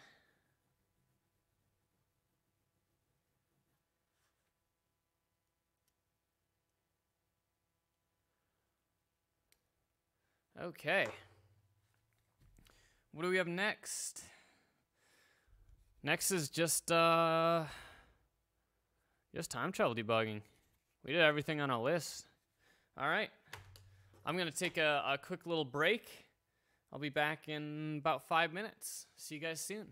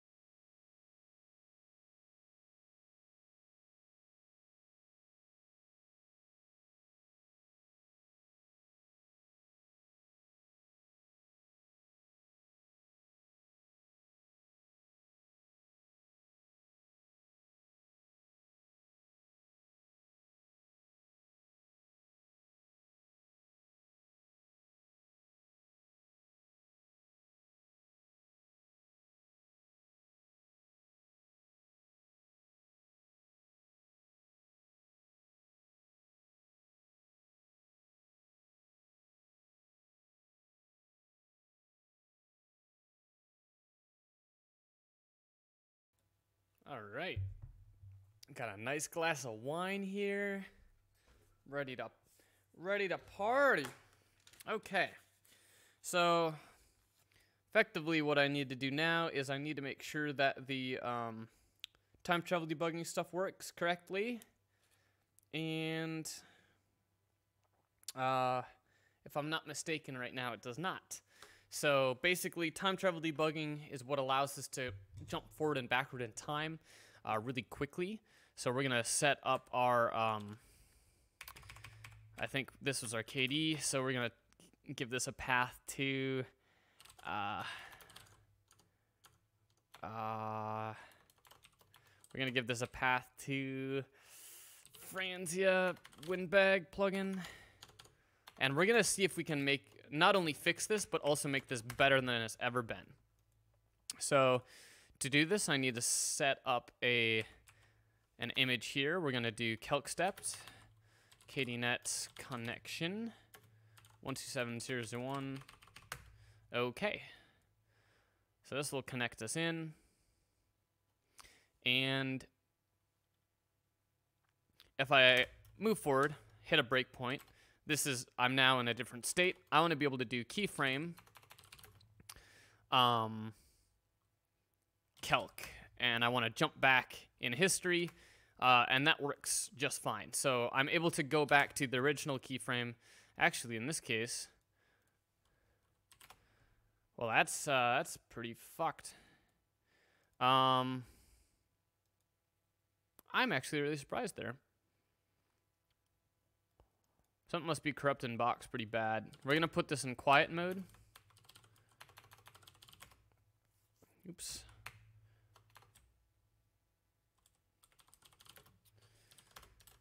Okay, this good. This. And keyframe calc. I should be able to repeat that, um, and we can see it's not happening. So there's something it really doesn't like about that. So that's really strange.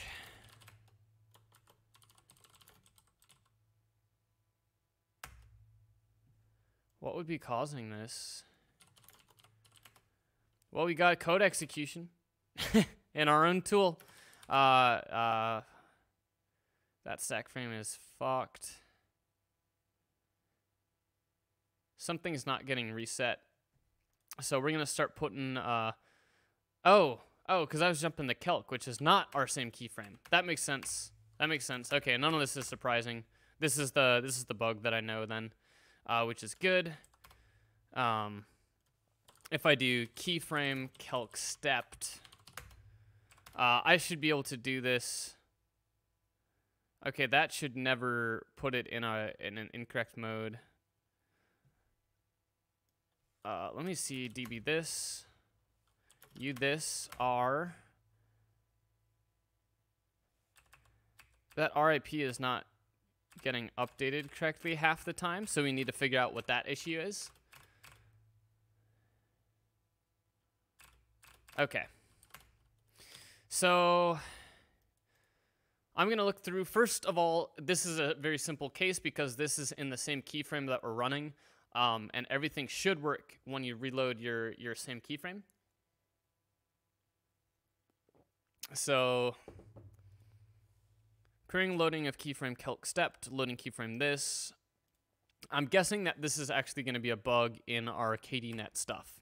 So if I do this, um, let's see if I have the state accessible. Uh, so we're going to pull open this uh, uh, libtko stuff. And I'm going to look at... What do I want? I want load keyframe. So almost everything we're going to look at is in load keyframe. This is what is kind of resetting the state and loading up a, a different key keyframe state. Um, Someone made a script for Ghidra and Mesos. Uh, yeah, it's just in Mesos. You can just go grab it. Uh, GitHub.com, gamozolabs, Mesos. And you can just find it in the covered scripts. Uh, whoa. Mesogen scripts, Ghidra.py. I actually don't know what the coverage script is. Oh, this is to this is to color in IDA, and then this one is to generate the mesos. So yeah, it's just right in here. It's already there.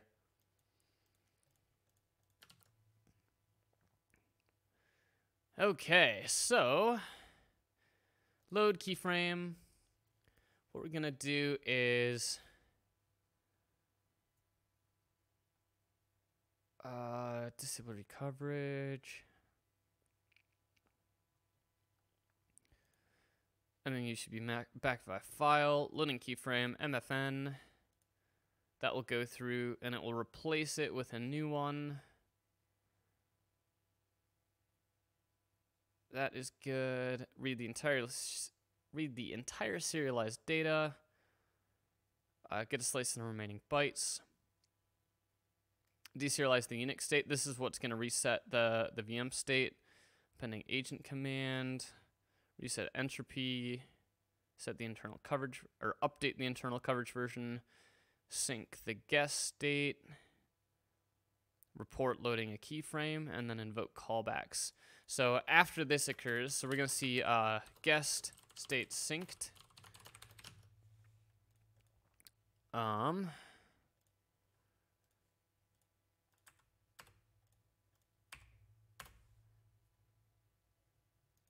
so I just want to see. Okay, so that is getting synced in that case. Um, so what this means is I can kind of print out a couple registers, and let me see if I have a, a plugins uh, or shared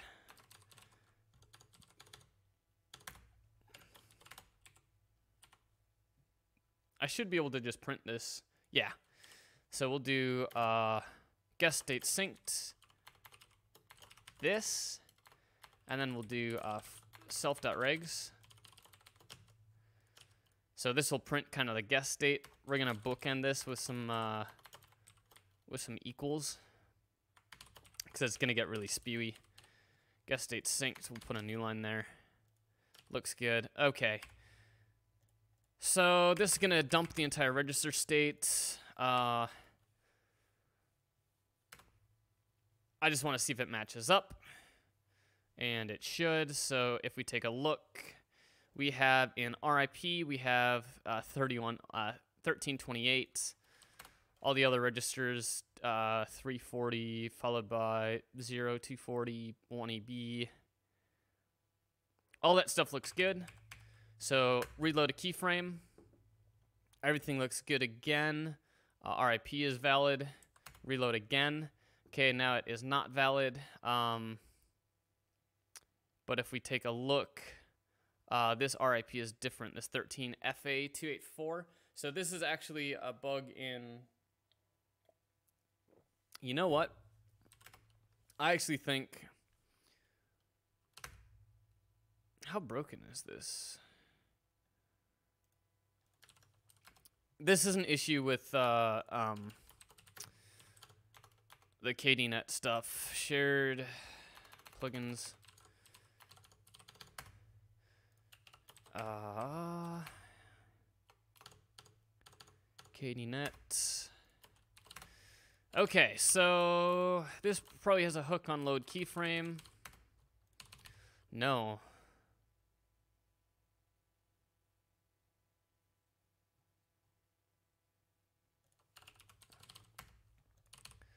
Okay, what events does this hook? Periodic, interrupt, single step, uh, breakpoint, loaded keyframe. Uh, loaded keyframe, keyframe. Okay, loaded keyframe. Uh, do not do anything if KD is not present. Overwrite the KDDB when a keyframe is loaded. Blah, blah, blah and then do a debugger break. So we're going to print trying to debug break.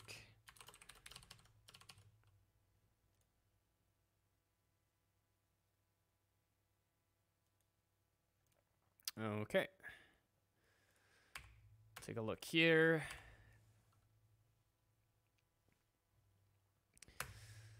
Got KD. We're in. Uh, trying to debug break. Is that what I typed? Okay. If we load keyframe, trying to debug break, good. Okay, so in that case, it did not. Querying load of stepped.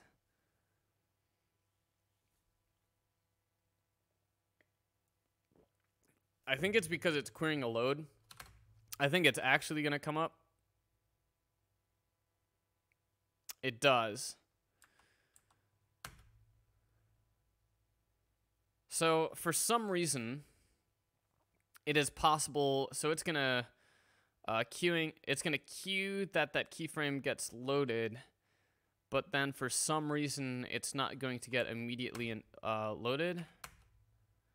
Okay. King load of keyframe.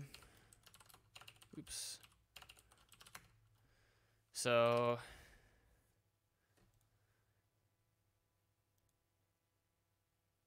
if that, then time travel is true. Our restore keyframe name is none.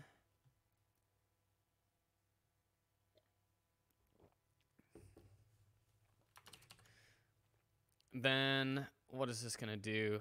Uh, no single stepping.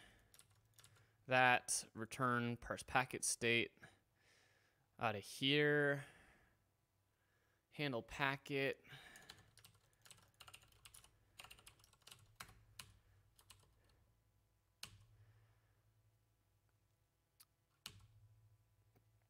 That is in here. Parse packet state. Time traveled is this. Uh, if return control.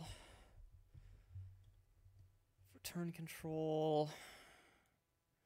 I did not write this code, so I'm like kind of lost right now. Um,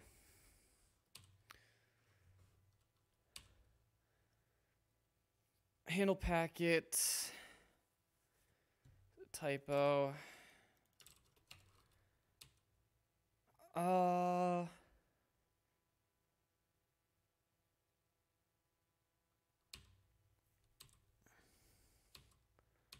So, handle packet gets called. Time travel is set to false. Time travel gets set to true and continues if we had a restore keyframe name,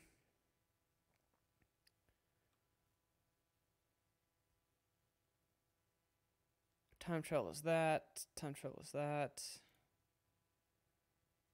trace flag is that, single stepping.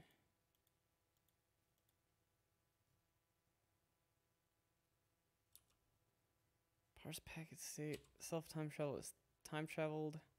At the very end, do these return out? No. So what is this function?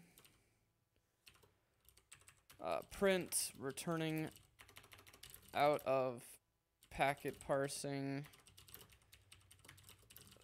put a self dot time travel uh, tt this and then ret this parse packet state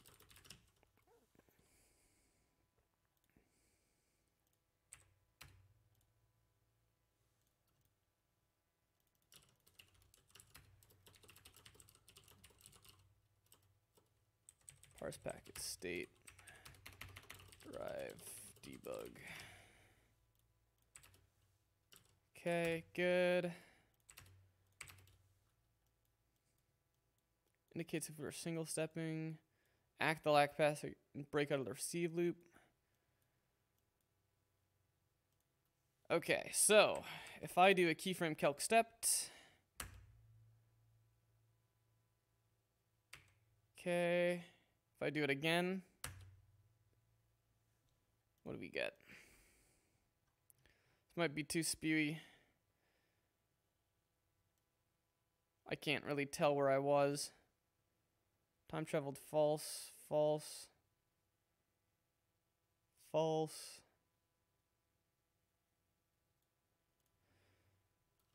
Let me find where that uh,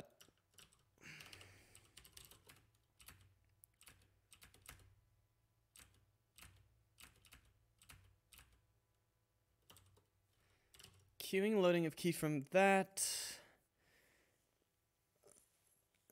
Queue new keyframe load, keyframe, set time travel is equal to true.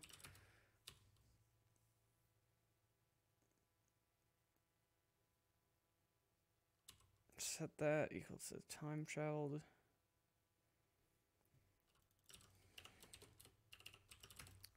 So there's a state machine here for store keyframe name of a recently restored keyframe. Okay. Starts out as none. This is this is like the magic sequence. Whoa.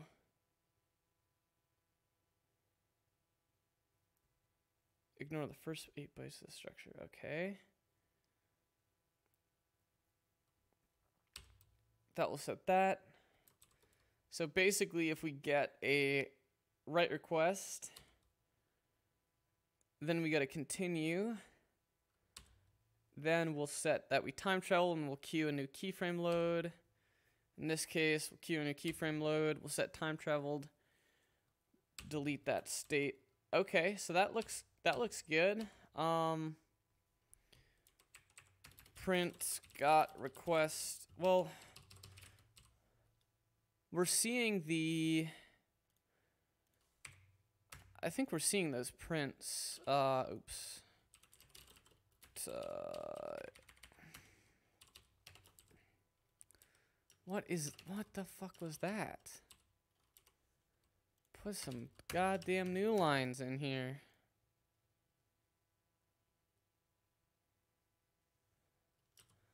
I guess maybe that's I don't ugh.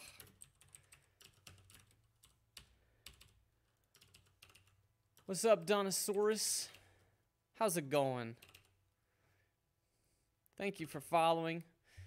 We're just writing some uh, debugger code right now. Trying to get KDNet to have some time travel debugging at system level. Which you had working at some point, but uh, it's just a little broken right now. Not a big deal. Shit happens all the time. Really hard to implement this stuff correctly. Uh, okay, delete that. Hey, what's up, George? George. Okay, so this good. So when we do that, uh, we got that queuing load. If we do it again, we get the queuing loading of it, uh, and we get the wrong case special. Um, I think we're not breaking out is what's happening there. Don't mind you playing Elite while listening to me in the background. Yeah, do whatever you want, dude. Your time is your time. Have fun. Enjoy enjoy your time on Earth. It's a great place to be. Uh, okay.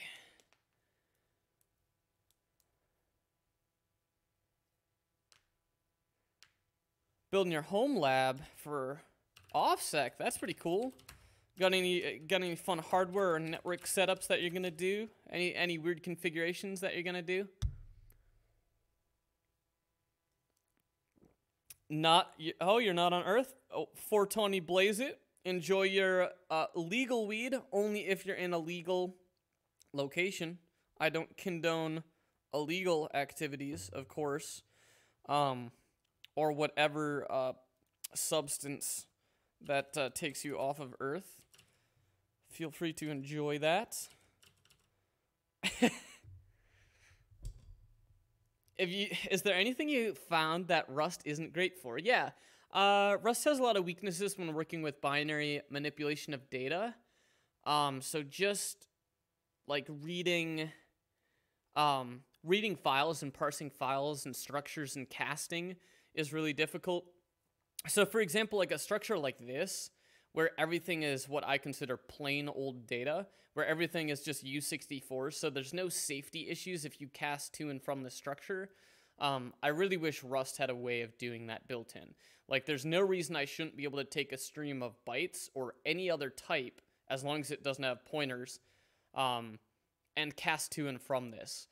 Uh, and I really need to write an RFC. I think if I wrote an RFC where I had like sufficient detail, um, people would probably. Um, I, I think I could get Rust devs on board to implementing it. Am I using JavaScript or no? Nope, I pretty much never write JavaScript. This is all Rust here. I've written maybe a thousand lines of JavaScript in my life. Okay, QNew keyframe load, time travel is true. Uh, set the restore keyframe name to uh, none. Then, in these cases, we return out with the parse packet state always. Okay, so this function we're returning from. So we're correctly hitting that print, so we know that we're queuing a keyframe load, but for some reason, it wants to continue. So if some parse packet state, if this, if return control, then current state is send ack exit. Is this a debugger? Yes. So this is uh, this is basically hooked up to uh, KD, which is uh, a debugger for Windows, um, and we're implementing the protocol such that we can hook it up to our arbitrary target. Um, right now, we're just debugging kind of an issue we have uh, with some of the state machine in this protocol handling. So the KDNet protocol is not public, so we had to reverse pretty much all of this out, even though uh, we have access to like developers at Microsoft. We still had to reverse out how all of this stuff works, um, which means that it's it's hard to get right. We don't know the correct states and the sequences of things. It's done all over UDP, so uh, things can be dropped at any time. It's actually really hard to develop in. to work on debuggers like Immunity Debugger, uh, we need to learn C or C++. Um, no, if you're working with the debugger heavily, you'll probably want to learn assembly so that you can like read roughly what's going on. Um, but just develop, you can develop de debuggers in anything. There's a there's a library called PyKD that will allow you to kind of write uh, KD scripting sort of things and like debug in Python. Obviously, it's not meant for debugging Python itself. It's meant for using Python to debug binary applications. Um, and that sort of stuff can be really useful. So continue to. So this is going to do all this. We're hitting that print. We know that we're going to turn out successfully here. There's no failure paths here. Um, all of these cases will set return control true, return control true. Yep. I think there's a chance that I don't want to do a new keyframe load and I just want to uh, forcibly load a keyframe. Um, yeah, and you can ask any questions you want. Any questions that that uh, that you have or you want to learn something, let me know. I'm always down for talking while while working, you know. It never hurts to have a little distraction. It makes it a little less tedious when I'm when I'm doing work. So feel free to ask away. Uh, continue to handle packet. So we're getting to this point. It's always going to be in the sum case. If return control, which it's going to be true, uh, then we're going to set we're going to set time traveled is equal to this, uh, single stepping is equal to this, break loop is true, current state of send ack exit. And that's going to cause us to kind of continue down here. Where is this? Okay, so that's packet leader. Is this a loop here? Yeah. So then, if current state is send ack exit, we're going to send an acknowledge. Then we're going to come through, set the current state is equal to send packet. Okay, so yeah, we're going to construct a new packet, and then we're going to send that packet off. Okay. And then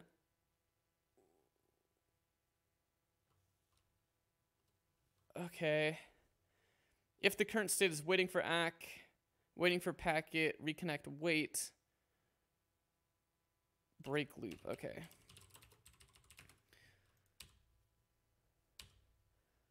Okay. Any other uh, any other libraries you've noticed in different languages? Uh, looked at a Go equivalent of PyKD, um, but not really much out there. Seems you'd need to start from scratch. Uh, yeah, I I don't know, like for most of my like debugger stuff, I usually will just like run KD and then parse the strings that KD prints out. Um, it's a pain because you have to do it yourself and you don't get that nice integration, but it just kind of generically works, which is nice. Um, I actually haven't used PyKD much myself, uh, but I'm not aware of any libraries to do those things. Mainly, I'm I'm just not aware of many libraries out there in general. I, I typically do all my own my own work. What about buffer overflows? Uh, I'm learning C now will it help to understand buffer overflows. Um, it's pretty unlikely that you would be able to understand a buffer overflow without knowing C. You could theoretically learn how they work only at an assembly level, but uh, if you don't know C, it's going to be really difficult to kind of understand what what buffer overflows are, why they exist, why they occur. Okay, so this puts it in send ack exit. And okay, so we got to this point. We're putting it into break loop current state of send ack, ack exit. We're going to drop down here. If we're in send ack exit, then we're going to send an acknowledge packet up to the server. And then we're going to come around. We're going to update the current state with uh, send. Okay. So print state is this. My hunch is that uh, this state is not getting updated in a way that we could uh, send this next command here.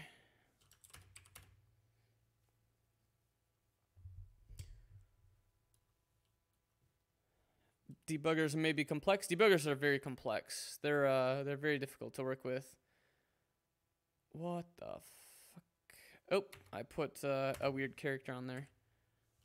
Okay. We are waiting for an acknowledge. Uh, we can send this keyframe thing. Looks good.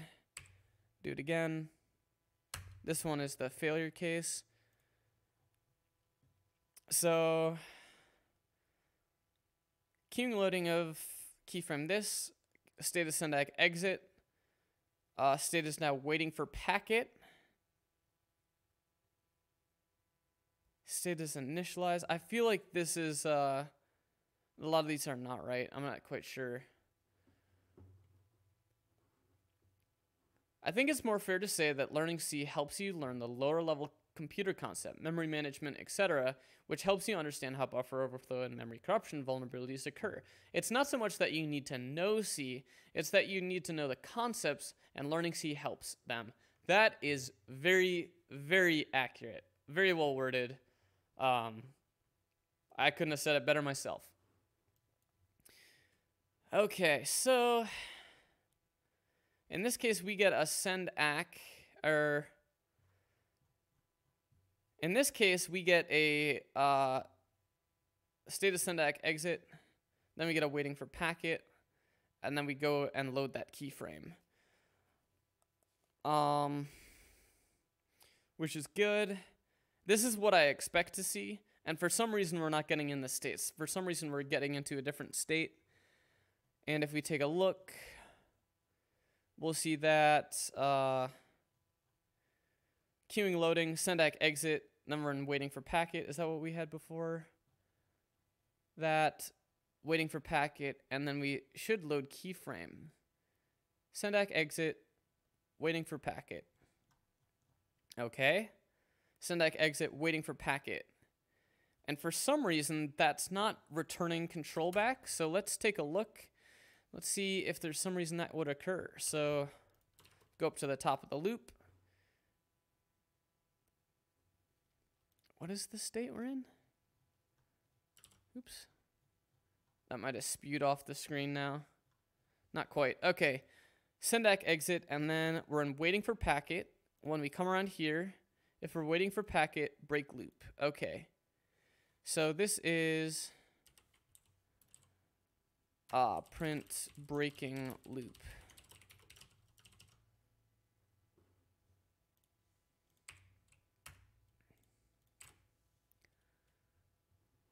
What am I trying to do? I'm trying to fix a bug. I don't really know what the bug is, so it's hard to say what I'm actually trying to do. Uh, but right now I'm trying to figure out why um, this happens, why it gets stuck in this state. And it seems to be that it's not actually loading that keyframe. Okay, breaking loop is getting hit. So it is trying to break out. Um, that's returning out entirely. And time traveled will definitely be set. Uh, let me double check that. Uh, yeah, so breaking loop, that is definitely set. We can get rid of our prints here. This means that this function is going to return handler. Who invokes this? KDC. If this, if time traveled, caused the F call to be resent. Oh, maybe that's not getting resent. And I'm guessing this is uh, debugger break, yeah. So I guess it could be an issue at where we where we break in. Um, guess state. Oh, you know what?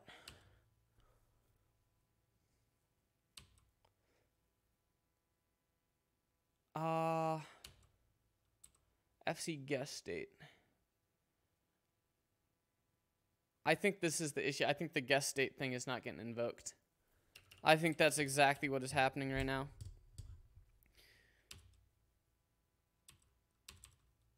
So, guest state present.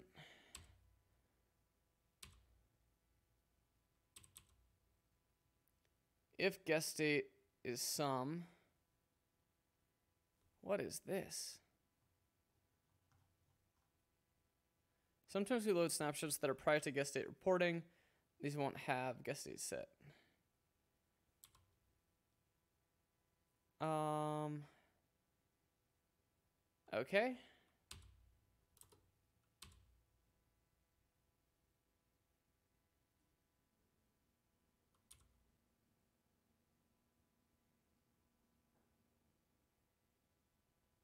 Uh, sync view into box.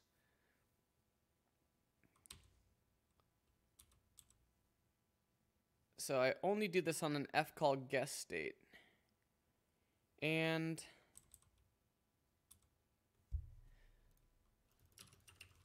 I can just see where this is used. I'm trying to debug break. And this would happen in a load keyframe. If the guest state is present, uh, overwrite the KDDB, trying to debug break. And we're not seeing that?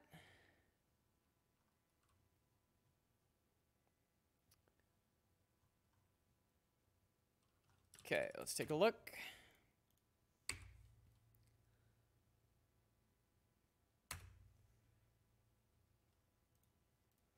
Uh,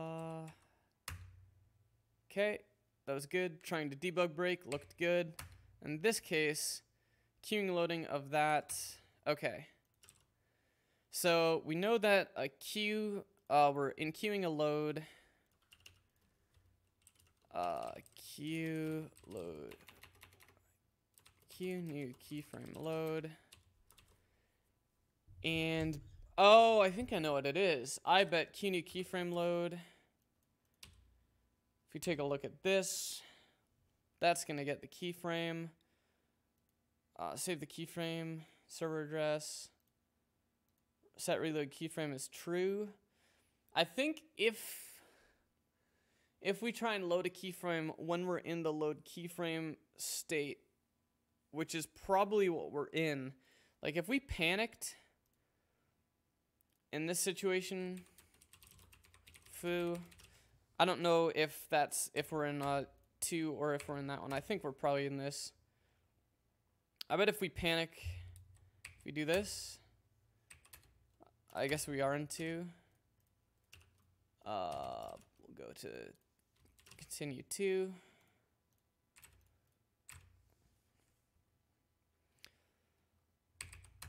Okay, if we take a look at our call stack, we are currently in load keyframe. So I think the issue is if we're in load keyframe, we're not gonna we're not gonna queue a new load of a keyframe.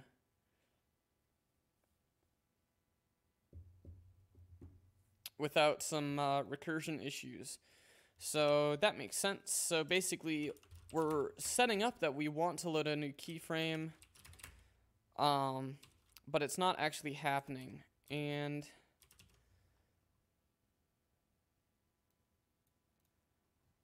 okay, so this is load keyframe. Basically, we're going through, we load a new keyframe, we then call up, uh, we basically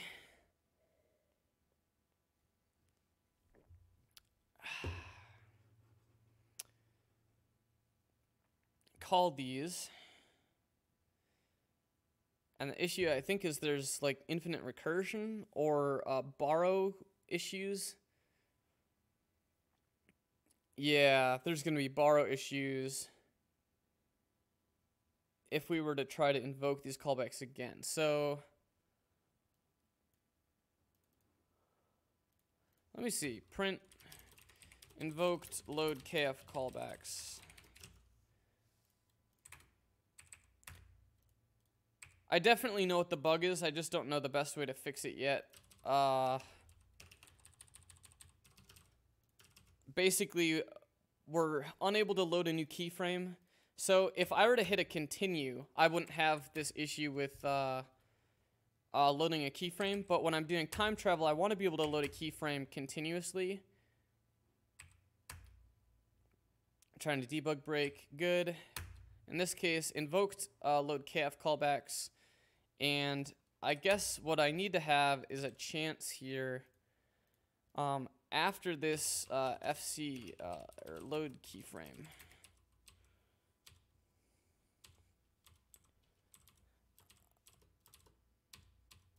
Um,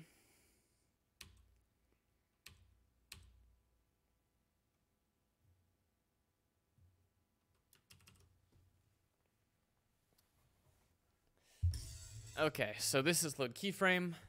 I'm going to probably make this load keyframe internal. Uh, and what I'm going to do is we are successfully returning out of that callback, which means we could safely invoke load keyframe if uh, this is like q new keyframe load, which is that sets reload keyframe. Let's check where we uh, look for reload keyframe. This should not be in Francia. This should be in should be in Francia persist. So we're actually going to fix this, and this will tell us where everything is in the first place. So this will be good. Uh, reload keyframe. Yep. Uh, self dot persist. Reload keyframe. Uh, persist. What is this in? QNew fuzz case. That makes sense. Persist. Persist. And this is in...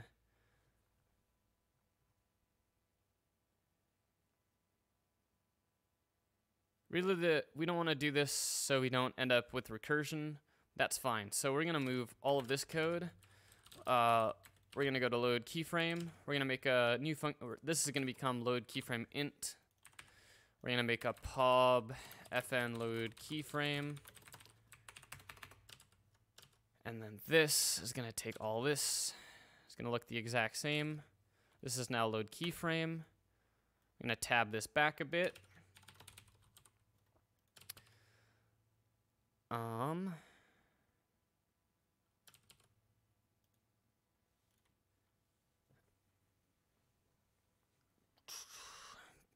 Okay, if reload keyframe, this will call load keyframe int.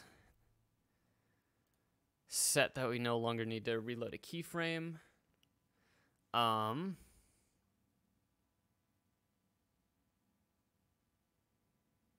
this will allow us to return out. And then if here we could call, um, yeah. So I think what we're gonna do is we're gonna make another function which is uh, try, uh, check, reload, keyframe.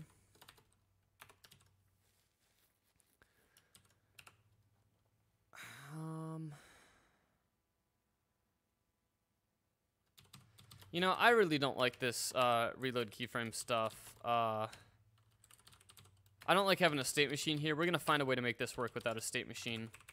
We can always add the state machine back in if we need it, but uh, this makes...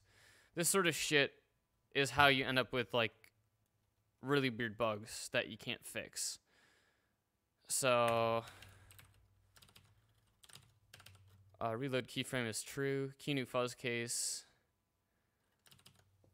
Um, load a keyframe during a plugin's registry callbacks. Yeah, no one should be hooking hooking that. So we're gonna call a self dot load keyframe.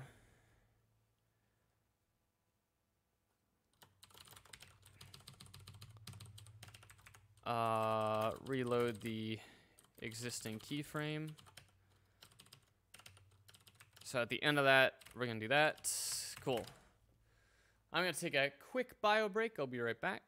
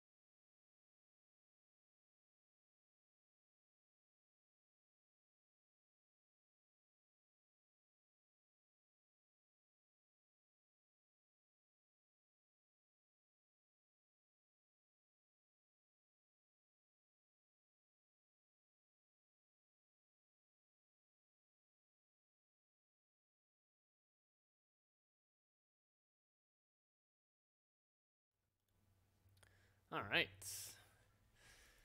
So we kind of have this weird state machine where we had like this reload keyframe stuff. Um, basically, I want load keyframe to always load a keyframe.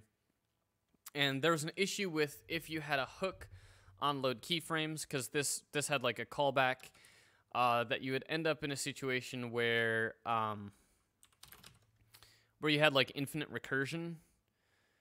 And what I want to do is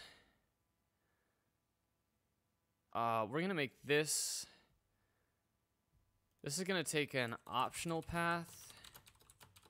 If the path is none, then load to key from, from path. If path is none, then this will reload the most recently loaded keyframe. Okay. Now in here,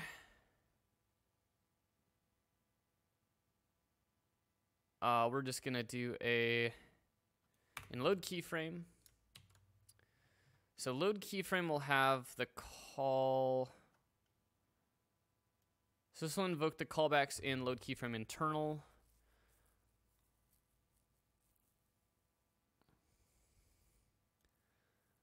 Think the answer is to just not let people hook this.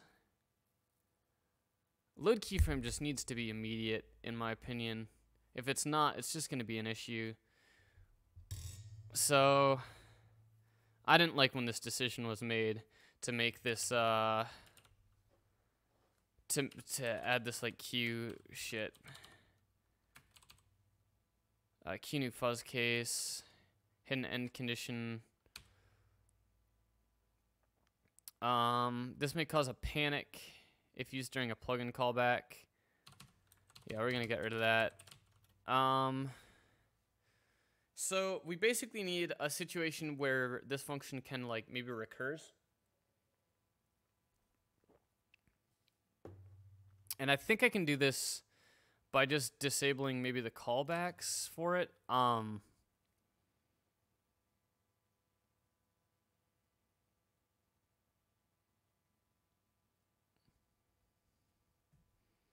yeah. So I think I'm going to have a load keyframe here. This will take the exact same parameters.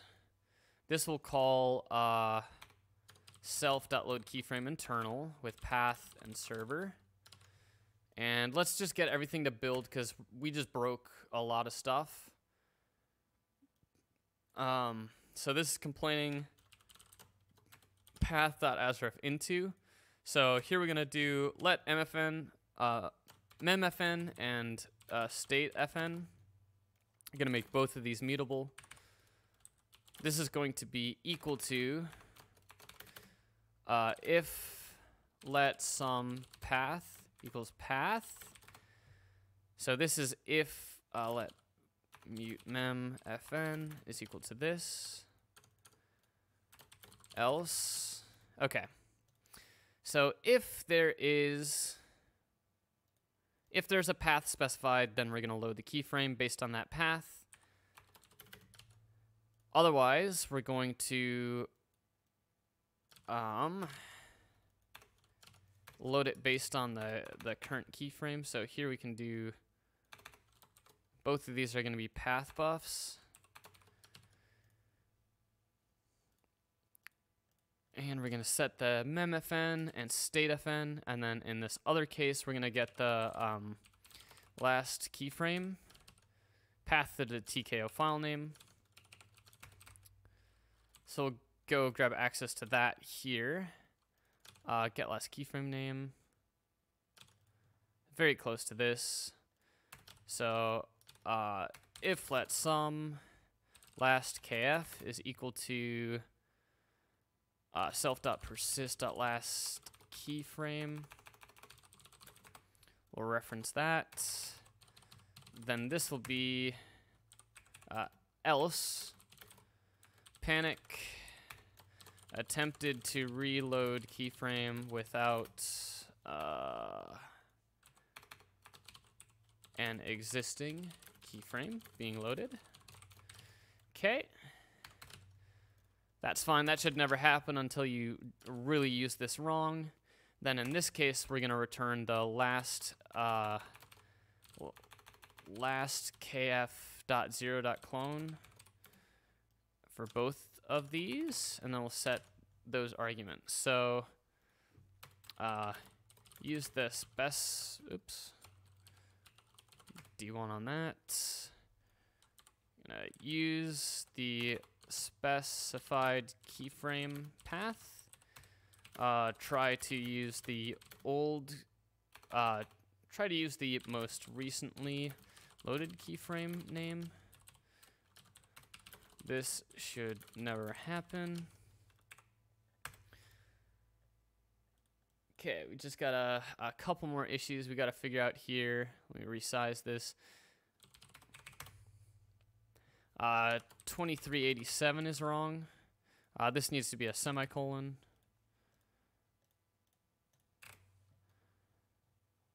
Uh, we've got a couple issues here. These arms are, are not valid, so we don't want a semicolon there. Um, 2465. This path.asref.into.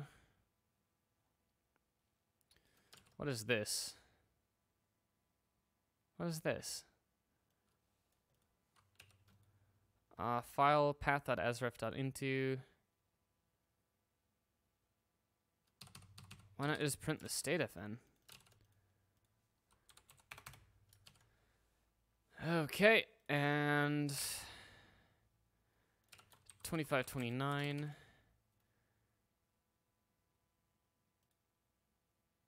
Uh, this should be the FN.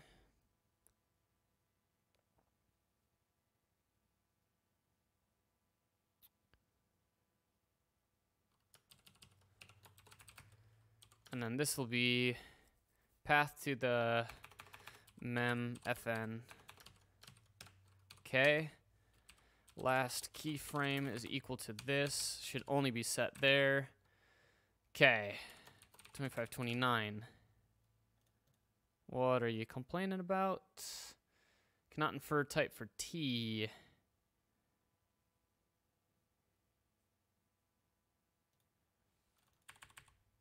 Um, we can just clone it. It's already a PathBuf at this point. 2595. This is complaining about this. We're going to invoke loaded keyframe. This callback. This passes in the path of the... We're going to get rid of this. I don't think anyone's using that. So we're going to get rid of this. You can get access to the most recently loaded keyframe through an API now.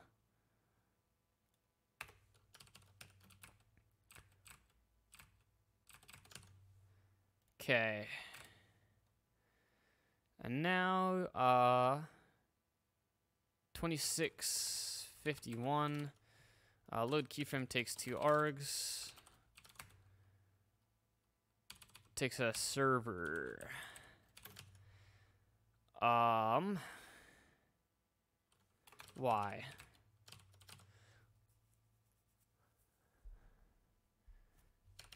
I guess that makes sense. Uh, server is cached in here. Optional server port is in the last keyframe. So we'll just do uh, where we had that issue. We will do uh, self dot last keyframe dot map x x dot one.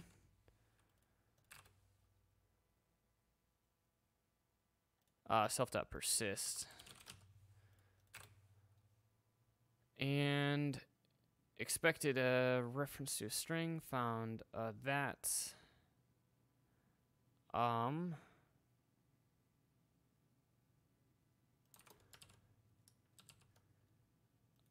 uh,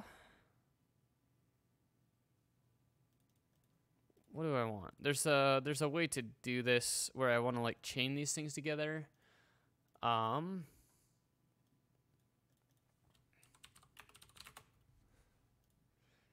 option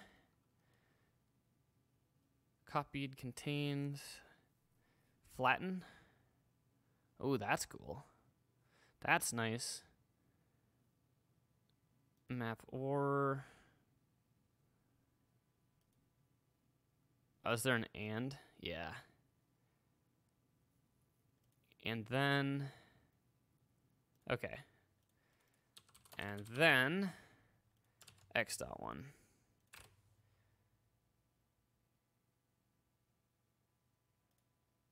X dot one. It's getting pretty meta, pretty meta in here. Uh, x dot one dot as ref. Actually, I could just map x dot to str. Gross, gross, gross, gross, gross, gross. Aster. Okay, 2651. Uh, cannot infer type for P.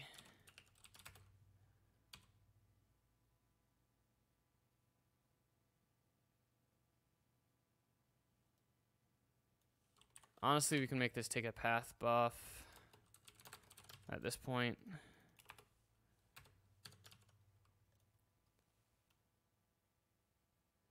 Yeah, because if you do an option, that's just...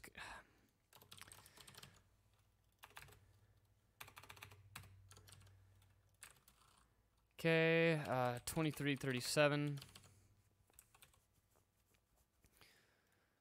Uh, can't for type. Yep, so this is going to be, uh, both of these are going to be PathBufs. In fact, these are just dot clones now. And we don't need the explicit typing then.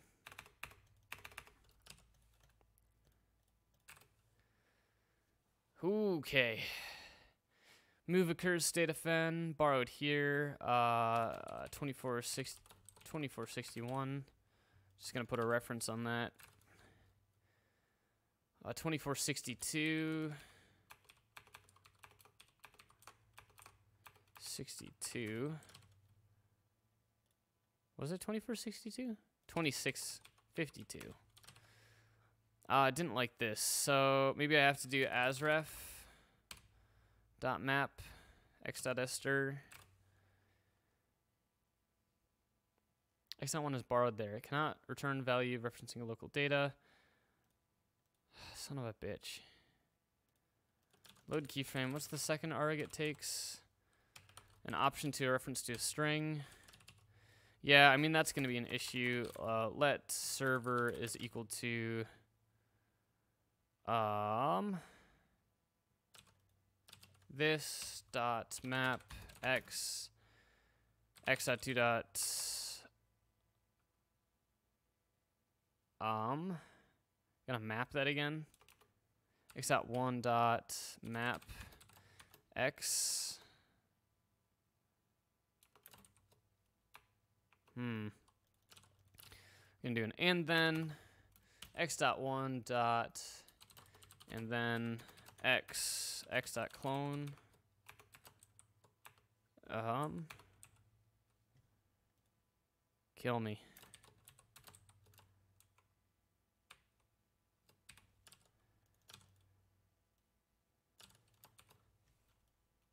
whoa Woo! Uh, expected option found a string.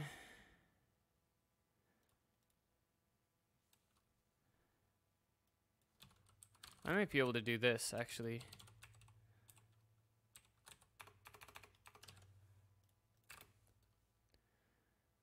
Cloned, not found on that. Uh, maybe you can... Can you clone on an option? I think you can. Okay.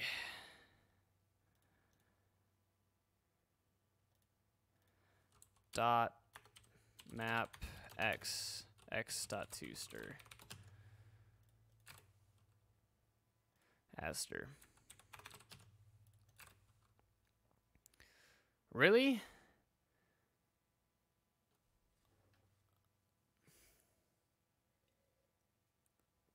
Cannot return value referencing function parameter x. x is borrowed here. Returns a value referencing data owned by the current function. Um, cannot move out of last keyframe, which is behind immutable reference. Borrowing that. Yeah, but this should be cloning it, right? It should be an option of a string.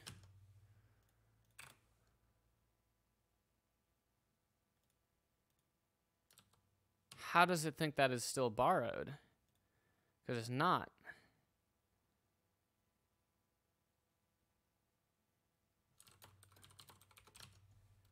It's not, it's not being borrowed. Move occurs.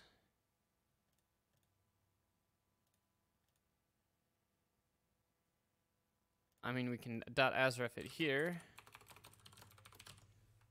Is that really the issue here? Okay.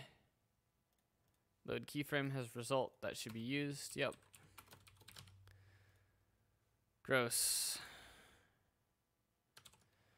Uh, one thirteen seventy three in a different file apparently.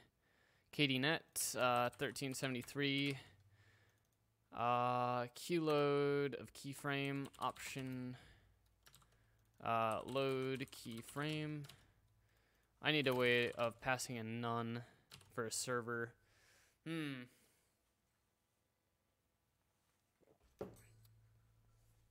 I actually want this to I think I don't want this to take a server. We'll figure out how to get that server in there in another way. This is going to bite us in the ass because we're going to probably forget that we made this change. And then we're going to be like, whoa, why is our server not working anymore? But uh, reload the existing keyframe. 2345. This no longer has a server. Okay, 2393. If let some server this.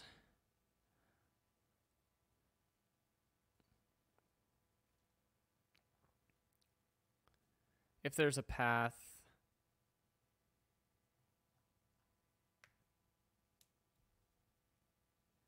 Get the memory backing state file.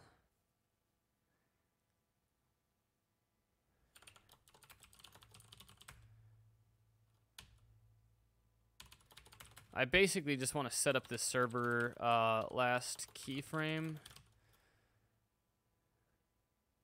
Path to MMFN, optional server port, and then name of the keyframe file. Okay. It's going to break a lot. 2393. Can't find server. Yep, so possible state. Otherwise load the keyframe. So we want to do uh, pub pub fn set server mut self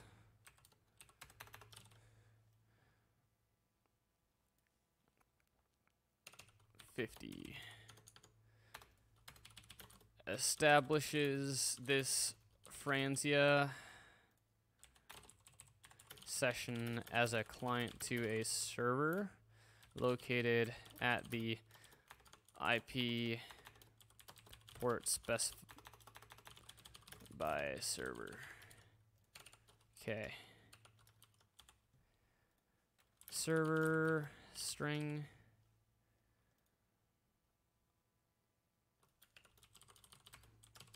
Connect. Okay. Looks good. Load keyframe internal. Blah, blah, blah. So this is going to, uh, instead of if let some server, this is going to be if let some server is equal to if let memory backing server server is equal to uh self dot persist dot memory backing.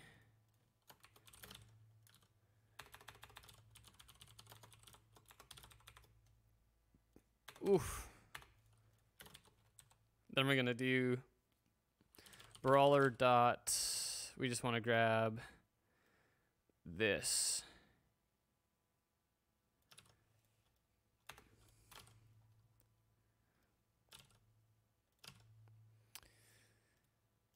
Okay, so if we are connected to a server, then we're going to get the keyframe from that. Otherwise, we're going to do this. Uh, we can move all of this crap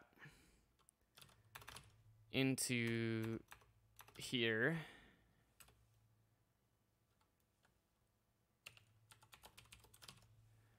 Uh, respective parts of the file name, the keyframe. Okay. 2526. MFN clone. Uh, no longer takes a server. This is going to be an option. Uh, save keyframe name and server address. What we want to do is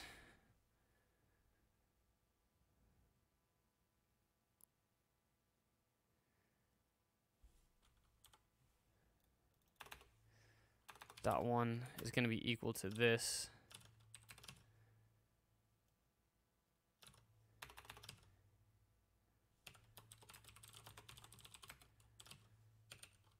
Uh, path to mem. Hmm. We're going to do last keyframe path is an option of a path buff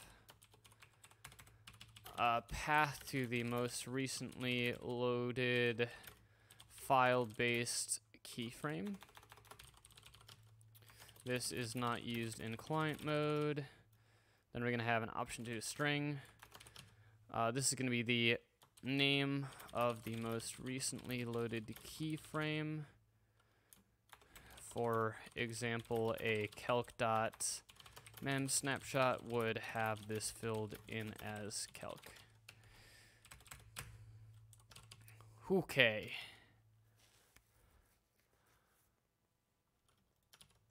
Uh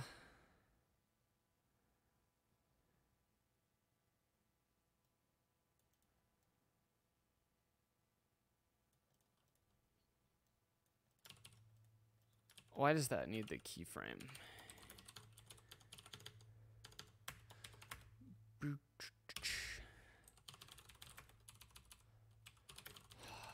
Kill me. Shit needs to be in different files. Okay, this takes the last keyframe. We serialize the last keyframe. Why? Why do we do that? The VM needs that. Shared VM.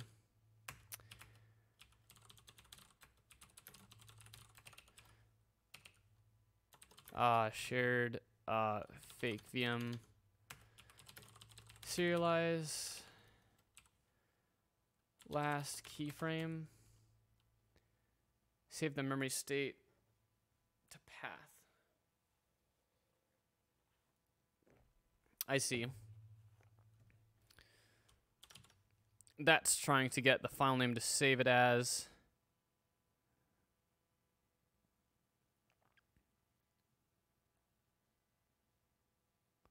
Self persist last keyframe as reft. What happens if we don't have a last key from Nim? That comes in with a none. Uh, memory.save.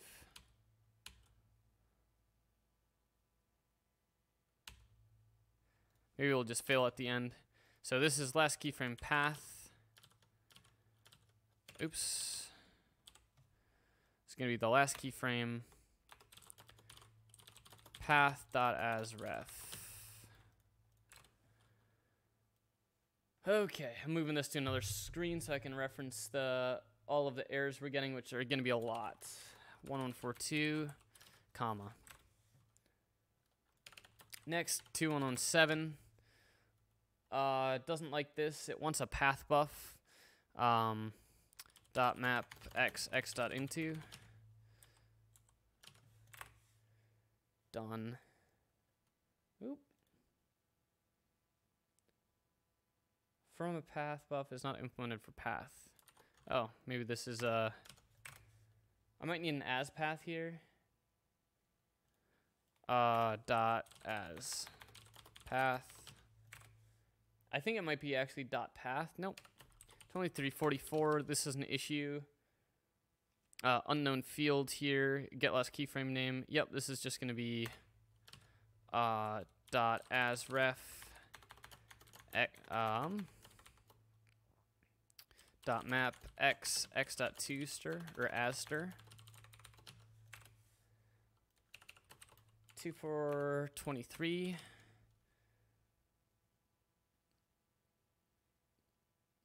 expected a ref mute.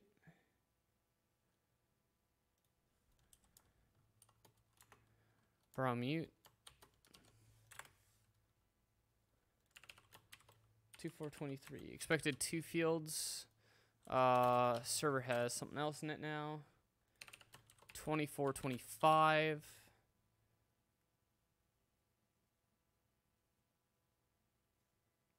brawler dot mute. What's Are we backing? Okay. Oh yeah, brawler's in its own ref cell. Okay, now these two. Last keyframe. Path. 2528. Uh, this is going to be the last keyframe is equal to some. Save the keyframe name. Okay, 2423. Considering uh, borrow here, yeah. Okay, now builds uh, 1373 is failing. This no longer will take that.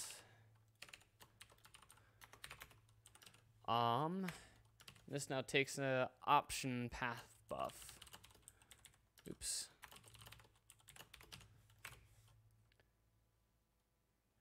Uh, dot into 1393. Same thing, some. Uh, load keyframe some keyframe dot add uh, into. Okay. And crash handler. One oh four loaded keyframe. Okay, path is no longer used.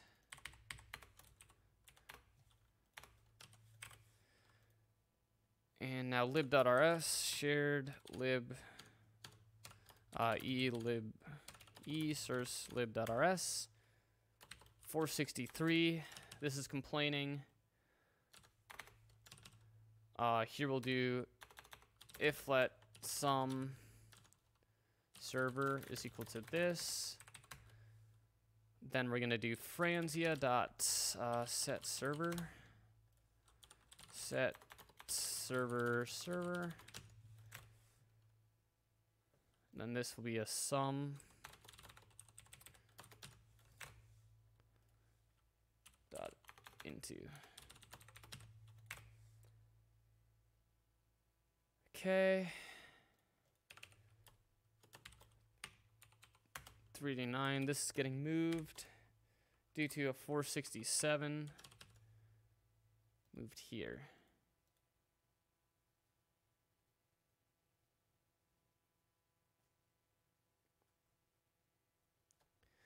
feel like this should not be causing a move, but uh, we'll do a clone on it.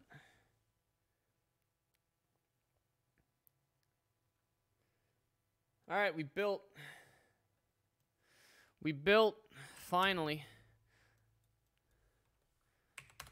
Uh, this is now panicking due to a borrow mut error in load keyframe internal on the memory backing at 2448.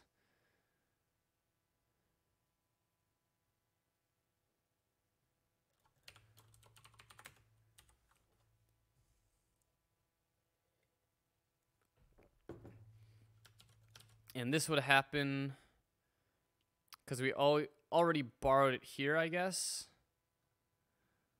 Uh, let memory backing is equal to this.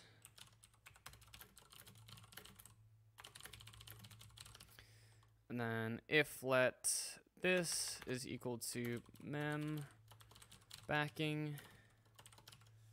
Okay. Whoa.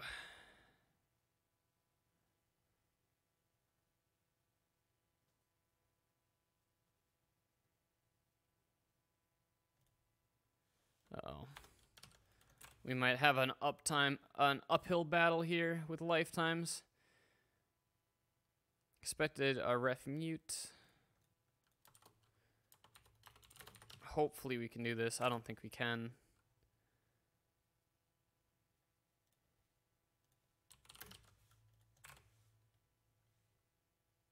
Uh, mutable borrows here. Mutable happens here. Persist memory backing. Uh, we can do this. We can clone the RC.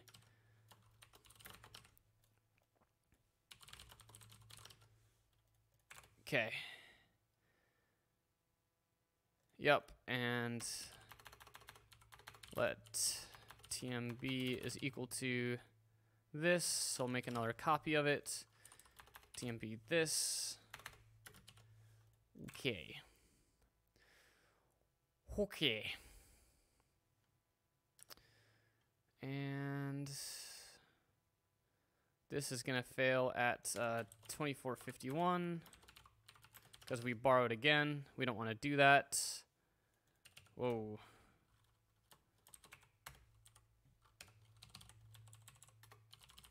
Memory backing. We replace it with a new backing. Okay. Load keyframe, result not used. Oh my god. Exception. Load keyframe, and then in deserialize. This is in, uh, where's memory backing at? So here we create this memory backing.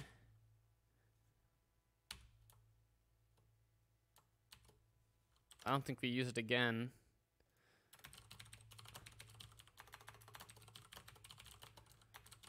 Uh, drop the borrow mut on the memory backing. Whew.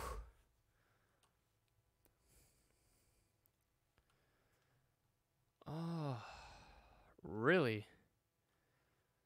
We're getting an exception in deserialize at 769, which is at 2497.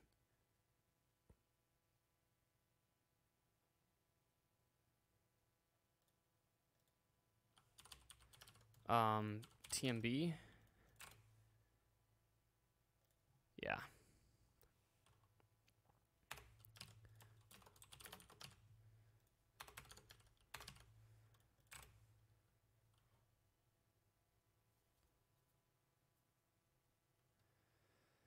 Okay. Trying to debug break. Okay, that's gonna fail. Let's see what happened. Borrow mut error. Because we have a load keyframe in a load keyframe. So we have some recursion here that we need to fix up. So load keyframe. It's calling a borrow. Uh, actually, load keyframe. And then we're in KD because we're doing a callback. I think. So now we're at the original issue that we had. What the fuck? The scrolls are so broken. Okay, now we have a load keyframe. This will invoke the callbacks.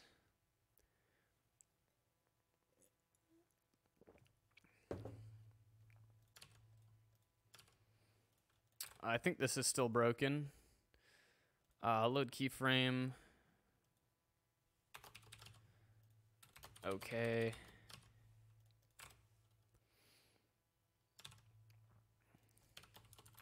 Path no longer used. What else? 1373. Load keyframe.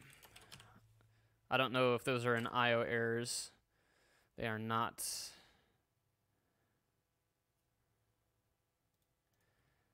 Uh, dot expect failed to load keyframe.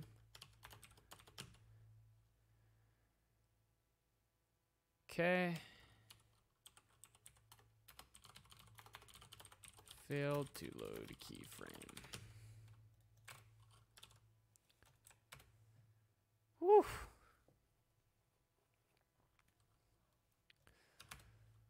Okay. This should fail. Yep. So this has the recursion issue where basically handle packet. When this calls load keyframe,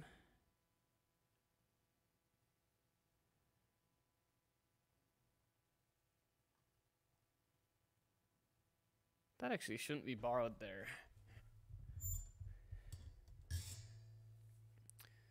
Load keyframe.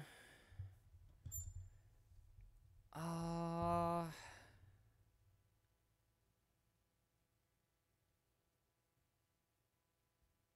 KD connection, debugger break. Does FC interrupt?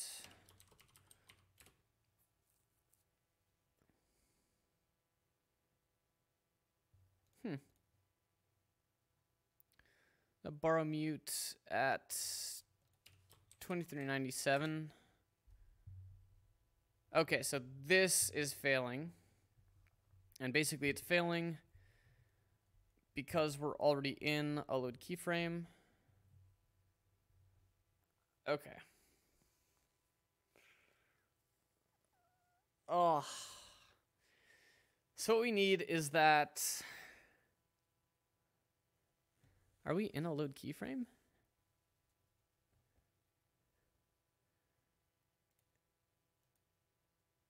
Why did it fail on these callbacks? 2397.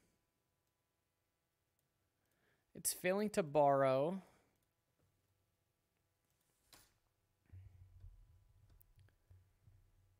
So if we load keyframe,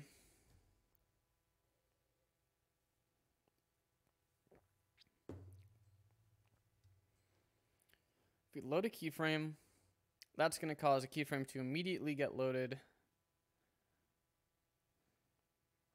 Um,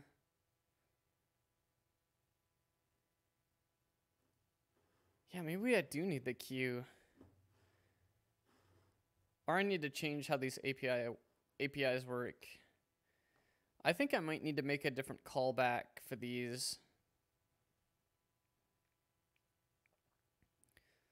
If we made load keyframe immediately take effect, but we had the callback on like, hmm.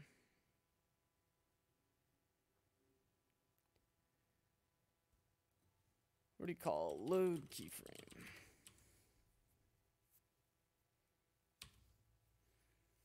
Reload the existing keyframe.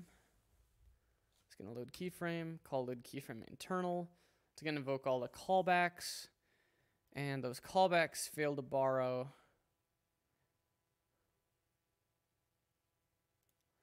So if I got rid of these callbacks, we would have no issues. Right? I don't think our debuggers are going to work in this case. I don't think we're going to get the initial break-in. We'll maybe get, uh, yeah, we'll get the first page fault.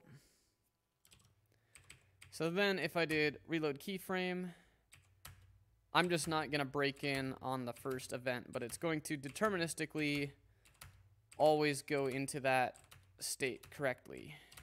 And if I do that, that'll fail, cause a panic. Can't load that. Okay. So ultimately the issue is KD is relying on KD is relying on the load keyframe callback and the load keyframe callback can recurse here when we do this, if we do a load keyframe. So when we hit this initial breakpoint, I'm in load keyframe. So if I do this, well, that's going to fail because that file doesn't exist.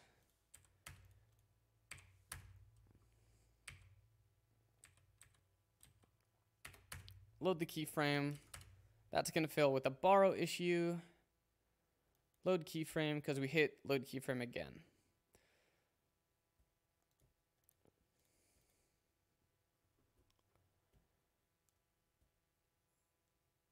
So I think what I want to do is we invoke these callbacks. Uh, let mut soft load is equal to none.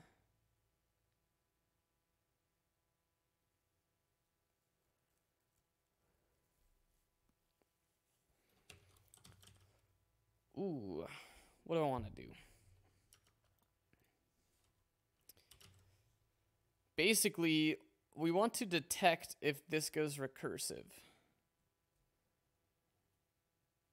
Because if it does, then we need to defer, reload, and then wait for these to exit. But I want it to be like tighter in this loop so I can control it. Okay, so we will need a queue. Um,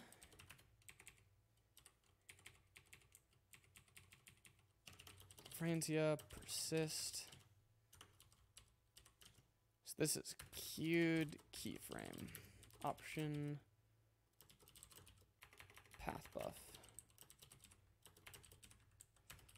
Name of a keyframe we want to load. This is used when recursion of load keyframe happens.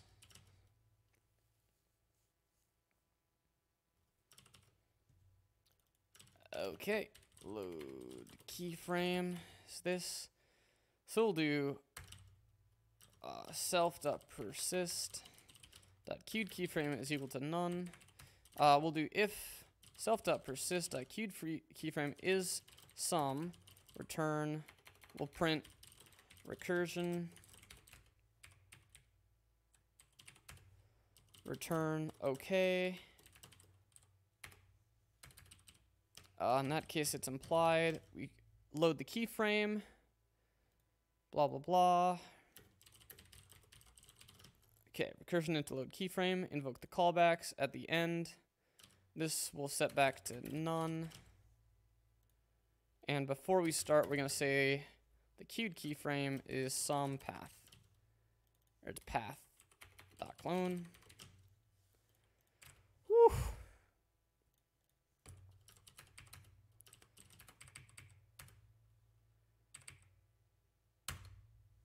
Okay, that detected that there's recursion, which is good. Uh, recursion into load keyframe. So here we're going to say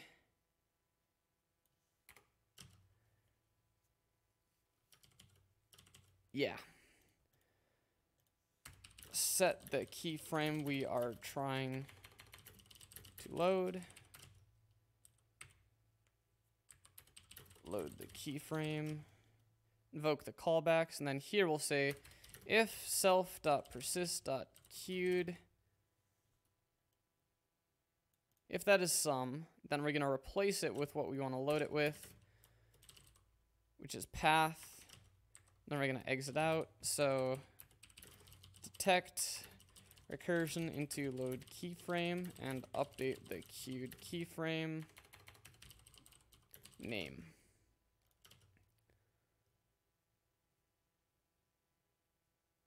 Whew. Then we're gonna invoke the callback. So basically, if queued keyframe is set, we're gonna we're gonna update it with uh, the path that we most recently wanted to load. We're gonna return OK. Here we're gonna update it with something to start off with, such that this can detect it. We're gonna load the keyframe of the path that we want to. We're gonna invoke the callbacks, and then we're gonna say if the self persist queued keyframe is not equal to path Whoa, keyframe change. Uh, we'll just panic on this. What's up, Morvi? More Moravi? Thank you for following.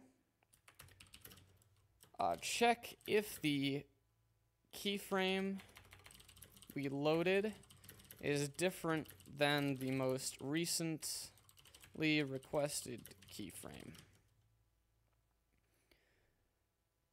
If it's not equal to that, uh, panic on that case, and then uh, all done. No more keyframe to load.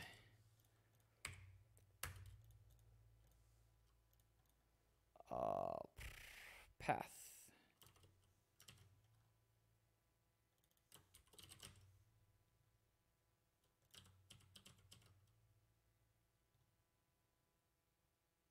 Path.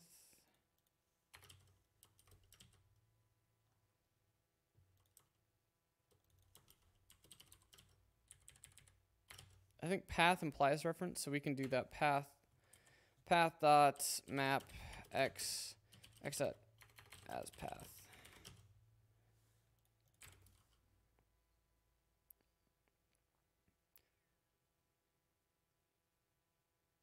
Uh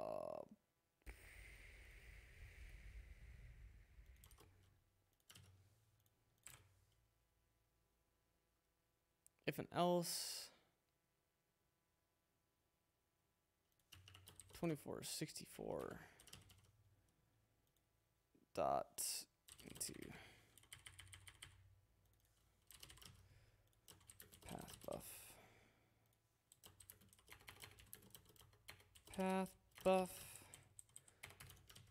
Whew. Oh, is that how you not? Oh, yeah, yeah, yeah. This will be, um, this will look like this.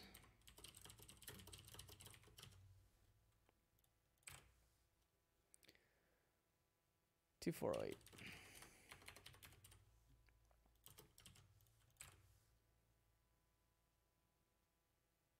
What?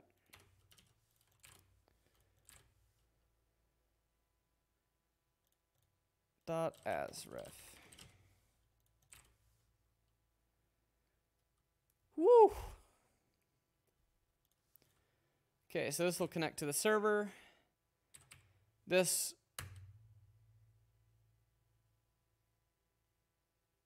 I guess we want that to break in again.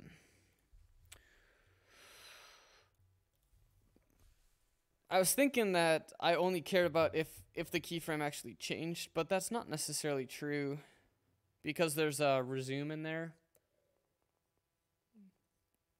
Basically execution continues. So here we'll do um set the queued keyframe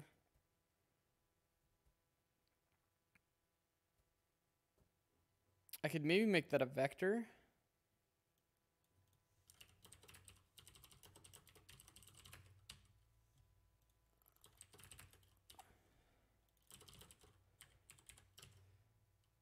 Uh, we want to load, yep. If dot len is greater than zero, then we'll push the path onto the list. Otherwise, uh, here we're gonna push path.clone. So we're gonna queue this up.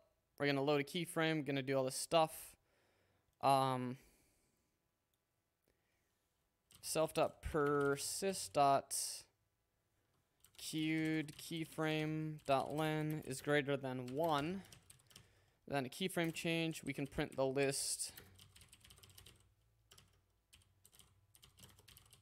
of what we wanted to change. And then at the end, we can do a dot clear.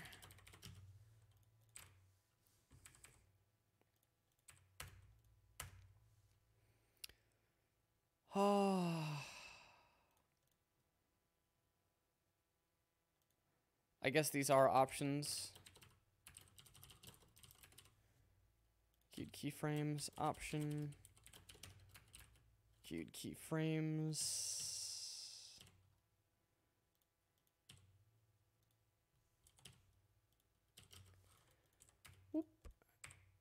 All right. So what we should see is when we first load it, it's fine. But when I try to reload it, it'll panic and it will say, wanted to reload calc stepped again, which is kind of that last entry. So now, after the callbacks have occurred, I can do self.load keyframe. uh, let last keyframe is going to be equal to self dot load or uh, self dot queued keyframes dot pop. Get the most recently requested keyframe. Self dot queued keyframes dot clear. Uh, self dot load keyframe last keyframe. No more keyframes to load. Clear the pending keyframes list. Load a new keyframe.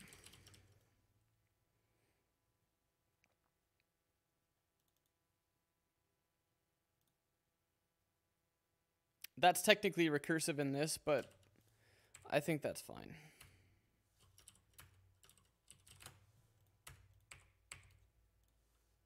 Uh, self dot persist. Persist. Load keyframe, expected PathBuf, found option option. Uh, we know that we can safely pop from that, so we can unwrap it.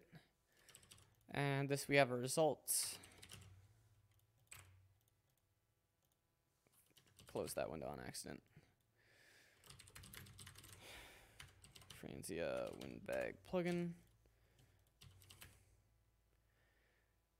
KD K port uh, net port a keyframe.dll. So now I should be able to say keyframe calc stepped. We did it. We did it. Now I should be able to load like calc. Uh, actually, that one. Oh, what did that load? Loading keyframe calc.mem.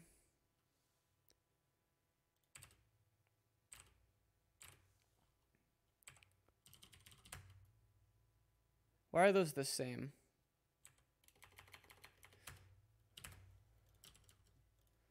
Let me put a print on this. Uh, print loading recursive keyframe last keyframe.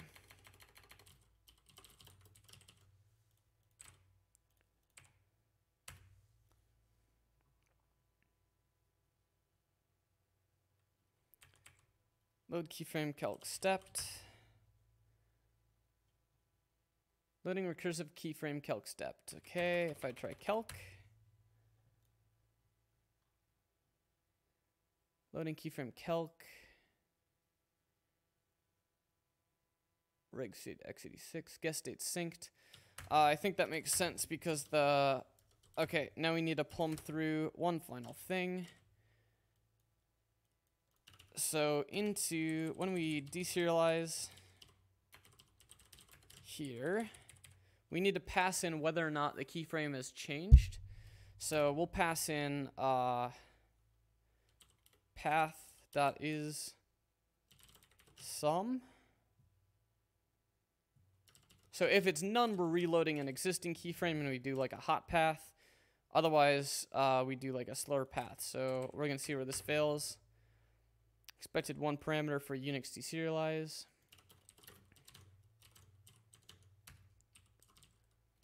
Uh, oops lib.rs, deserialize, uh, diff keyframe, bool.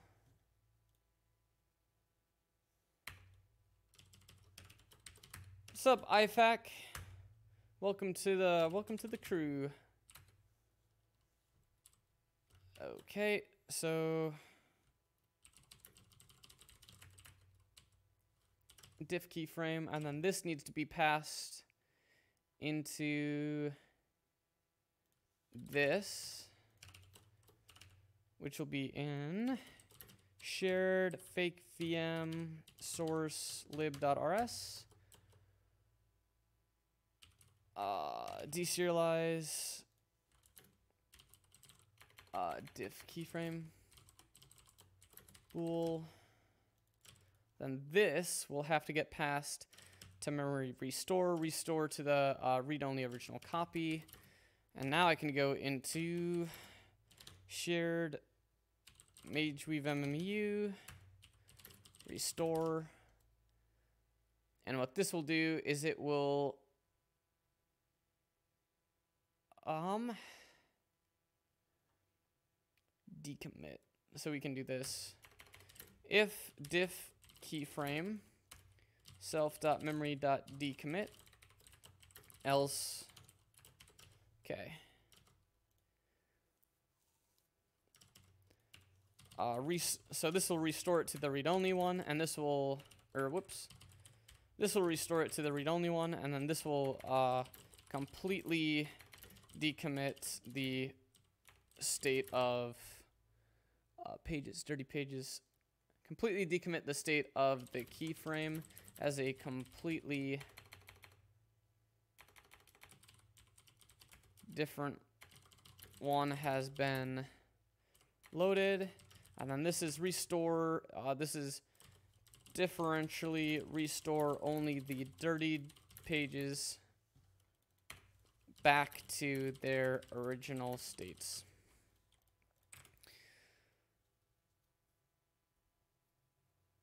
Okay.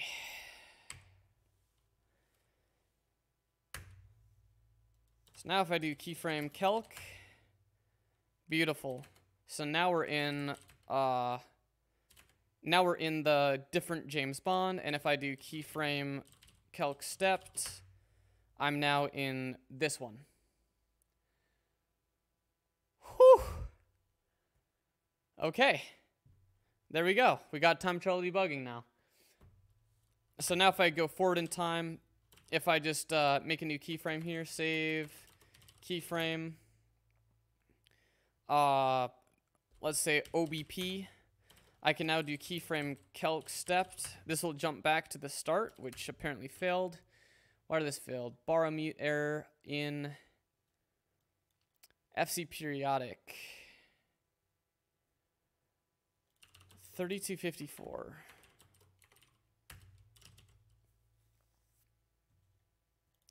Where's the actual failure occurring? Load keyframe 2142 or 2412. This is failing.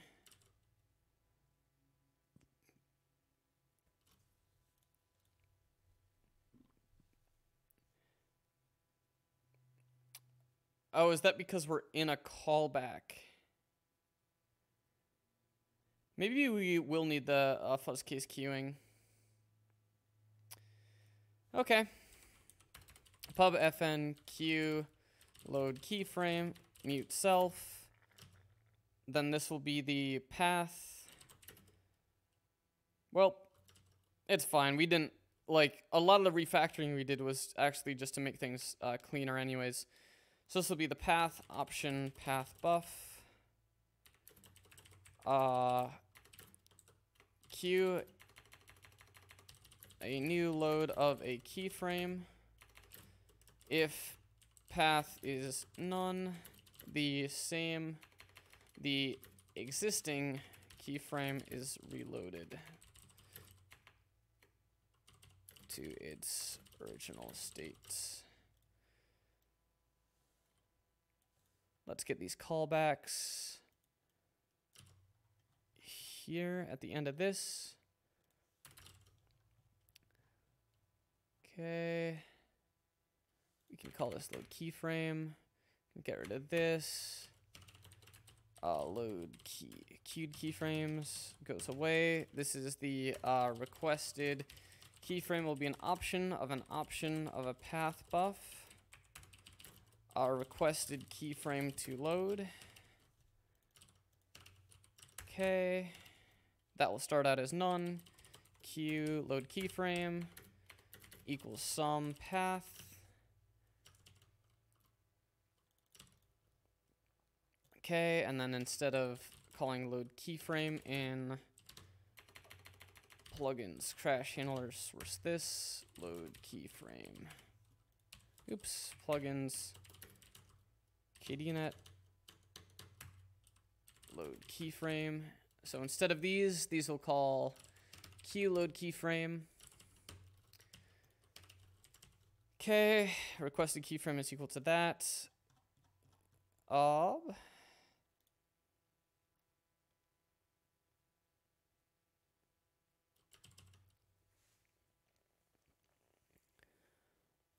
Okay. So now this won't, uh, this should work, uh, 2398 self dot persist requested keyframe, set that equal to that. This no longer can fail.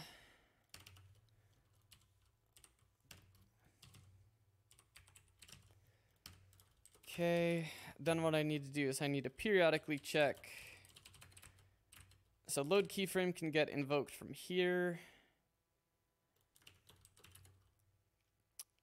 Uh,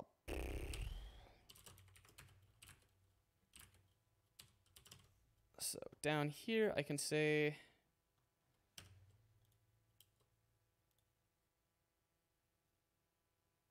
uh, we can say if self dot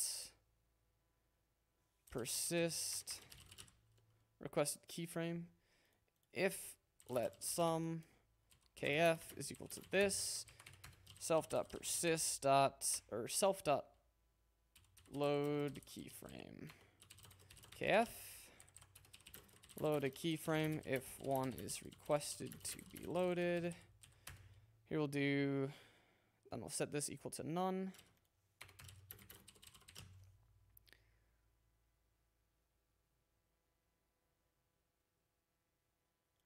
Let's see what happens. I think we're gonna have that bug again effectively. Uh, load keyframe dot uh, as ref dot map x x dot uh, as path.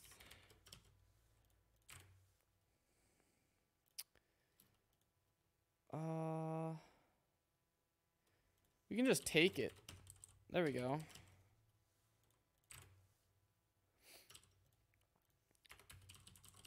failed to load keyframe.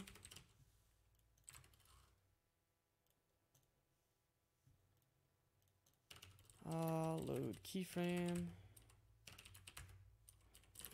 Make that public.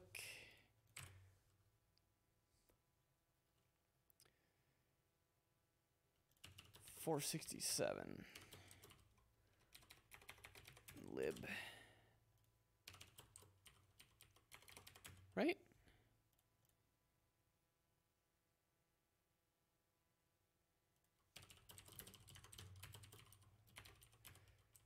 Uh, blah, blah, blah, blah, blah.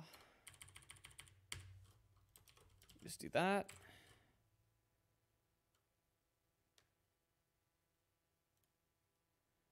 Uh, path new.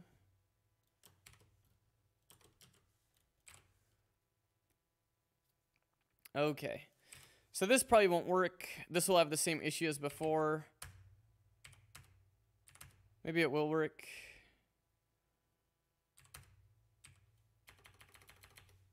We might have hooked in a better spot now. Okay. Oh. Uh, if we go to calc, calc stepped, calc stepped, calc,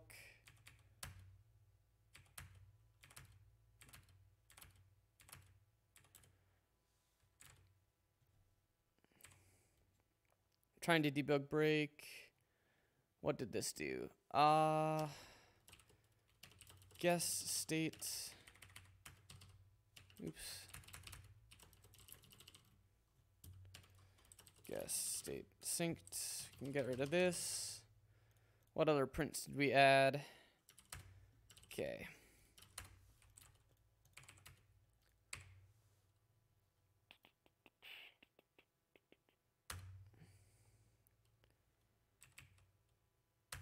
Reload calc stepped.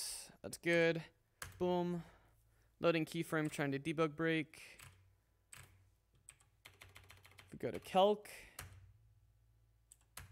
Try it again, try it again. Ooh, in that case, it did not load it. Queuing, loading of keyframe calc. Okay, so there are some situations where queuing loading of keyframe calc. That breaks out. That was in a load keyframe callback.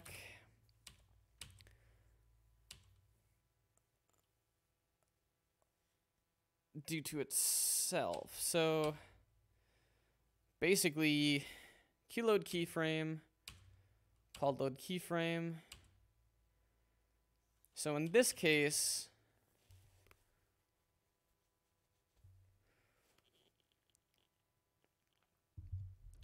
I think the problem is if we're in load keyframe, and we load a new keyframe, that will cause us to queue one up, but we'll never actually execute the VM such that we hit this code again.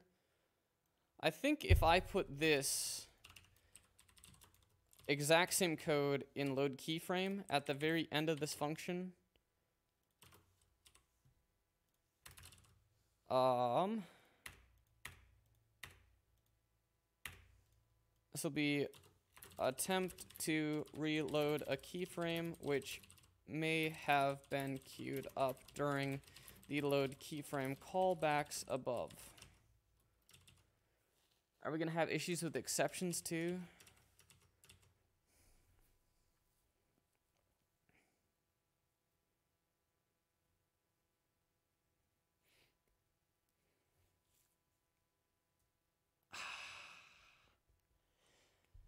Yeah, this isn't perfect because I think even like if you're an accept if you're in an exception, it'll call queue load keyframe, which won't cause one to immediately get loaded. Okay, I think I think if I add a little bit of state. Franzia persist. Uh loading keyframe. Bool. Set to true when we're executing load uh, keyframe.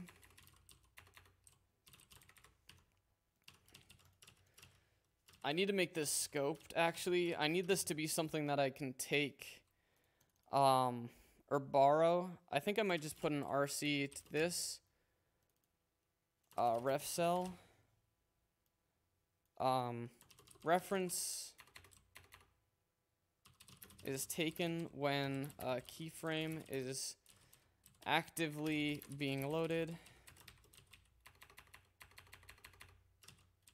This allows us to dynamically detect if it's safe to call load keyframe.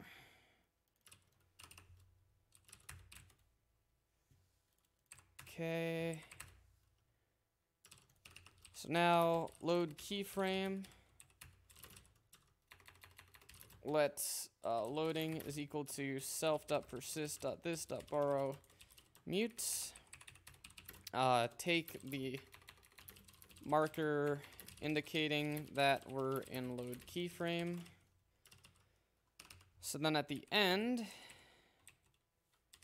it's safe to call load keyframe again here. Q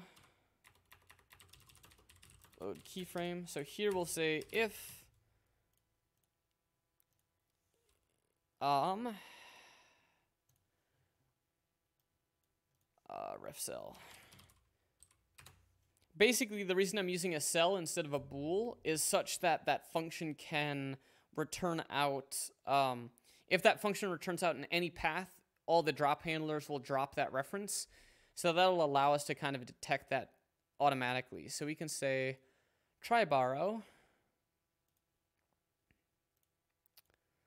So we're gonna do if let some borrow is equal to self dot this borrow mut uh, try borrow mut. We are not actively loading a keyframe. Load the keyframe now. So now we can do self dot load keyframe path Otherwise, cannot load a keyframe right now as the as we're already actively loading a keyframe. Then in here we'll do uh, standard mem drop borrow. So basically if we're not recursed into load keyframe, if someone calls queue load keyframe and we're not actively loading a keyframe, then uh, immediately load the keyframe. Otherwise, we're going to queue that up to be loaded at the soonest convenience. And the only way this can happen is if we're in a... Uh, the only way this path can happen is if we're already in a load keyframe, which means we're in... Since we don't call load keyframe ourselves in load keyframe, the only thing that could possibly cause this state to occur is a plugin callback in load keyframe. So what that means is if we look at uh, this, we no longer need this. Queue load keyframe. So we'll say print uh, not recursed loading keyframe now. And then this is print recursed loading keyframe shortly. Okay, so we drop that reference. we're basically leveraging the like drop checker on that uh, on this field, this loading keyframe field, which allows us to in here we can assign it to a variable, and then we don't have to worry about if we ever change code in this function. If like we made this return out, it would automatically drop it and update that we're no longer in this function. So this is basically tracking whether or not we're in the load keyframe function. Uh, at the end of this function, we're going to invoke all the callbacks. And then here, we can now drop this. Uh, drop the um, loaded keyframe uh, marker as we're done with callbacks and potential recursion issues. And now we're going to try a reload a keyframe, which may have been queued up during the uh, load keyframe callbacks above. So if the requested keyframe, so this basically stays as none, with the exception of if we recurse, and then we do that, and then we immediately load the keyframe by recursing into our self there, which is safe because we've already dropped that. Uh, there might be another borrow in this function that we need to be careful of. Uh, 2403.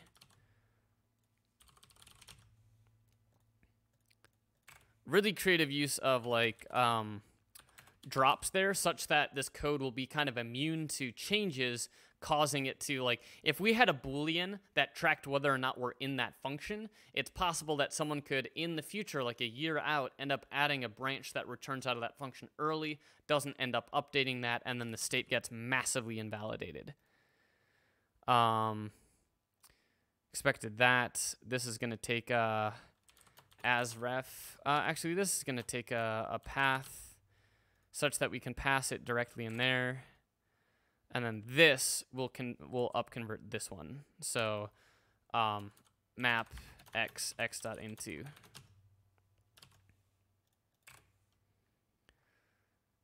Okay, this immutable borrow occurs. Immutable borrow occurs here. A temporary access with the okay.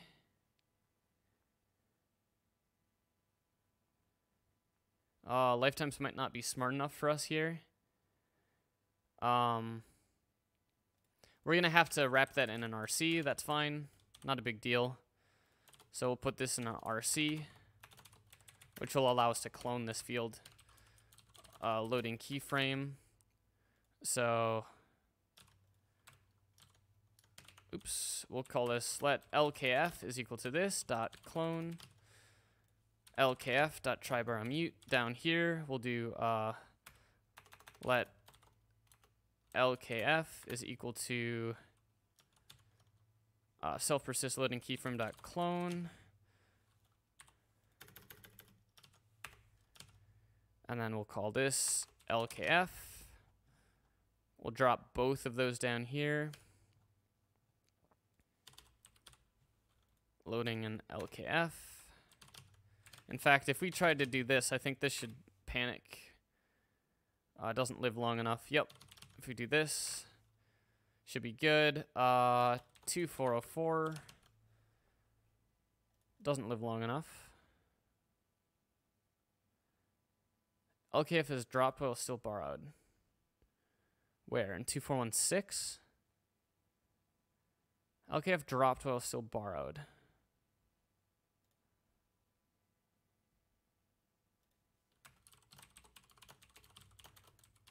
I think we're getting some weird borrow checking stuff going on here. Doesn't live long enough. How could it still be borrowed at this point? Try borrow mut. If we failed to borrow it,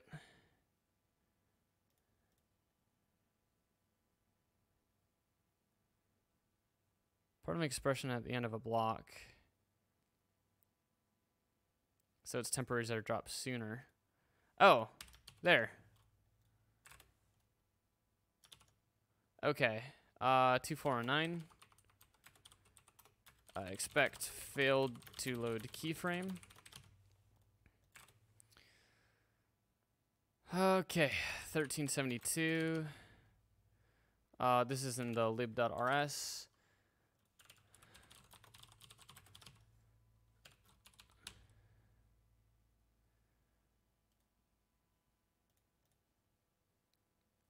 Uh, keyload keyframe. Okay. Queue load keyframe. This is now just going to take the keyframe. Keyframe. I think we need a path new that as well. Yeah. Path new.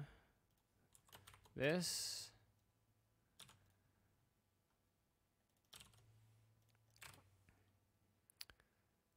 Uh,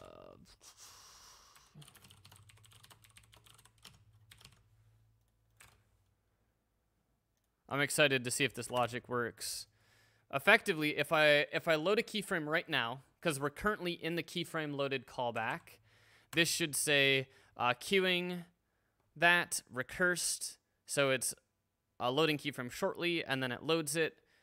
Um, okay, and if I run it again, once again, it says recursed loading keyframe shortly. If I go into a different state, oh, that's uh, that's gonna do that. Um,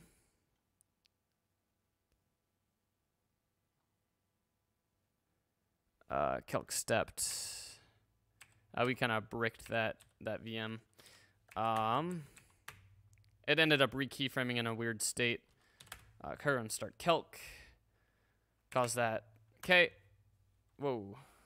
What is happening? Letting keyframe calc stepped mem.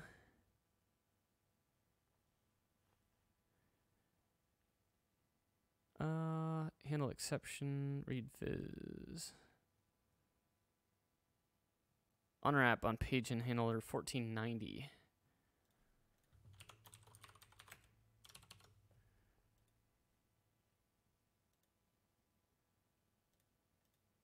Oh, I think we ended up bricking the calc VM.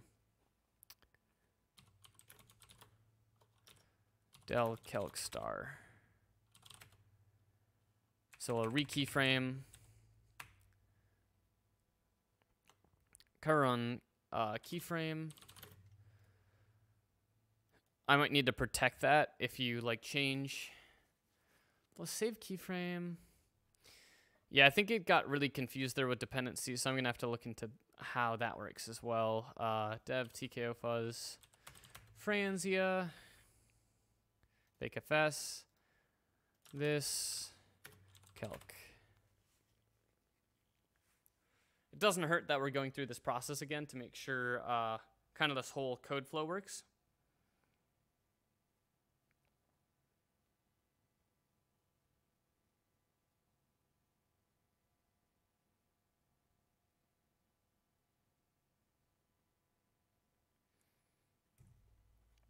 Come on.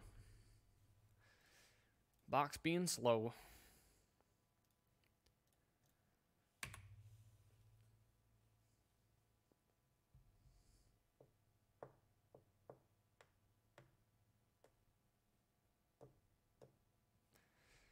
Okay.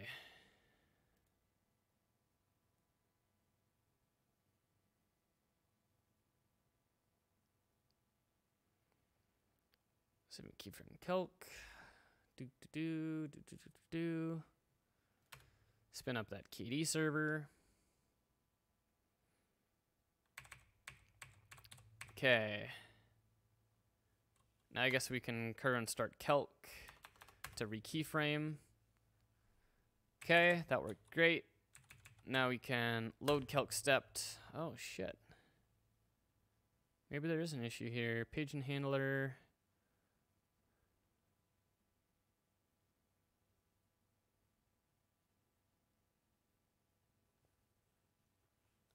Guest enlightenment, get guest state. Load keyframe, loaded keyframe.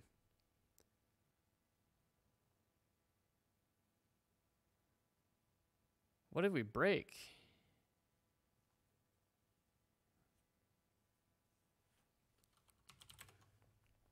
Are these keyframes not... I bet we broke maybe our rekeyframing stuff. Um, calc dot...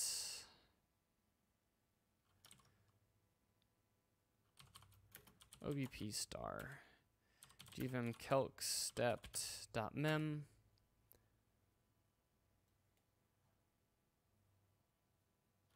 Maybe this can't refer to its parent correctly anymore.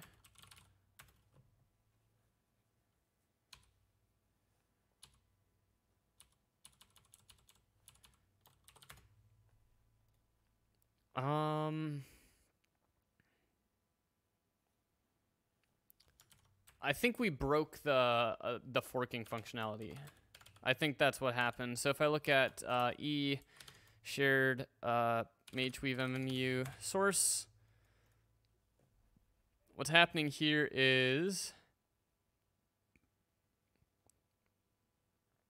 uh, it's going to save all the diffs.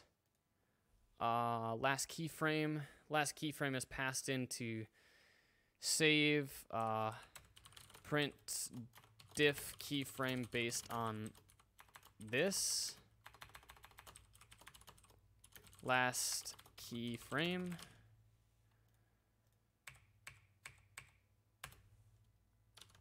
and then when we do this I, I think we just broke some pathing in here we changed a lot of internals around we changed some like file extensions and stuff so I think we're gonna probably see that. Uh, uh, yeah. Print last KF here, maybe.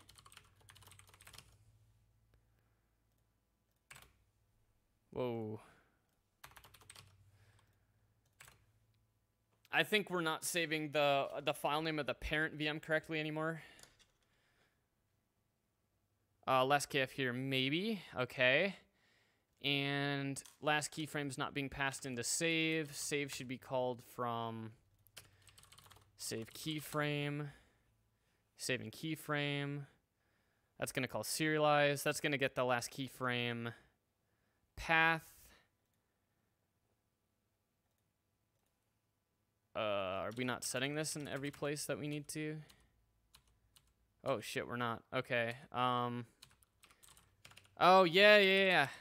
That was in my like in my brain stack of things that I need to do, and now now that I see it, it makes sense. Uh, MageWeave MMU file. When we load a new MageWeave MMU file, we need to set self dot persist last keyframe path is equal to some memfn. I don't know if that expects a memfn or not. Path it gets the file name.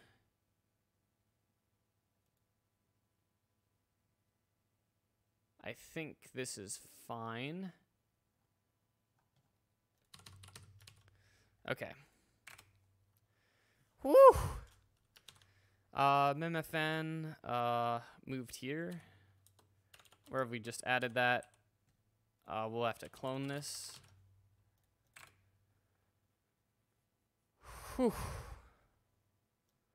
That was spooky. Uh, diff keyframe based on calc.mem. Okay. Good. So now we can load calc stepped.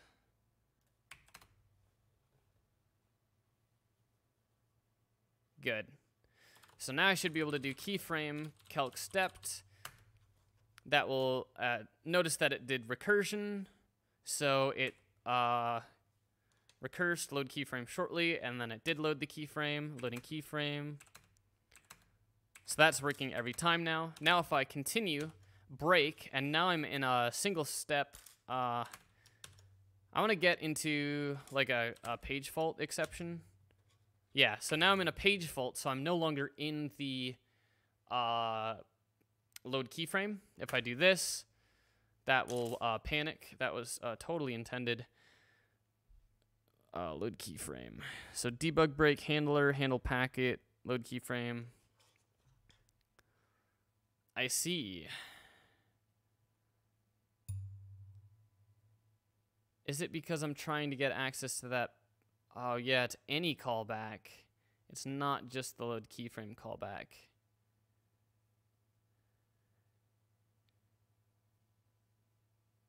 Hmm. Okay. Man.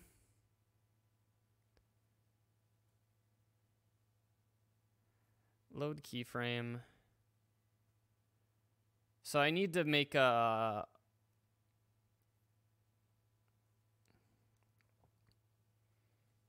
Uh, okay. I know what to do next. I'll be right back. I'm going to take a, a quick bio break. Be right back.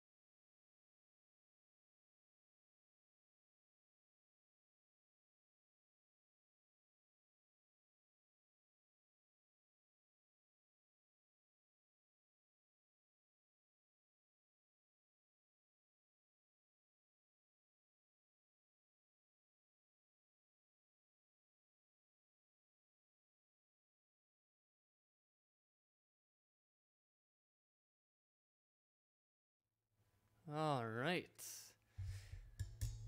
So the things that we implemented were actually really cool. Um, and we're just going to do it a little bit more generically. Basically, we can never call load, load keyframe from a plugin, regardless of wherever it calls back. So we're going to clean up the code. We're going to move all um, callbacks.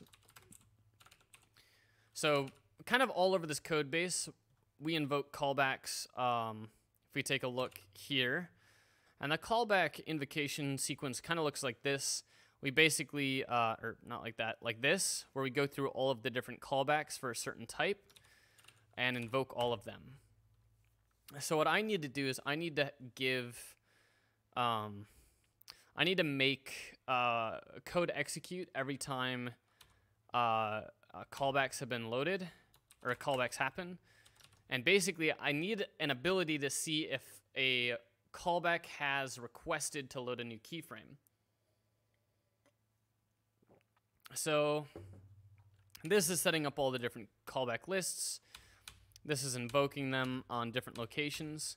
So I think actually what might be best here is to make a macro. And let's see, these take different arguments, but they always take a self. Uh, self, persist, callbacks, guest state. That will go through and invoke all of the different ones. That clone, borrow, mute, interrupt. So basically, I want to write a e shared lib tko source I need to write a generic implementation of this kind of in a macro such that I can get control um, whenever you invoke callbacks. So what I'm going to do is I'm going to make a macro, macro rules, invoke callbacks. And then this is going to have a pattern, which is going to be um, uh, Franzia, which is going to be an expression. Then it's going to take a a list of expressions. So args, expr, these are comma separated. And then what I'm going to do is I'm going to emit for i, i, and 0 dot dot self dot persist or dot uh, franzia dot persist dot callbacks dot um, callback expr.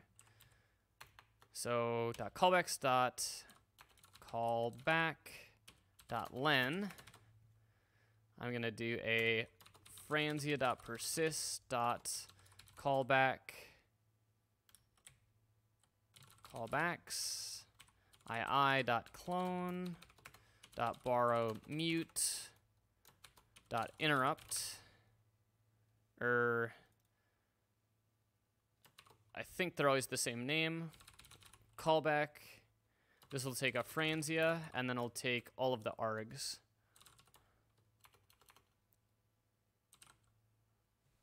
Arg.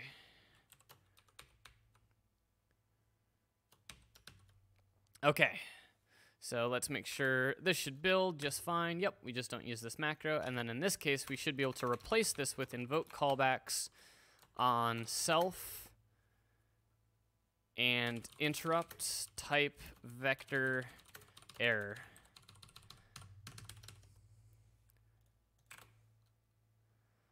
Uh, unexpected token interrupt.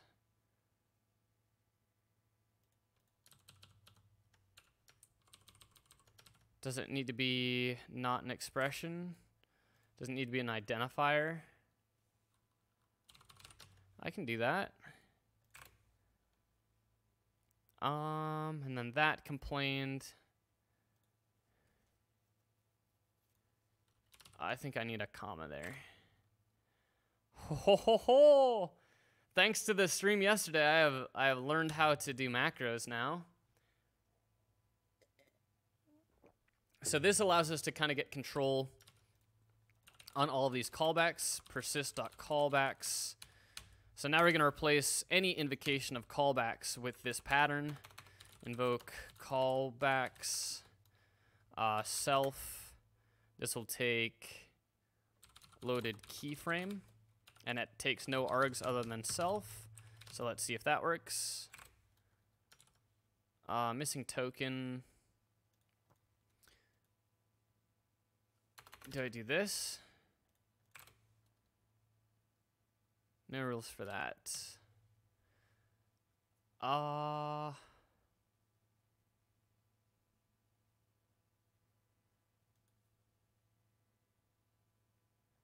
If I just whack in another comma, I think I'm fine there. Yeah, and I want to make this comma optional. I think I can do this to make that comma optional. Yeah. Uh, and now I should be able to get rid of it. Nice, nice, nice, nice, nice. So optionally a comma followed by a bunch of expressions. I guess maybe I can do this. That's more clean. So an expression and identifier always, and then optionally 0 or 1 of a comma followed by expressions. Uh, arg is still repeating at that depth. I think I have to do this to make that work. Maybe not. Uh, actually, if I put a question there, I think I'm good. Yeah, look at that. I've I've learned how to make macros now. God, that's so fucking nice.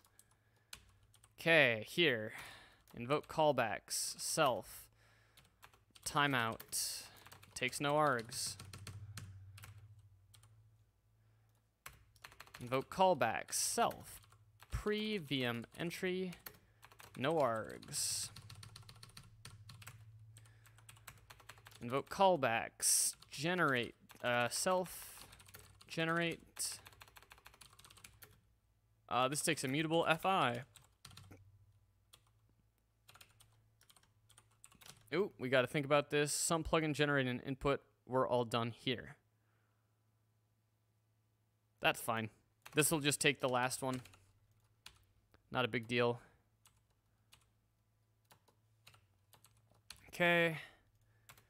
Mutate, invoke callback, self dot persist dot, oops, self, mutate, mute fi.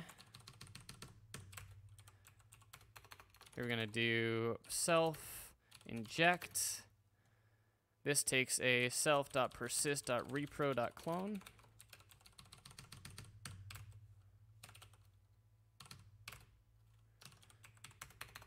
This does uh, self guest state and takes no args. This is a self non-canon access. Takes a vaddr and an access type.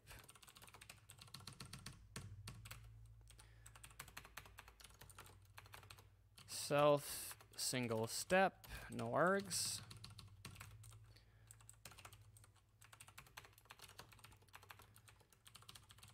Uh, self periodic, no args.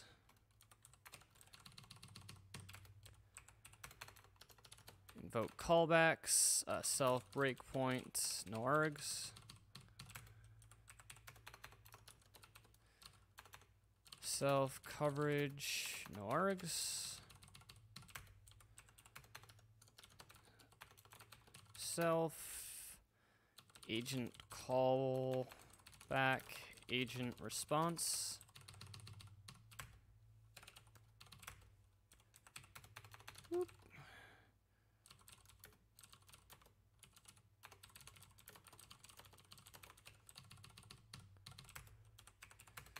Okay, self, CPU ID.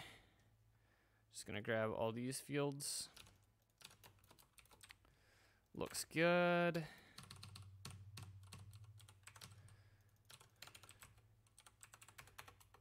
Vote callbacks, self icount breakpoint, expected icount breakpoint.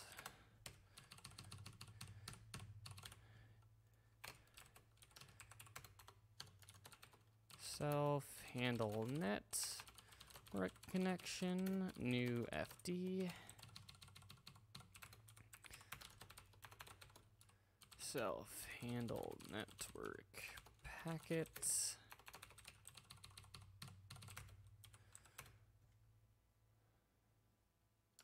Only allow one plugin to drop the packet. If drop len is zero,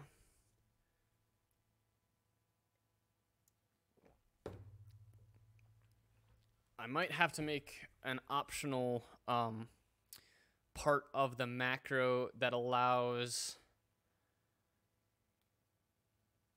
I might need to make an optional part of the macro that allows for arbitrary code execution afterwards, if that's uh, something the user requests. Because this is going to get something back from the callbacks.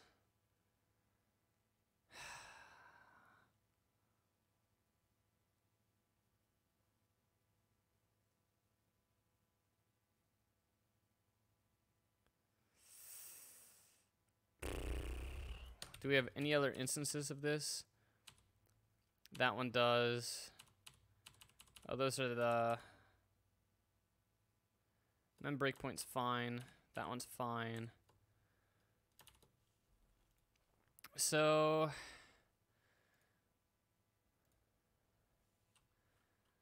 Okay, if I put in this comma, I'm going to have to change a bunch of the invocations of the macro. This will take a list of arguments, and then the this will take an expression um, that would allow you to operate on the return state.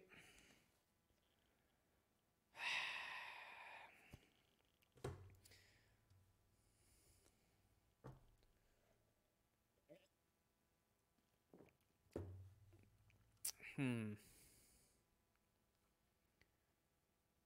If I get the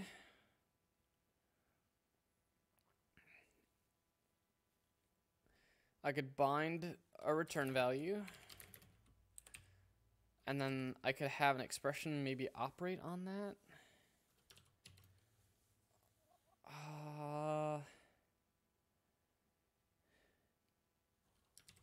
Basically, some of these want to operate on a return value.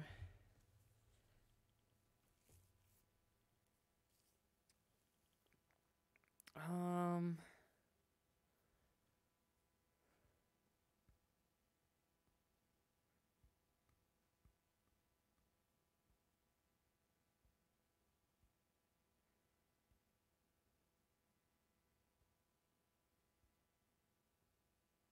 hmm. Hmm.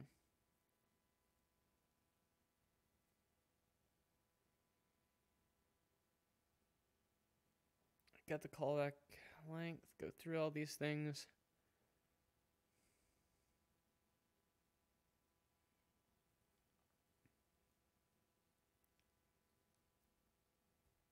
What sorts of things can I do here?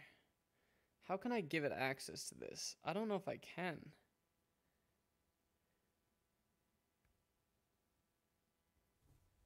Like if I did let ret is equal to this, and then I had uh, this is like callback.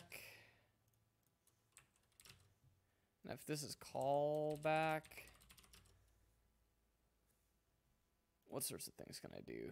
Uh, Rust macro rules.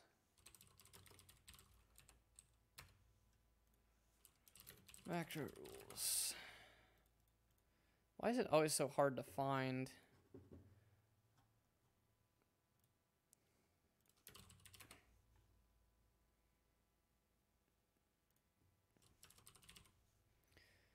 Okay. Block. Statement.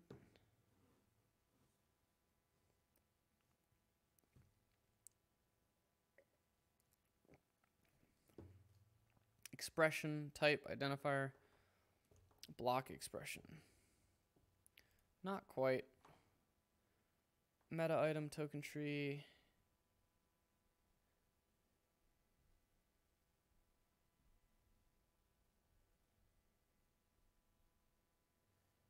Um, item block expression statement pattern.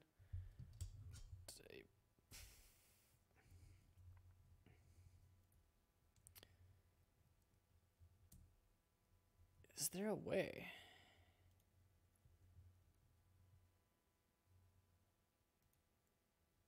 If that's an expression,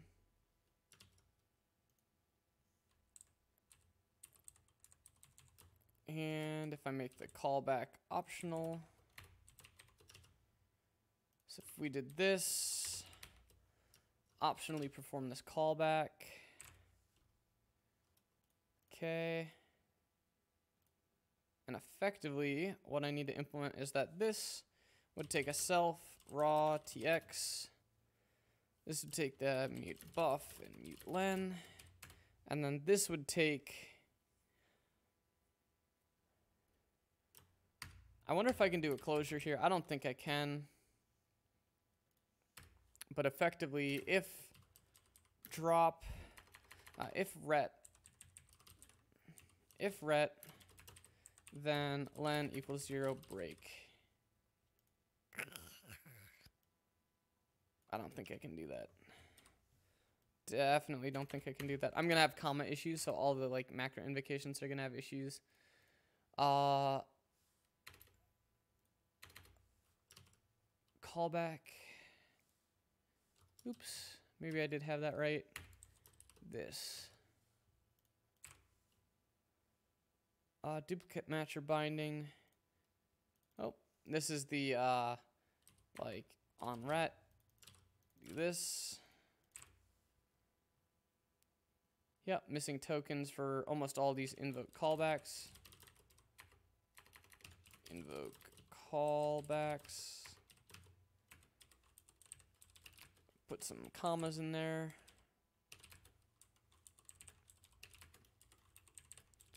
Oh, that's not gonna work.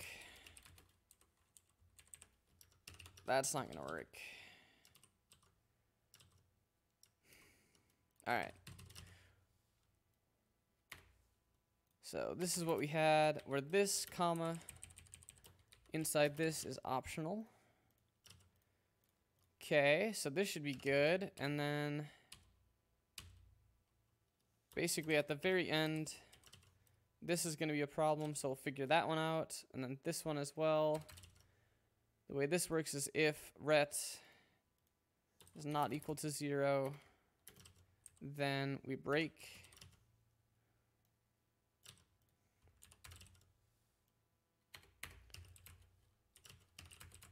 But I think that's it for those. Okay. 3617.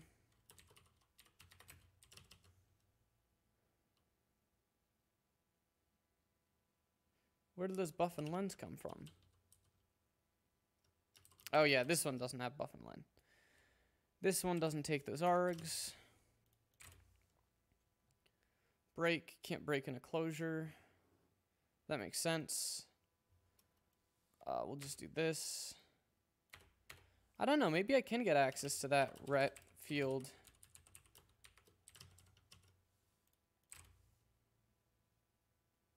Ret not found in this field. 3619. That has a ret binding.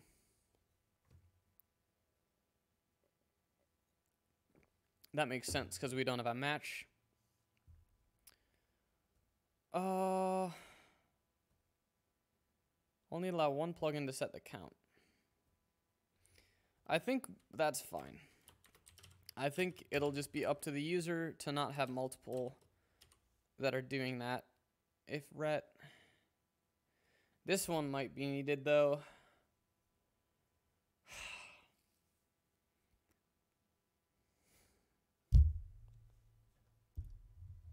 Need to start a new playlist. One second. Trying to find some music. Do do do do do do do do do.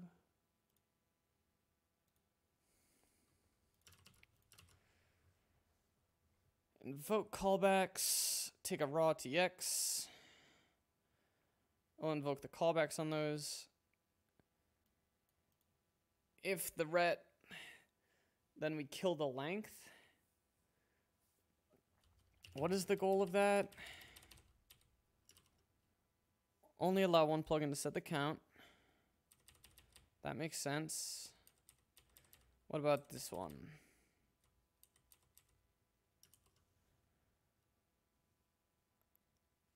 Only allow one plugin to drop this packet.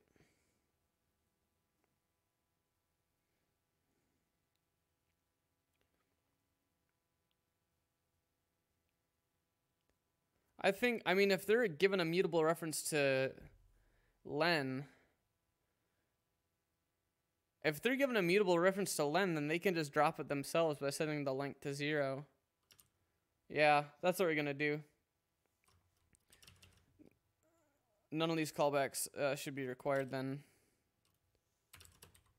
This will be uh, self raw rx buff.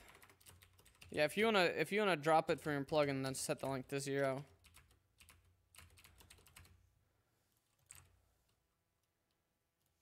Three five ninety. Same with this. You're given access to the length. Just drop it.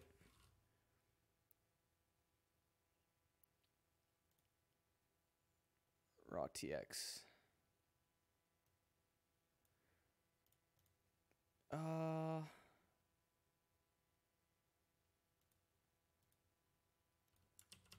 Isn't that what we're doing here?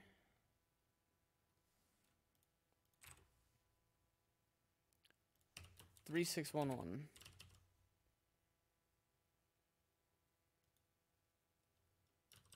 What did that previously have? A buff and a len. Okay.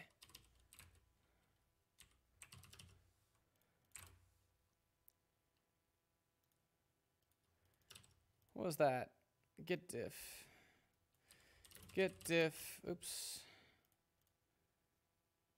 Git diff dot dot slash shared libtko source lib.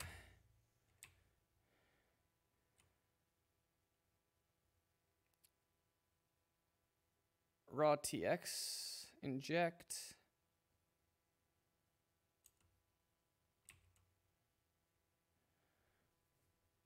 Raw rx that took a buff. That's good. Raw tx inject. That took nothing.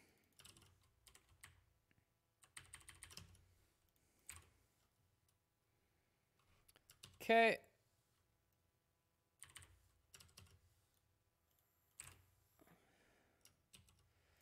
Three six oh seven. Count doesn't need to be mutable. Does it need to be? Using that count? If count is not equal to zero, oh, so it updates that. God damn it. Ugh.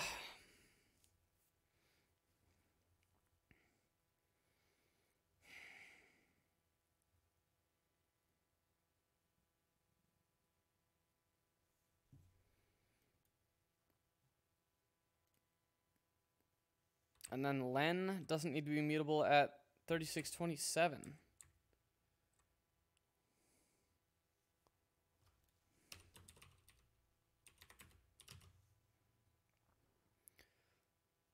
len doesn't need to be here. Raw RX. What was that doing before?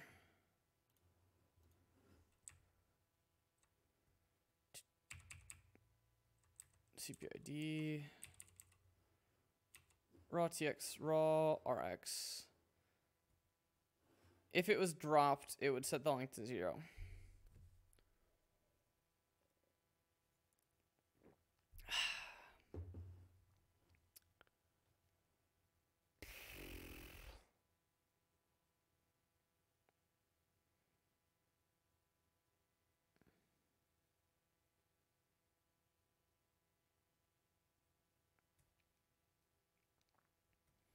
So raw RX is relatively easy. That's complaining that len doesn't need to be mutable.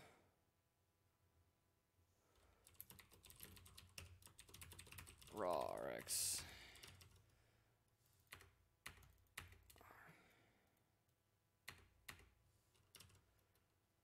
Returns whether or not the package should be dropped. Uh, len.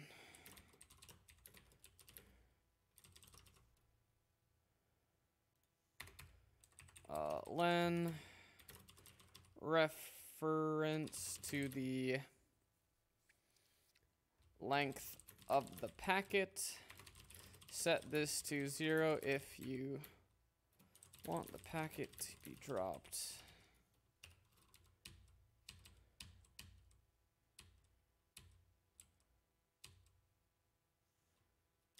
Right? Uh, I guess len in this case is a U16.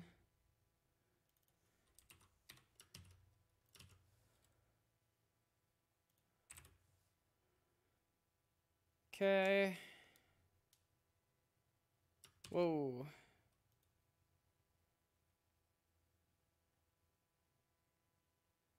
Yeah, I don't I don't like these returning values. They're not they're not really supposed to.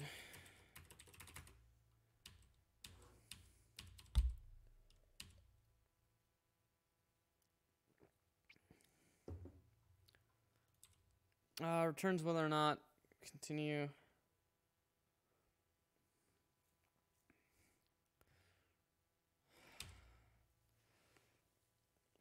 Oh. Oh, this is killing me.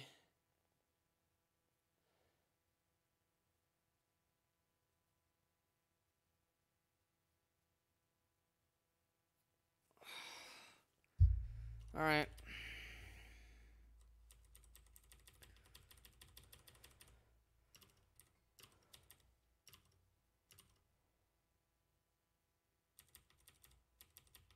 Tried all this shit out.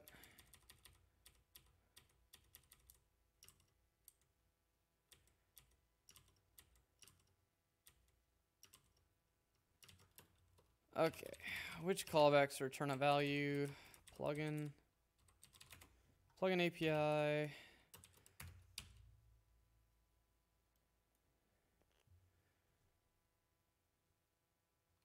Yep. Pre VM entry.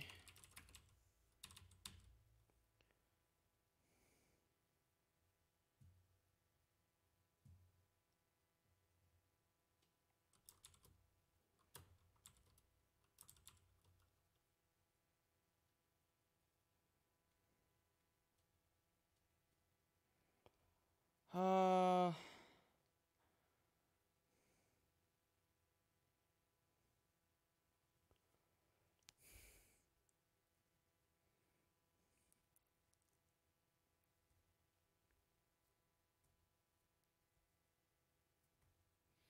Hmm. So pre VM entry also needs to do some stuff. Was that previously doing stuff?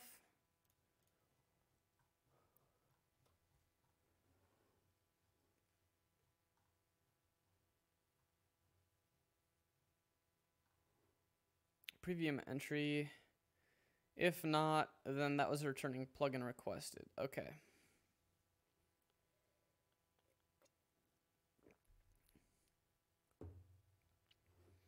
Pre VM entry. That is a chance of returning out.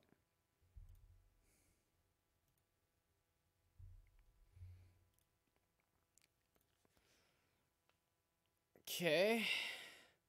So pre VM entry, we need to fix that one.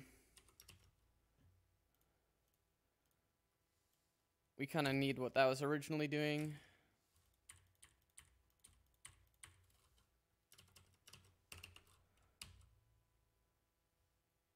Okay. Raw TX, raw TX inject, raw RX. Guest syscall.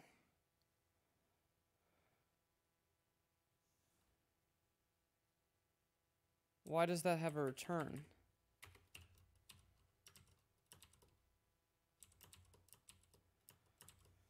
Okay, TX.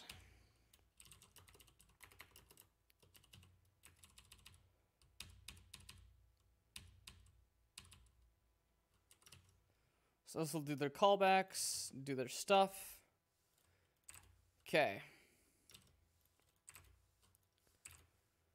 This should be fine, and then I think we've replaced everything that can be replaced so far. So we'll we'll have a couple use this legacy format.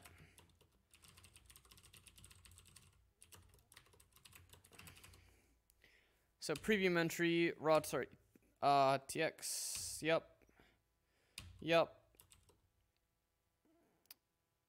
Uh, this one we can do uh, invoke callbacks, self guest syscall, mem breakpoint. This one can be called as well. Uh, invoke callbacks, mem breakpoint, all this shit.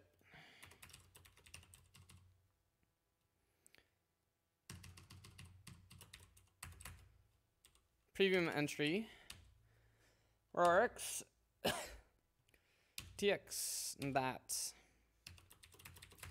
Okay. So at the end, we'll do uh, franzia.q q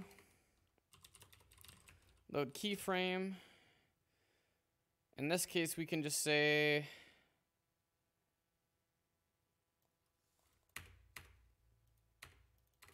this will just set that. Oops. Load keyframe. Oops. We want this. And we can get rid of the field in Franzia persist that we added. Quested keyframe. Oops. Loading keyframe.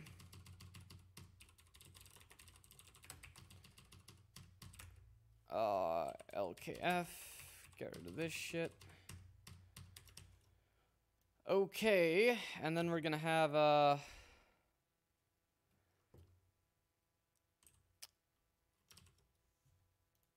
self dot after callbacks. fn after callbacks. mut self. This should always be called after plugin callbacks. This allows us to perform some operations that may have affected internal state during a callback.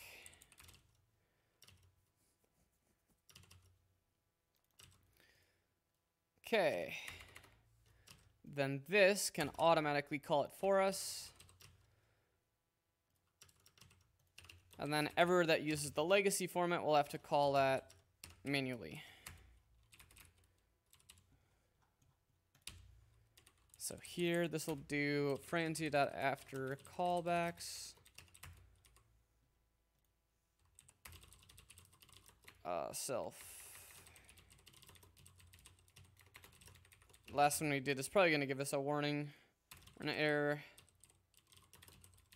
I think I typed it as Franzia when it needed to be self.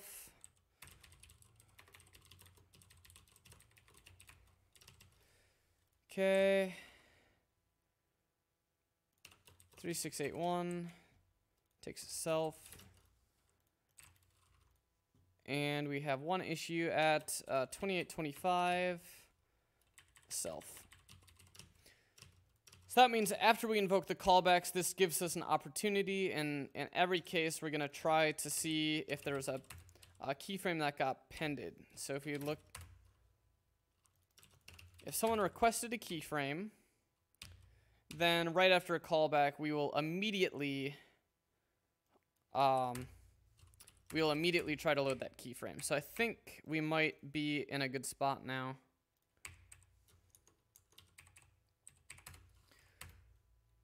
I think everything should work correctly.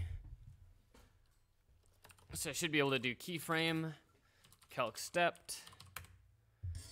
Okay, queuing loading the keyframe. We loaded it right away. Once the once all of the callbacks are complete, this is just some lag, that's fine. Uh, keyframe calc. That will cause that to get loaded. Looks good. If I continued this, that should cause a new keyframe to get created. I just want to make sure that this keyframe is valid. Looks like it is. Now we can continue. We can break into some arbitrary location.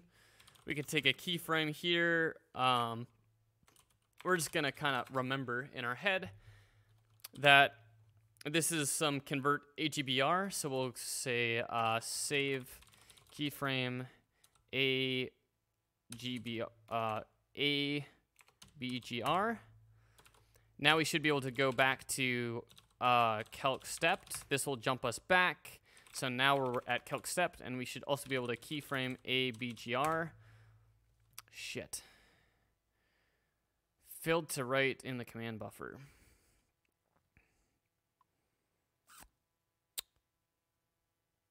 That's fine. Uh, that's because invoke got uh, that's because inject got called. Okay, so we fixed the uh, time travel stuff. This is not a time travel issue. This is uh, since we were doing inject and we're calling our callbacks. Um, I think maybe when KD is enabled, I might want to disable injects.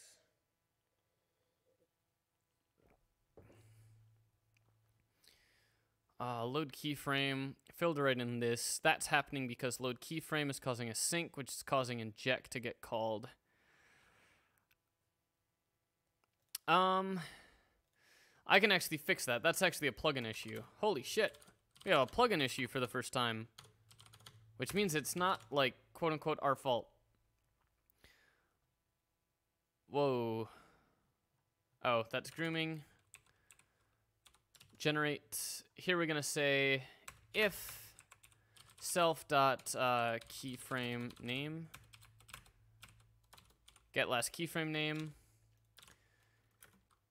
is equal to some calc stepped. Uh, if it's not equal to calc stepped, then we return out. We're going to do that in mutate as well. If the keyframe name is not calc stepped, then we're going to ignore it. In this case, if it's equal specifically to calc, then we're going to save a new keyframe. And then in this case, if the keyframe name is calc, otherwise, if it is equal to calc stepped, then we go through agent callback. Here we can do this. Uh, if return. If this is not equal to this, uh, calc. So if it's equal to calc, then CPUID will do this. Otherwise, it will do nothing. If it's equal to calc stepped, then we'll perform our injection. Um, okay. Calc stepped. If it's not equal to calc stepped, return out. If it's not equal to calc step, return out. If it's equal to calc stepped, then we do this. Otherwise, or if it's equal to calc, then we write in the fuzzer. Otherwise, if it's equal to calc stepped, then we do this injection. Otherwise, we do nothing. In this case, if it's uh, kfn, let kfn is equal to this. If keyframe name is not equal to that, and keyframe name is not equal to some calc, then we'll return out there. That should fix the issue we had there. Um, it's not on self. Uh, get keyframe. Get last keyframe. This is Franzia. Franzia. Okay. 197. Else if. Okay. Now, I should be able to do a keyframe calc. That jumps back to a different keyframe. Uh, keyframe. What other keyframe names do I have in that folder? Franzia runners. We also had the uh, ABGR. And we are now correctly in that location. Keyframe. Calc stepped. We've jumped backwards. And I would say this is pretty fast. So we're able to jump forwards and backwards in time pretty quickly here, which is awesome. Queuing load of, of that, loading keyframe, trying to debug break. You can get rid of that print. Plugins, uh, KDNet, source, lib, trying. Okay, what else? Trying to debug break loading keyframe. You can get rid of that print. Trying to debug break. Uh, queuing loading. Get rid of those prints. Okay. So get, uh, let's make sure this builds. Let's make sure it builds on Linux as well. Git commit am fixed time travel debugging. Okay, good.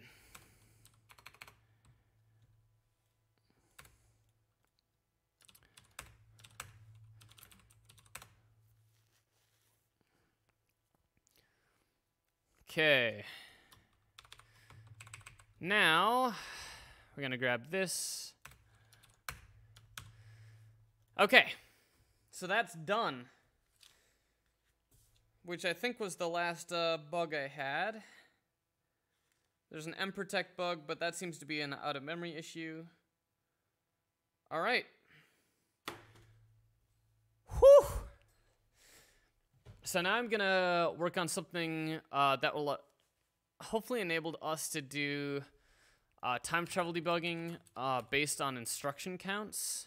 So first, let's go in and modify our uh, DLL that we use. We're actually in that folder here. So in this, wow, copyright 2012. I wrote this, I wrote this seven years ago. Wow. Okay, so Um, keyframe. I think I might shorten these command names.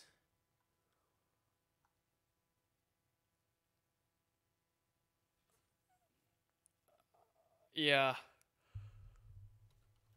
How does this work? Let me check out the make file. Uh, export keyframe and save keyframe. We're going to also export uh, KF and SKF. These are just going to be shortcuts. uh, we're going to make an implementation of SKF, which is just going to call save keyframe client args. We're going to return this. So this is just a shorter, shorter name for save keyframe. Okay, and then KF. Also gonna have this here, KF for keyframe. Uh, that's gonna take client args, good, keyframe, return that out, uh, and make, oops.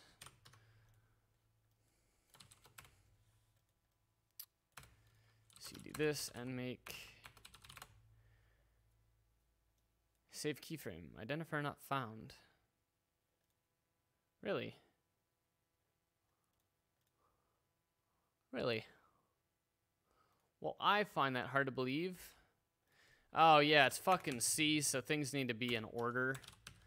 Oh my god, what a what a language. okay. Um uh, we can disable these warnings. WD uh 4711 Nice. Okay, so now I should be able to grab this. And now we should have a, a KF and SKF as kind of shortcuts. So I can now do KF calc stepped, KF calc, oops, KF Calc, KF, uh, what was the other one?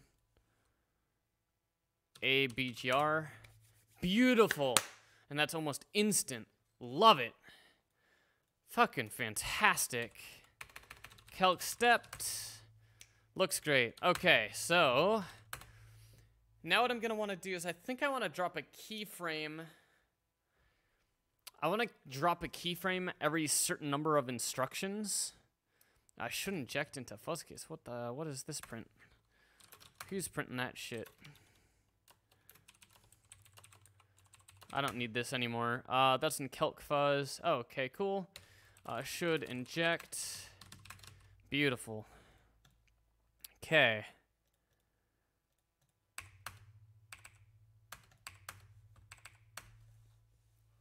Um, KF Calc. Okay. Ooh. Ooh. Oh, that had a typo. Okay. Nice. Uh, you know what? We could maybe have this give a warning back to the user. I I don't know. Um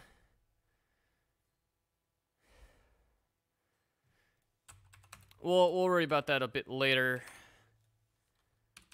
HH uh I don't think we have a back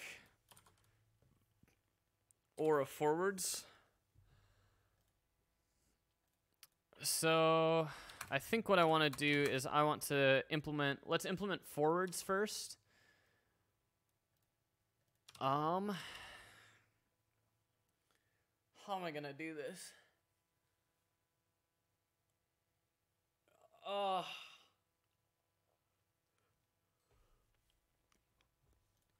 basically I need a I need a way of saving the metadata uh, associated with whenever I find a when I save a keyframe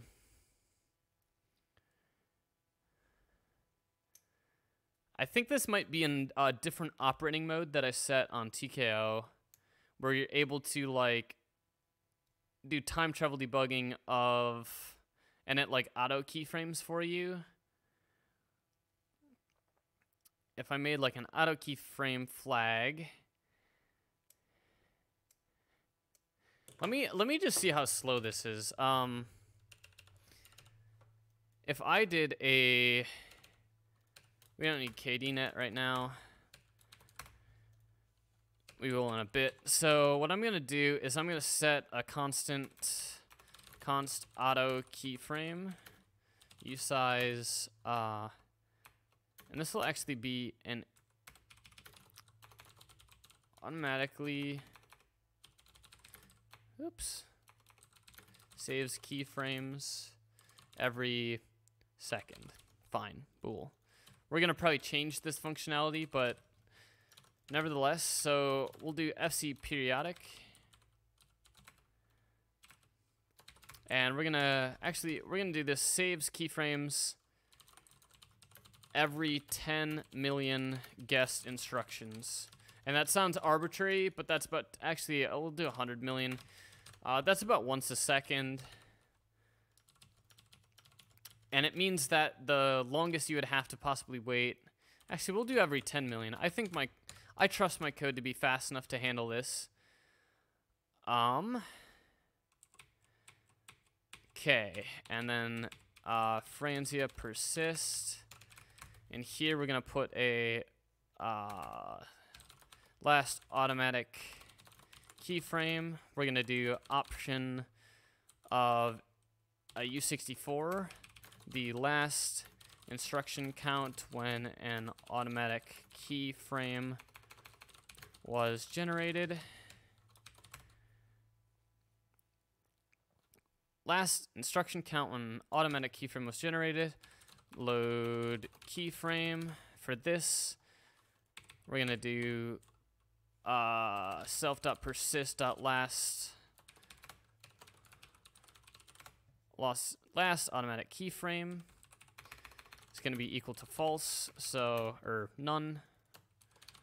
Delete automatic keyframing state. Okay, then we're gonna go to an FC periodic. And this is called uh, every certain amount of instructions, I guess every 100,000. Uh, I don't know if that's been changed, but here what I can do is, I guess we'll invoke the callbacks first, and we'll say if let some, actually, we're going to figure out the amount of instructions that have elapsed since the uh, uh, previous automatic keyframe. So we'll do self.persist.last automatic keyframe dot unwrap or zero. And we'll do let i count is equal to self.regs dot instruction count. I think is where I store that.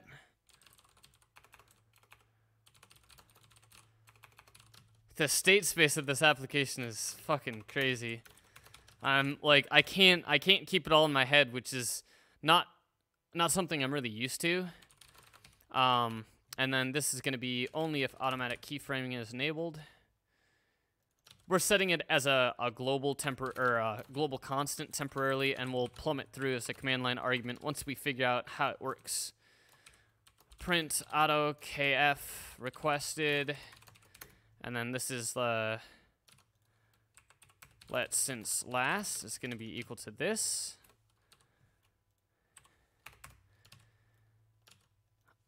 We'll do since last, if since last is greater than 1 million, greater than or equal to 1 million, last keyframe requested uh, since last unwrap or 0. Okay. Shit. Um, maybe it's I count. Son of a bitch. Uh, oh, it's on VM, isn't it? Yeah.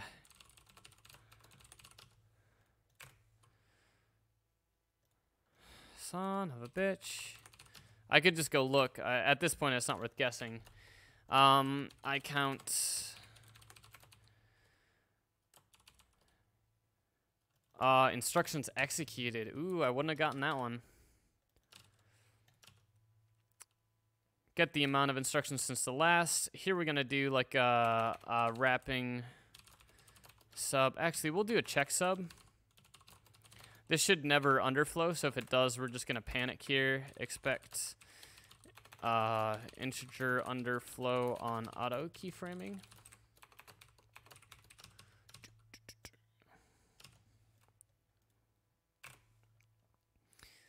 Okay.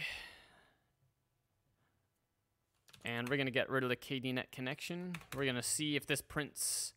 Yep, AutoKF requested, and they are. Let's make sure they're at least a million apart. Ooh, these are not. Oh, that makes sense because we haven't updated this.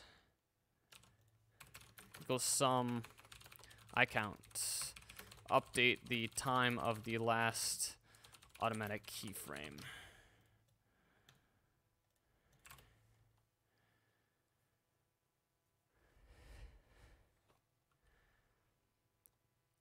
Looks good.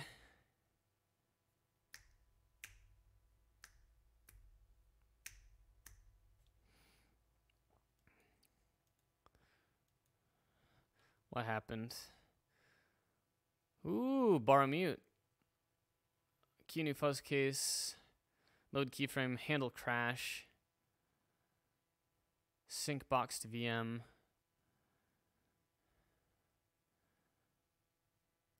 How have we never seen this before? Key fuzz case. Ah. We fucked it up. Hinu fuzz case.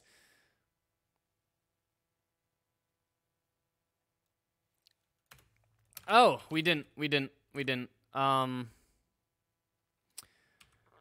this still directly calls load keyframe, and this is going to be q uh, load keyframe or whatever we called it.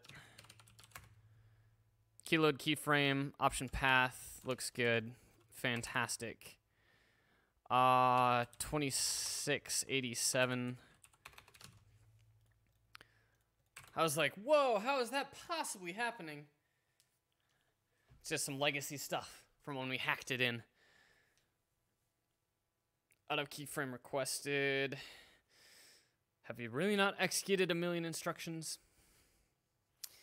Uh, AutoKF. This. There we go. Putting in the wrong part of the if. Duh.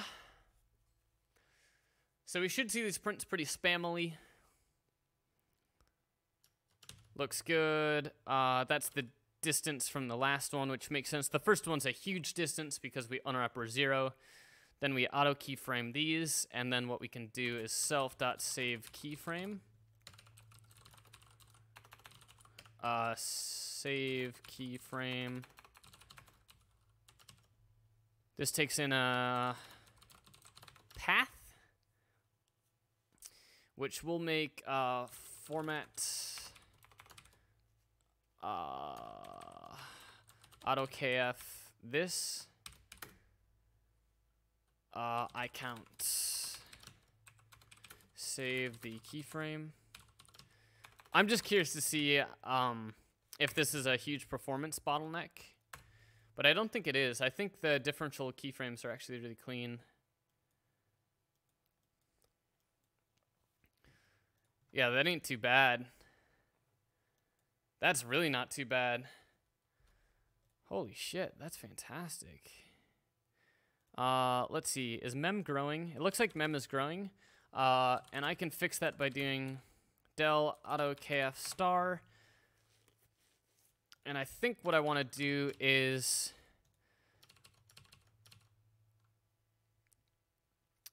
I think when I save a keyframe, I want to set the last loaded keyframe as that so that these build as diffs. So if we take a look at MageWeave MMU, so this is responsible for when we save one, we can pass it the last keyframe. And save gets invoked probably in serialization stuff. Uh, save. Maybe not here. Uh, shared fake VM save. So that's going to save based on the last keyframe name. And then if we look at uh, serialized, that will take the last keyframe path. So I think when we save a keyframe, we'll set the last keyframe path um, most recently loaded or saved file-based keyframe. And then this is name of the most recently loaded or saved keyframe. Last keyframe is equal to, oops. So on save keyframe, we want to set the, here we'll do done. We don't need to say done anymore. Saving keyframe. Yeah, we don't we don't need this shit. Uh, here what we can do is at the very end, self.persist.last keyframe.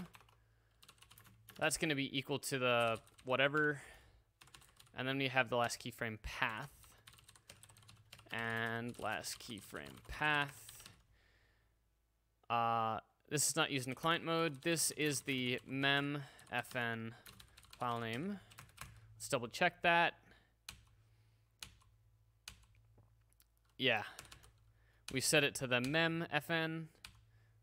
So here, we'll do a memfn clone. We don't need to clone it.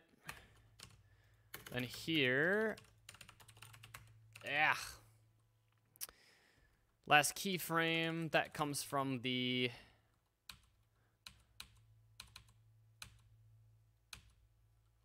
keyframe name, which comes from the keyframe file only, which comes from the file stem of the memfn.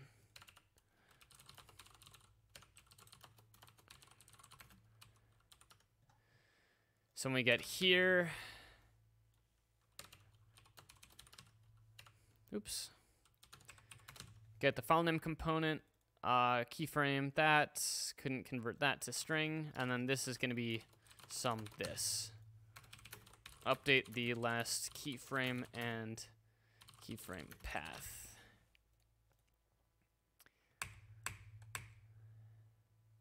Okay. We really don't use right now? What did we get rid of that?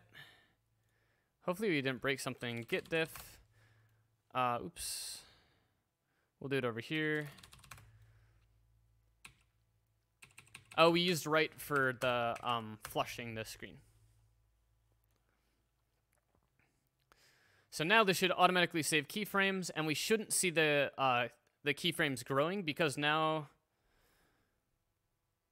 they should be differential from one another. Uh, that makes sense. Uh, del auto kf star. Um. Do, do, do, do, do, do. I need to clear the dirty pages. Um. We need to do that in MageWeave MMU.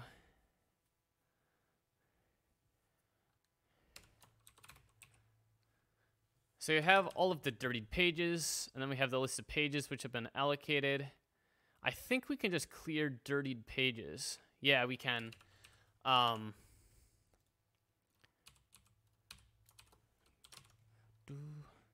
people like music on. I'm I've been listening to music this whole time. I don't know if people like having the same music on as the streamer. Here we should be able to do uh, self dot persist. Uh, self dot unix dot harden um, mark that pages are no longer actively dirty. Because when we do a save in here it should only save the pages which have been modified dirtied pages, Write all, yep, and then done.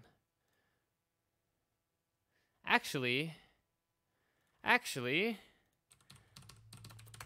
so the act of serializing here, we could make this uh, fh.dirtypages.clear uh, reset the state of the dirty pages as we've been serialized and now this is the basis for future diffs.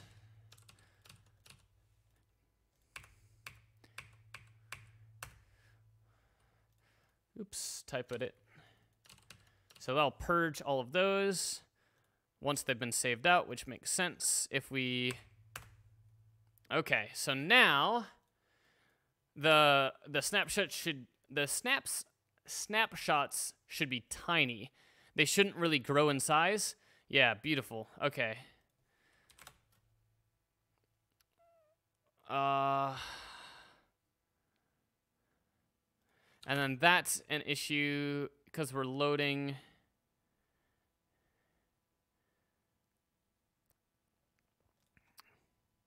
Let's see.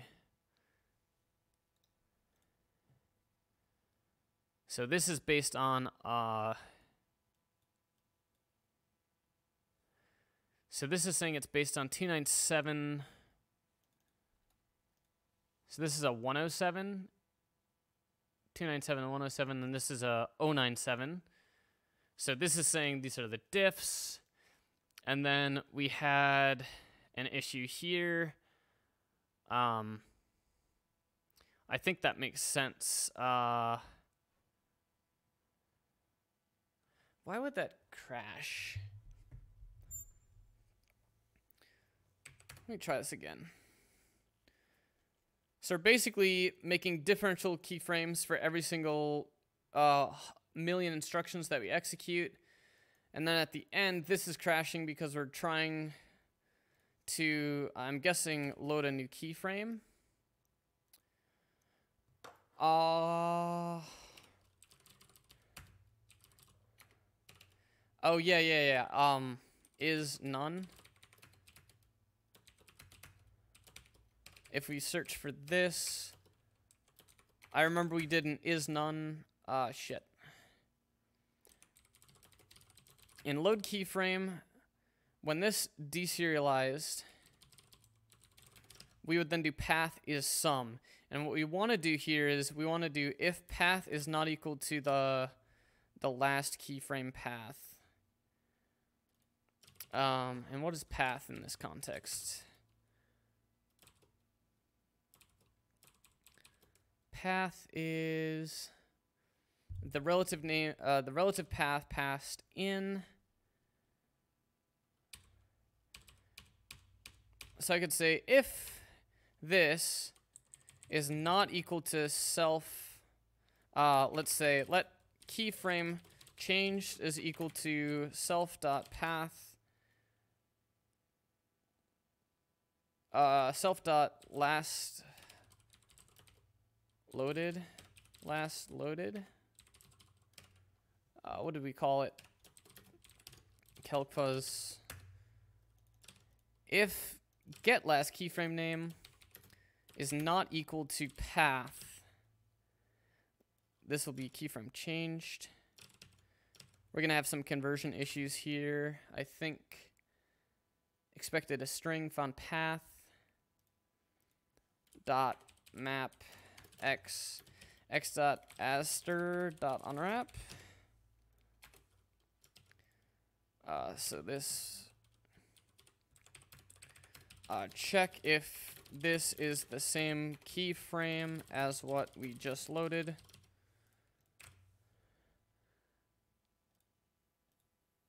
Uh, put a little paren on there.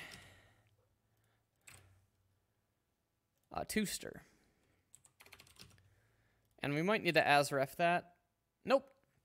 So basically we were um, we weren't correctly resetting all the memory states, so this should now work shouldn't get that crash anymore. So when we get a crash, it'll reload, it'll know to swap out to an entirely new keyframe.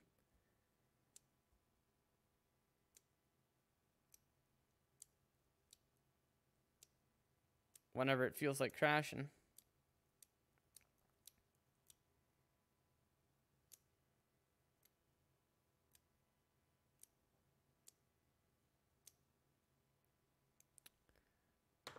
Okay. I feel like I'm not seeing that crash print.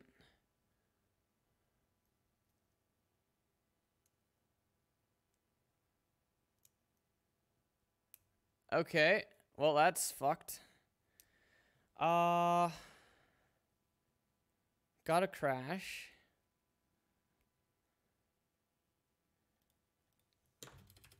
Print uh, loading keyframe. Keyframe changed.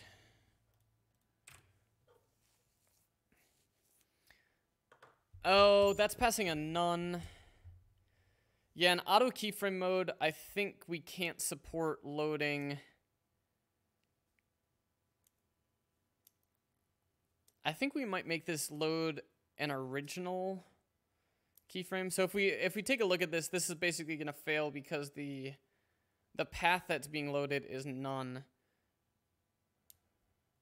Right? I just need to get a case that crashes.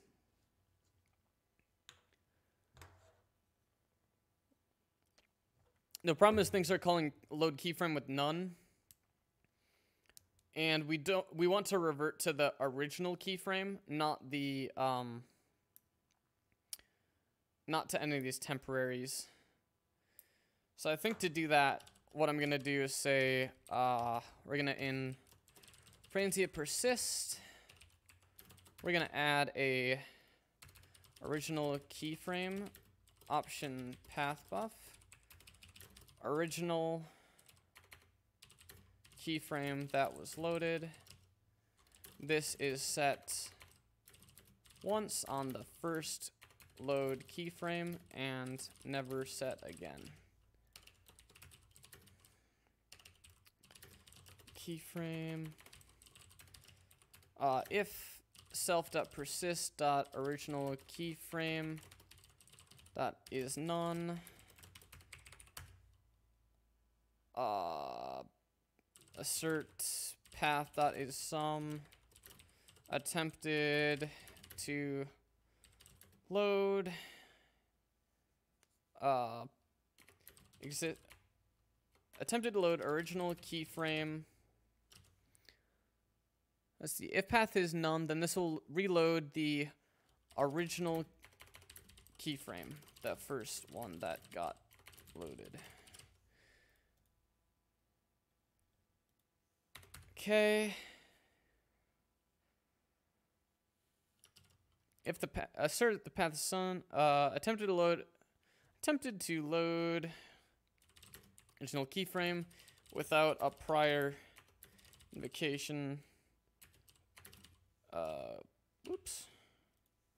Without a prior invocation to load keyframe. Then at this point, all we're going to do is save uh, self.persist.original keyframe is equal to the original keyframe is equal to path dot unwrap dot into some save off the First keyframe, whoops, reload.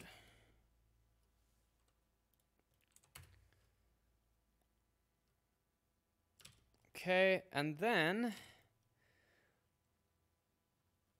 somewhere down here we have a uh, something that handles path. If it's some, otherwise try to use the original keyframe name.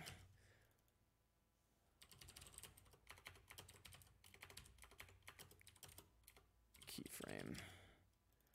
Orig kf is equal to that. Panic attempted to reload without an existing.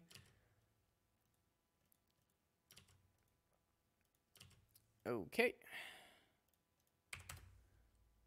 Uh, orig kf.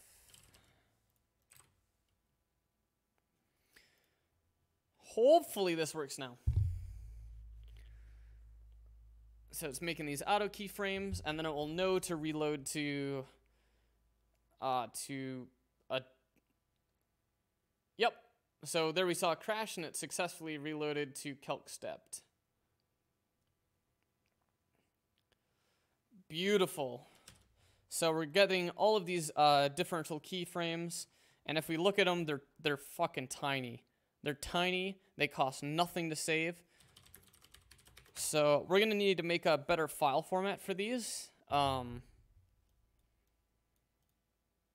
maybe we do this on a crash. Like when a crash occurs, maybe we auto keyframe in memory. We could auto keyframe to memory and then write them all out to disk at the end. How do we want to do that?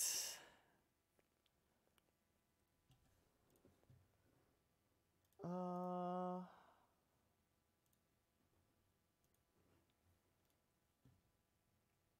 because I'm able to generate these keyframes. I want like an AutoKF file.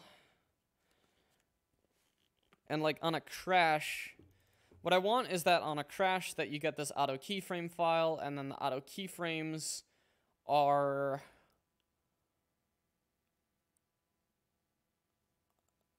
kind of automatically loaded. Do I put that in the Maybe I put that in the keyframe file itself? Where a keyframe could have multiple instruction counts? That would change the format of the keyframe. The matrix MMU file. Hmm.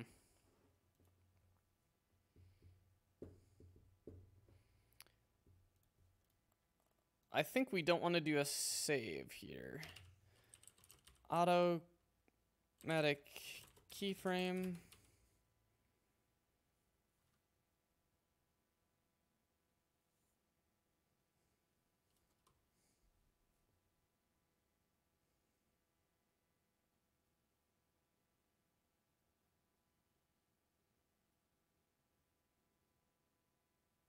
Hmm.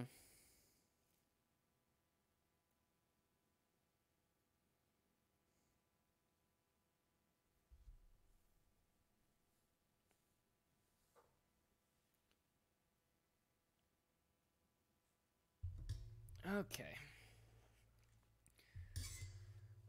So that can call save keyframe. Everything works fine and dandy here.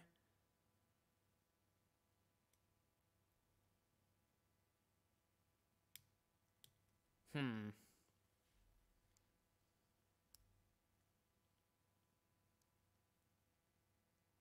I might need like an in in memory save keyframe or something of those sorts.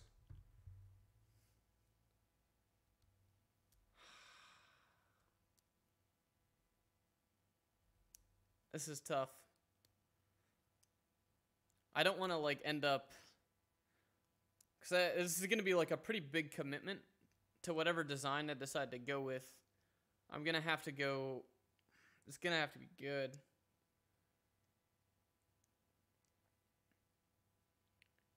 If I do it in memory,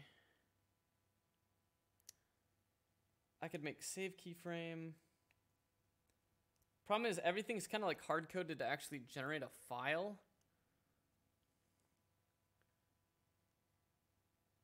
I could make save keyframe, have like an internal routine, and then it takes a boolean of whether or not I could have a save keyframe mem, and then that would save it in memory, and then save keyframe would use save keyframe mem to actually write it out to disk. Let's see how we implement save keyframe.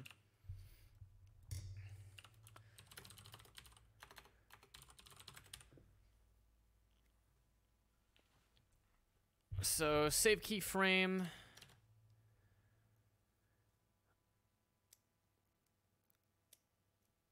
Save keyframe.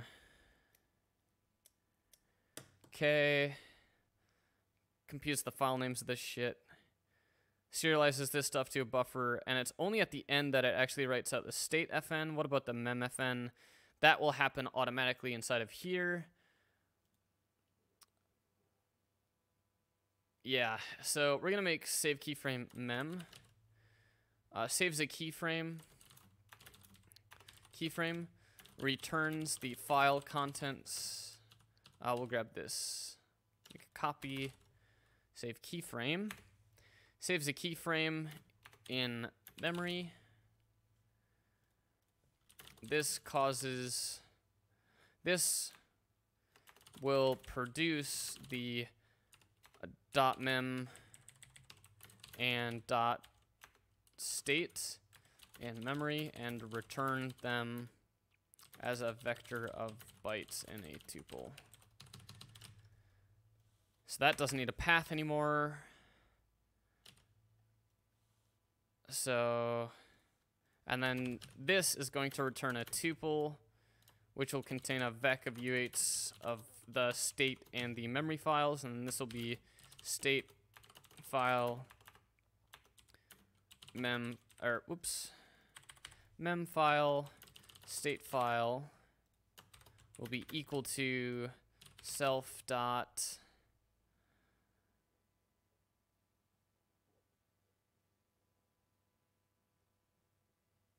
uh mem file state file is equal to self dot save keyframe mem and then we'll compute all these file names Serialize will no longer take a file name. And then that will grab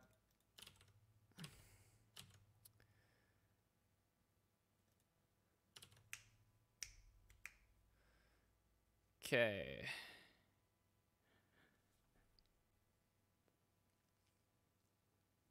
Hmm. I want to serialize uh, on Unix, so we're going to shared Unix.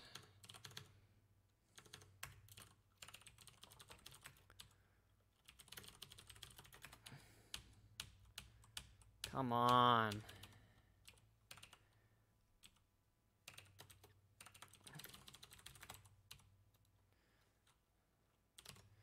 Okay, serialize. Uh, the backing memory for the VM is returned as a vector of bytes. Okay, this no longer takes a path. This now returns a vec of U8s.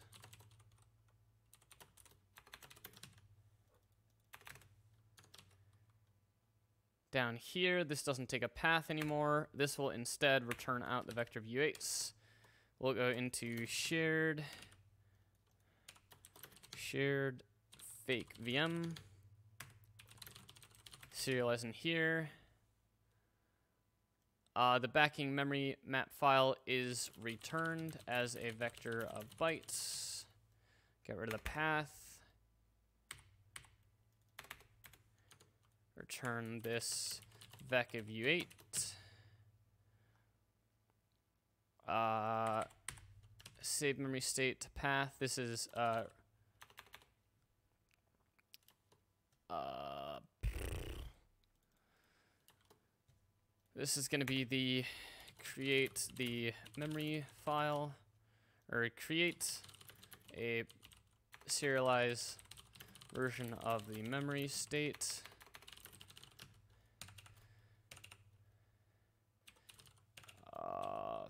Save here. Save the mage we uh, serialize the mage weave mu state differentially to a vector of bytes, which can be then saved and loaded as a mage weave mu file. No longer takes a path. Vec u8 blah blah blah. Fd okay this is now let mute vec. Uh, ret is going to be equal to vector new. I don't think this needs to be failable anymore because it shouldn't be. Then in this case create that we're gonna get the last keyframe. Then we'll do uh, uh, ret dot ex, uh, extend ret dot push extend from slice ret dot push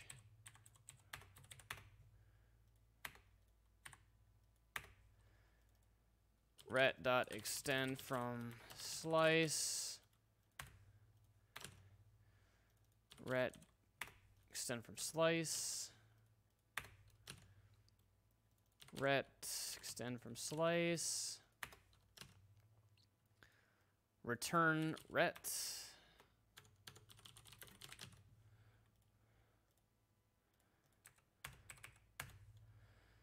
Okay, nice. Uh, this is in 167 path. Yeah, we didn't use that. Nice. Because we shouldn't. Ah. Okay, 2135. And this, 2135. Serialize buff. What? Oh, this is now mem file. Or state file. Then this function will return. Where's the serialize? No longer memfn. Path is not used. let mem state is equal to this. Mem state serialize buff. Okay, 2174 doesn't like memfn.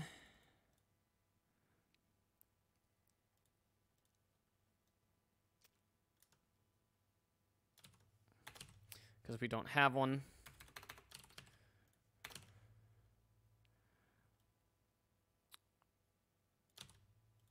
Uh, write out the mem file.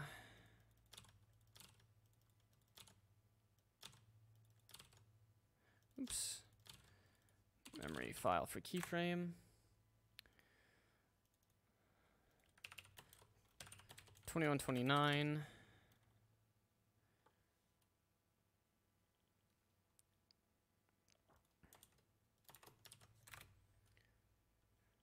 Holy shit, it's building. Holy shit. Okay. Uh, Cargo run start calc. Let's see if this is able to save a, a keyframe successfully. Oops, that's doing some like fuzzing stuff. Uh, loading keyframe. Current start calc. Auto keyframe requested. Oh yeah, the auto keyframing is gonna mess with the file names internally. What's up, Dirty Red Hood? We're gonna set this to false. I just want to make sure that it works in its normal mode. Should be able to get a, a keyframe out of this. Yes. So loading keyframe. Oops. Okay, we got rid of that print. That was a debug stuff. So that's good. It looks like this is successfully saving the calc file. Uh, del auto kf star. And now we should be able to run calc stepped. Yeah, it looks like that has been produced successfully.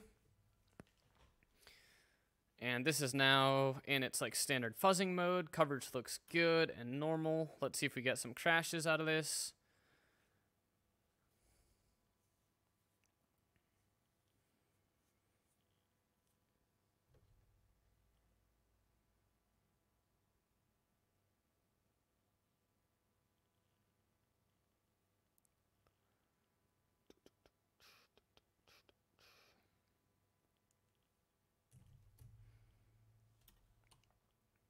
Hasn't started a new fuzz case yet. I don't think it's broken. I think it's just hasn't finished this one, and this just happens to not be a crashing fuzz case. Uh, we can um, fuzz with all. Okay, we did get a crash out of calc, and that was a valid crash. Okay, so it looks like our, our, our change to this memory backed file names is working just fine. Okay. So then